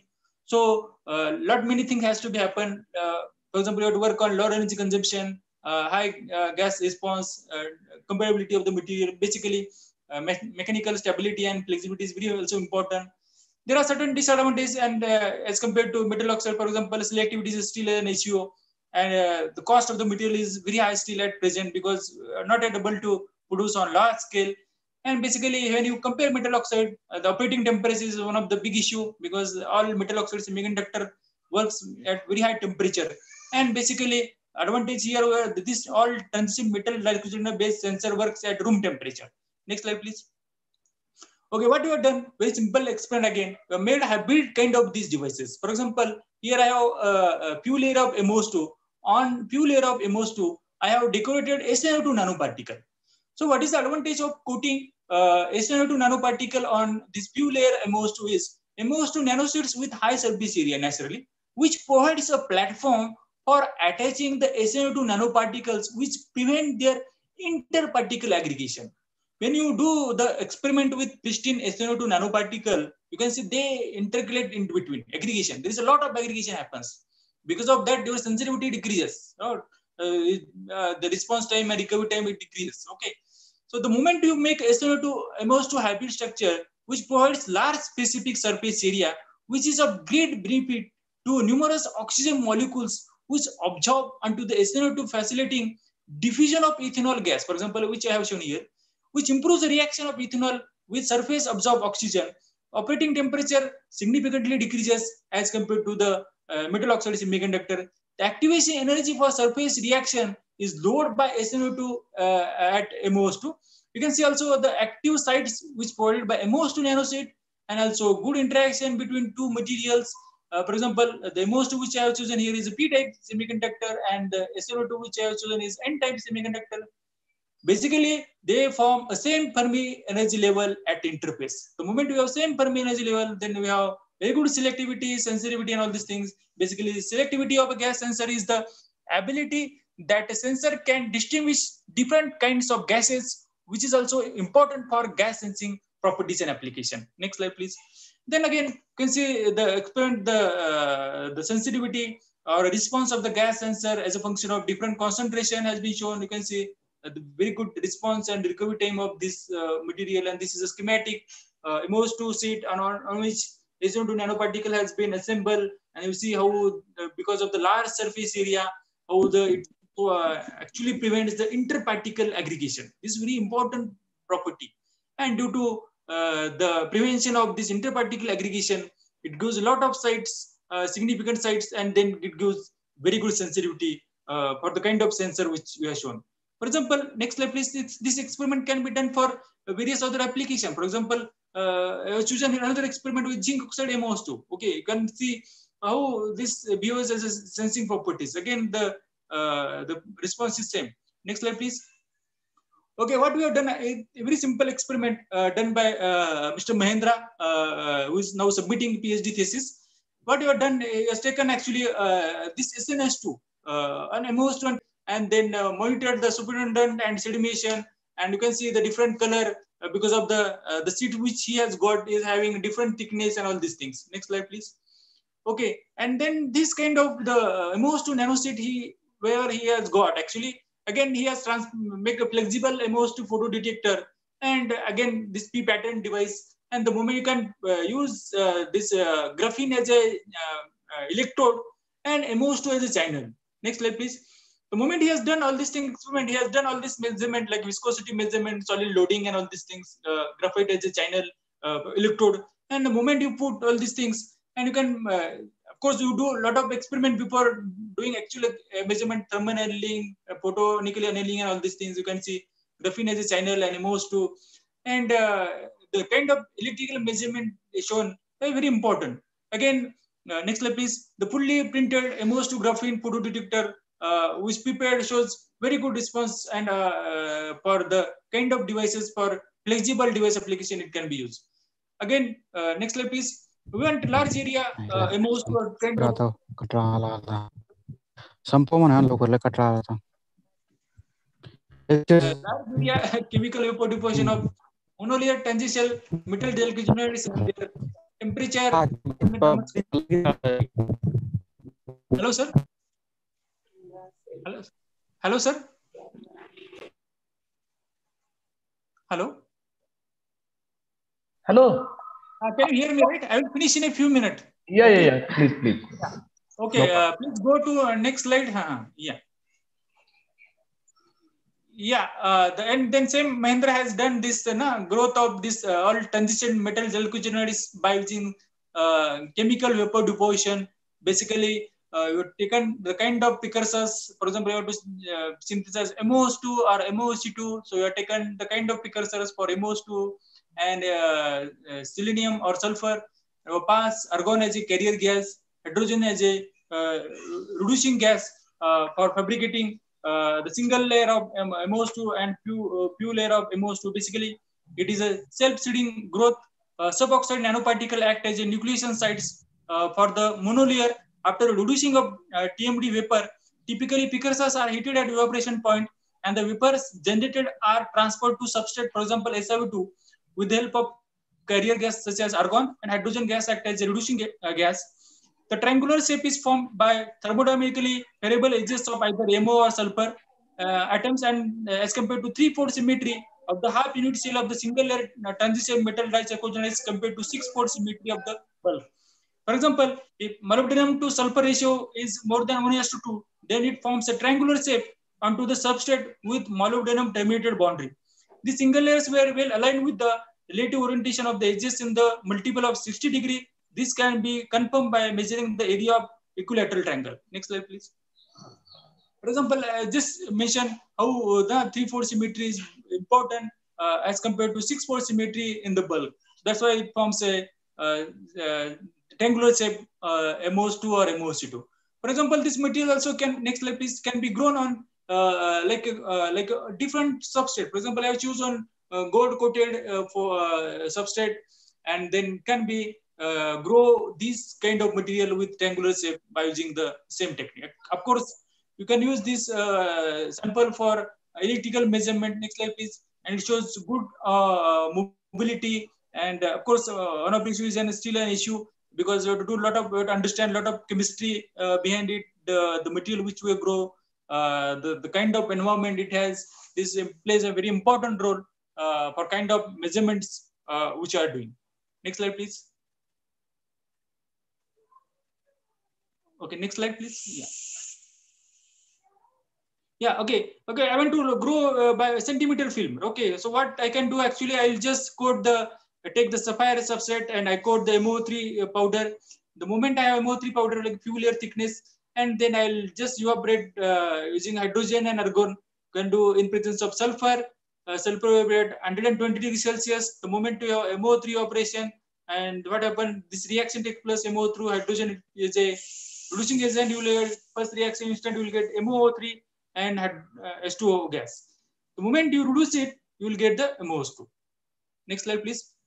The moment we have this kind of samples, then uh, you can actually transfer on any kind of substrate. The moment you transfer on, for example, I have synthesized on gold foil or uh, this SiO2 substrate, I can transfer it on flexible substrate because I cannot grow it on na this um, Cape substrate or flexible substrate because they can't uh, sustain at high temperature. I have to grow it on the silicon substrate and all these things. Then moment I transfer again, I can do Raman spectroscopy and I can actually confirm, okay, how many layers we have actually trans uh, transferred on the this kind of flexible substrate. And uh, again, I can do uh, this flexible, the, the, experiment which I was shown earlier, uh, the flexible sensor and all these things. Okay, next slide, please. Uh, so again, when to grow it, industry skill, industry demand, okay, fully uh, vapor. Okay, again, I can take, this experiment has been done with the help of Professor Sandesh Jadkar from University of Pune. They have this HFCVD method. So HFCVD, so we have to heat that, for example, I have to synthesize a tungsten disulfide. So I will take tungsten wire, heat the filament at evaporation temperature, around 2000 degrees Celsius. And I will pass the H2S gas, okay, the precursor of sulfur. The moment the reaction happens in presence of uh, this gas in uh, the vacuum chamber, and before uh, the because of the filament temperature and continuous bombardment of H2S gas, tungsten itself can incorporate into the thin film by forming WS2 radicals.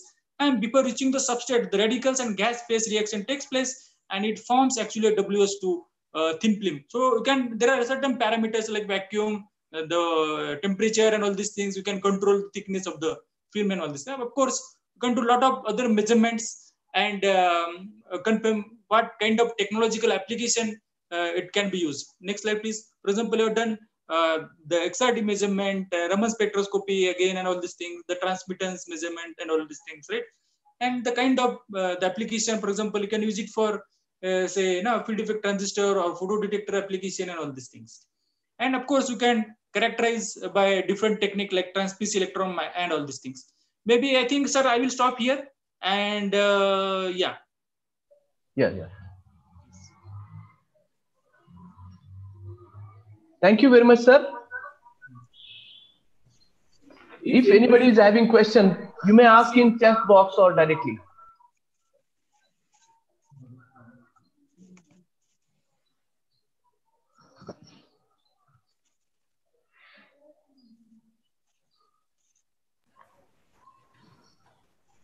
Friends, if there are uh, no questions, then. Uh, uh, Kale sir is there? Hello, sir. Kale sir is there?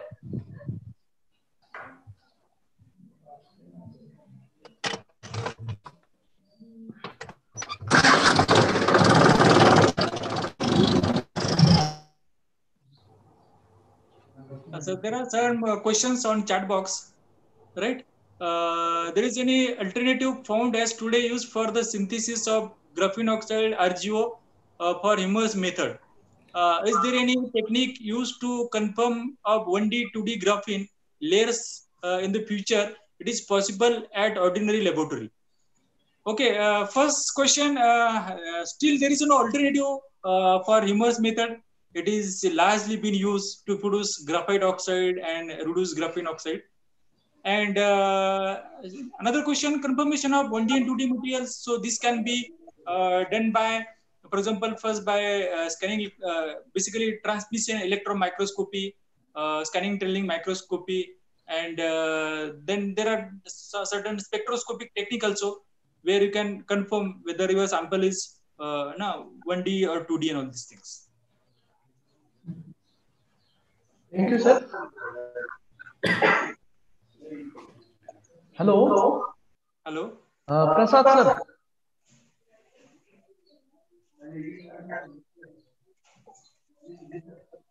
Hello. Hello. Uh, Kale sir or Prasad sir is there? I am there. I am here. Prasad is here. Sir, shall we conclude? Yeah, we can conclude. Uh, maybe I can just make uh, some remarks. Like you know, let Yeah, me okay. all the speakers, uh, Professor Waghmare, Professor uh, Panat, and then uh, Dr. Late. Uh, Yeah. for, uh, very nice talks. And uh, sorry, we had uh, slightly exceeded the time. Uh, also, we had some technical know, we thank all the people who have uh, you know uh, joined us, and you know, on behalf of uh, Maharashtra Academy of behalf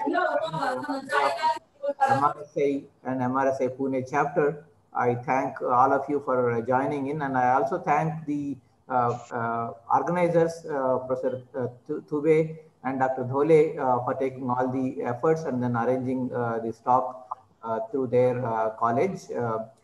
we hope you all had a good time. I thank you know, all the organizers from Maharashtra Academy of Sciences as well as from the MRSI office bearers. I thank all of them for giving the, us kind of you know, a platform for kind of showcasing what is going on in the area of advanced functional materials. Uh, thank you. Uh, have a good day. Uh, stay home. Stay safe. Thank you very much. Thank you, sir. Thank you, sir. My colleague will make a uh, presentation. Good afternoon, friends. From morning, we are here for the one-day international workshop on advances in functional materials. Friends, on the behalf of Department of Chemistry, New Arts, Commerce and Science College and our parent institute, Ahmednagar Zilla Maratha Vidya Prasarak Samaj, I am here to propose a vote of thanks to all the helping hands for us. First, would I would like to thank uh, Material Research Society of India, uh, Maharashtra Academy of Sciences, and New Arts Commerce and Science College Parner for organizing this event jointly. Friends, it's my immense pleasure to have a proposed vote of thanks for a Padma Shri awardee, Professor G.D. Yadav sir, President Maharashtra Academy of Sciences. Friends, in his inaugural speech, he has given a very motivational talk. I am thankful to Professor G.D. Yadav sir, in spite of his busy schedule, he has given us a time, valuable time and share the views. Thank you. Thank you very much, sir. Secondly, I would like to say a thank you to Professor S.B. Krupanidhi, President, Material Research Society of India, IISC Bangalore. In welcome address, sir has motivated our researchers and students towards the research of material science. Thank you very much, sir, for being a part of this wonderful event. Next, I would like to say a big, big thank you to Dr. Bharat Kale, sir, the director of CMET Pune and uh, secretary of Maharashtra Academy of Sciences. Sir always help us and guide us in organizing this event. The man behind this success, I must say, is Dr. Bharat Kale sir. Thank you very much, sir, for your continuous support and behind us putting the helpful hands. Thank you. Thank you very much, sir. Next, I would like to say a sincere thanks to all three eminent personality who has delivered a lecture today. Professor Umesh Wagmare sir, JNCASR, Bangalore. With a simple word, sir has explained a ferroelectric crystals and its exciting application. It was a very nice talk with sir and the things he has shared will definitely help us in developing our research culture. Thank you. Thank you very much, sir, for giving such a nice and wonderful lecture. Friends, next I would like to say a big thank you to Dr.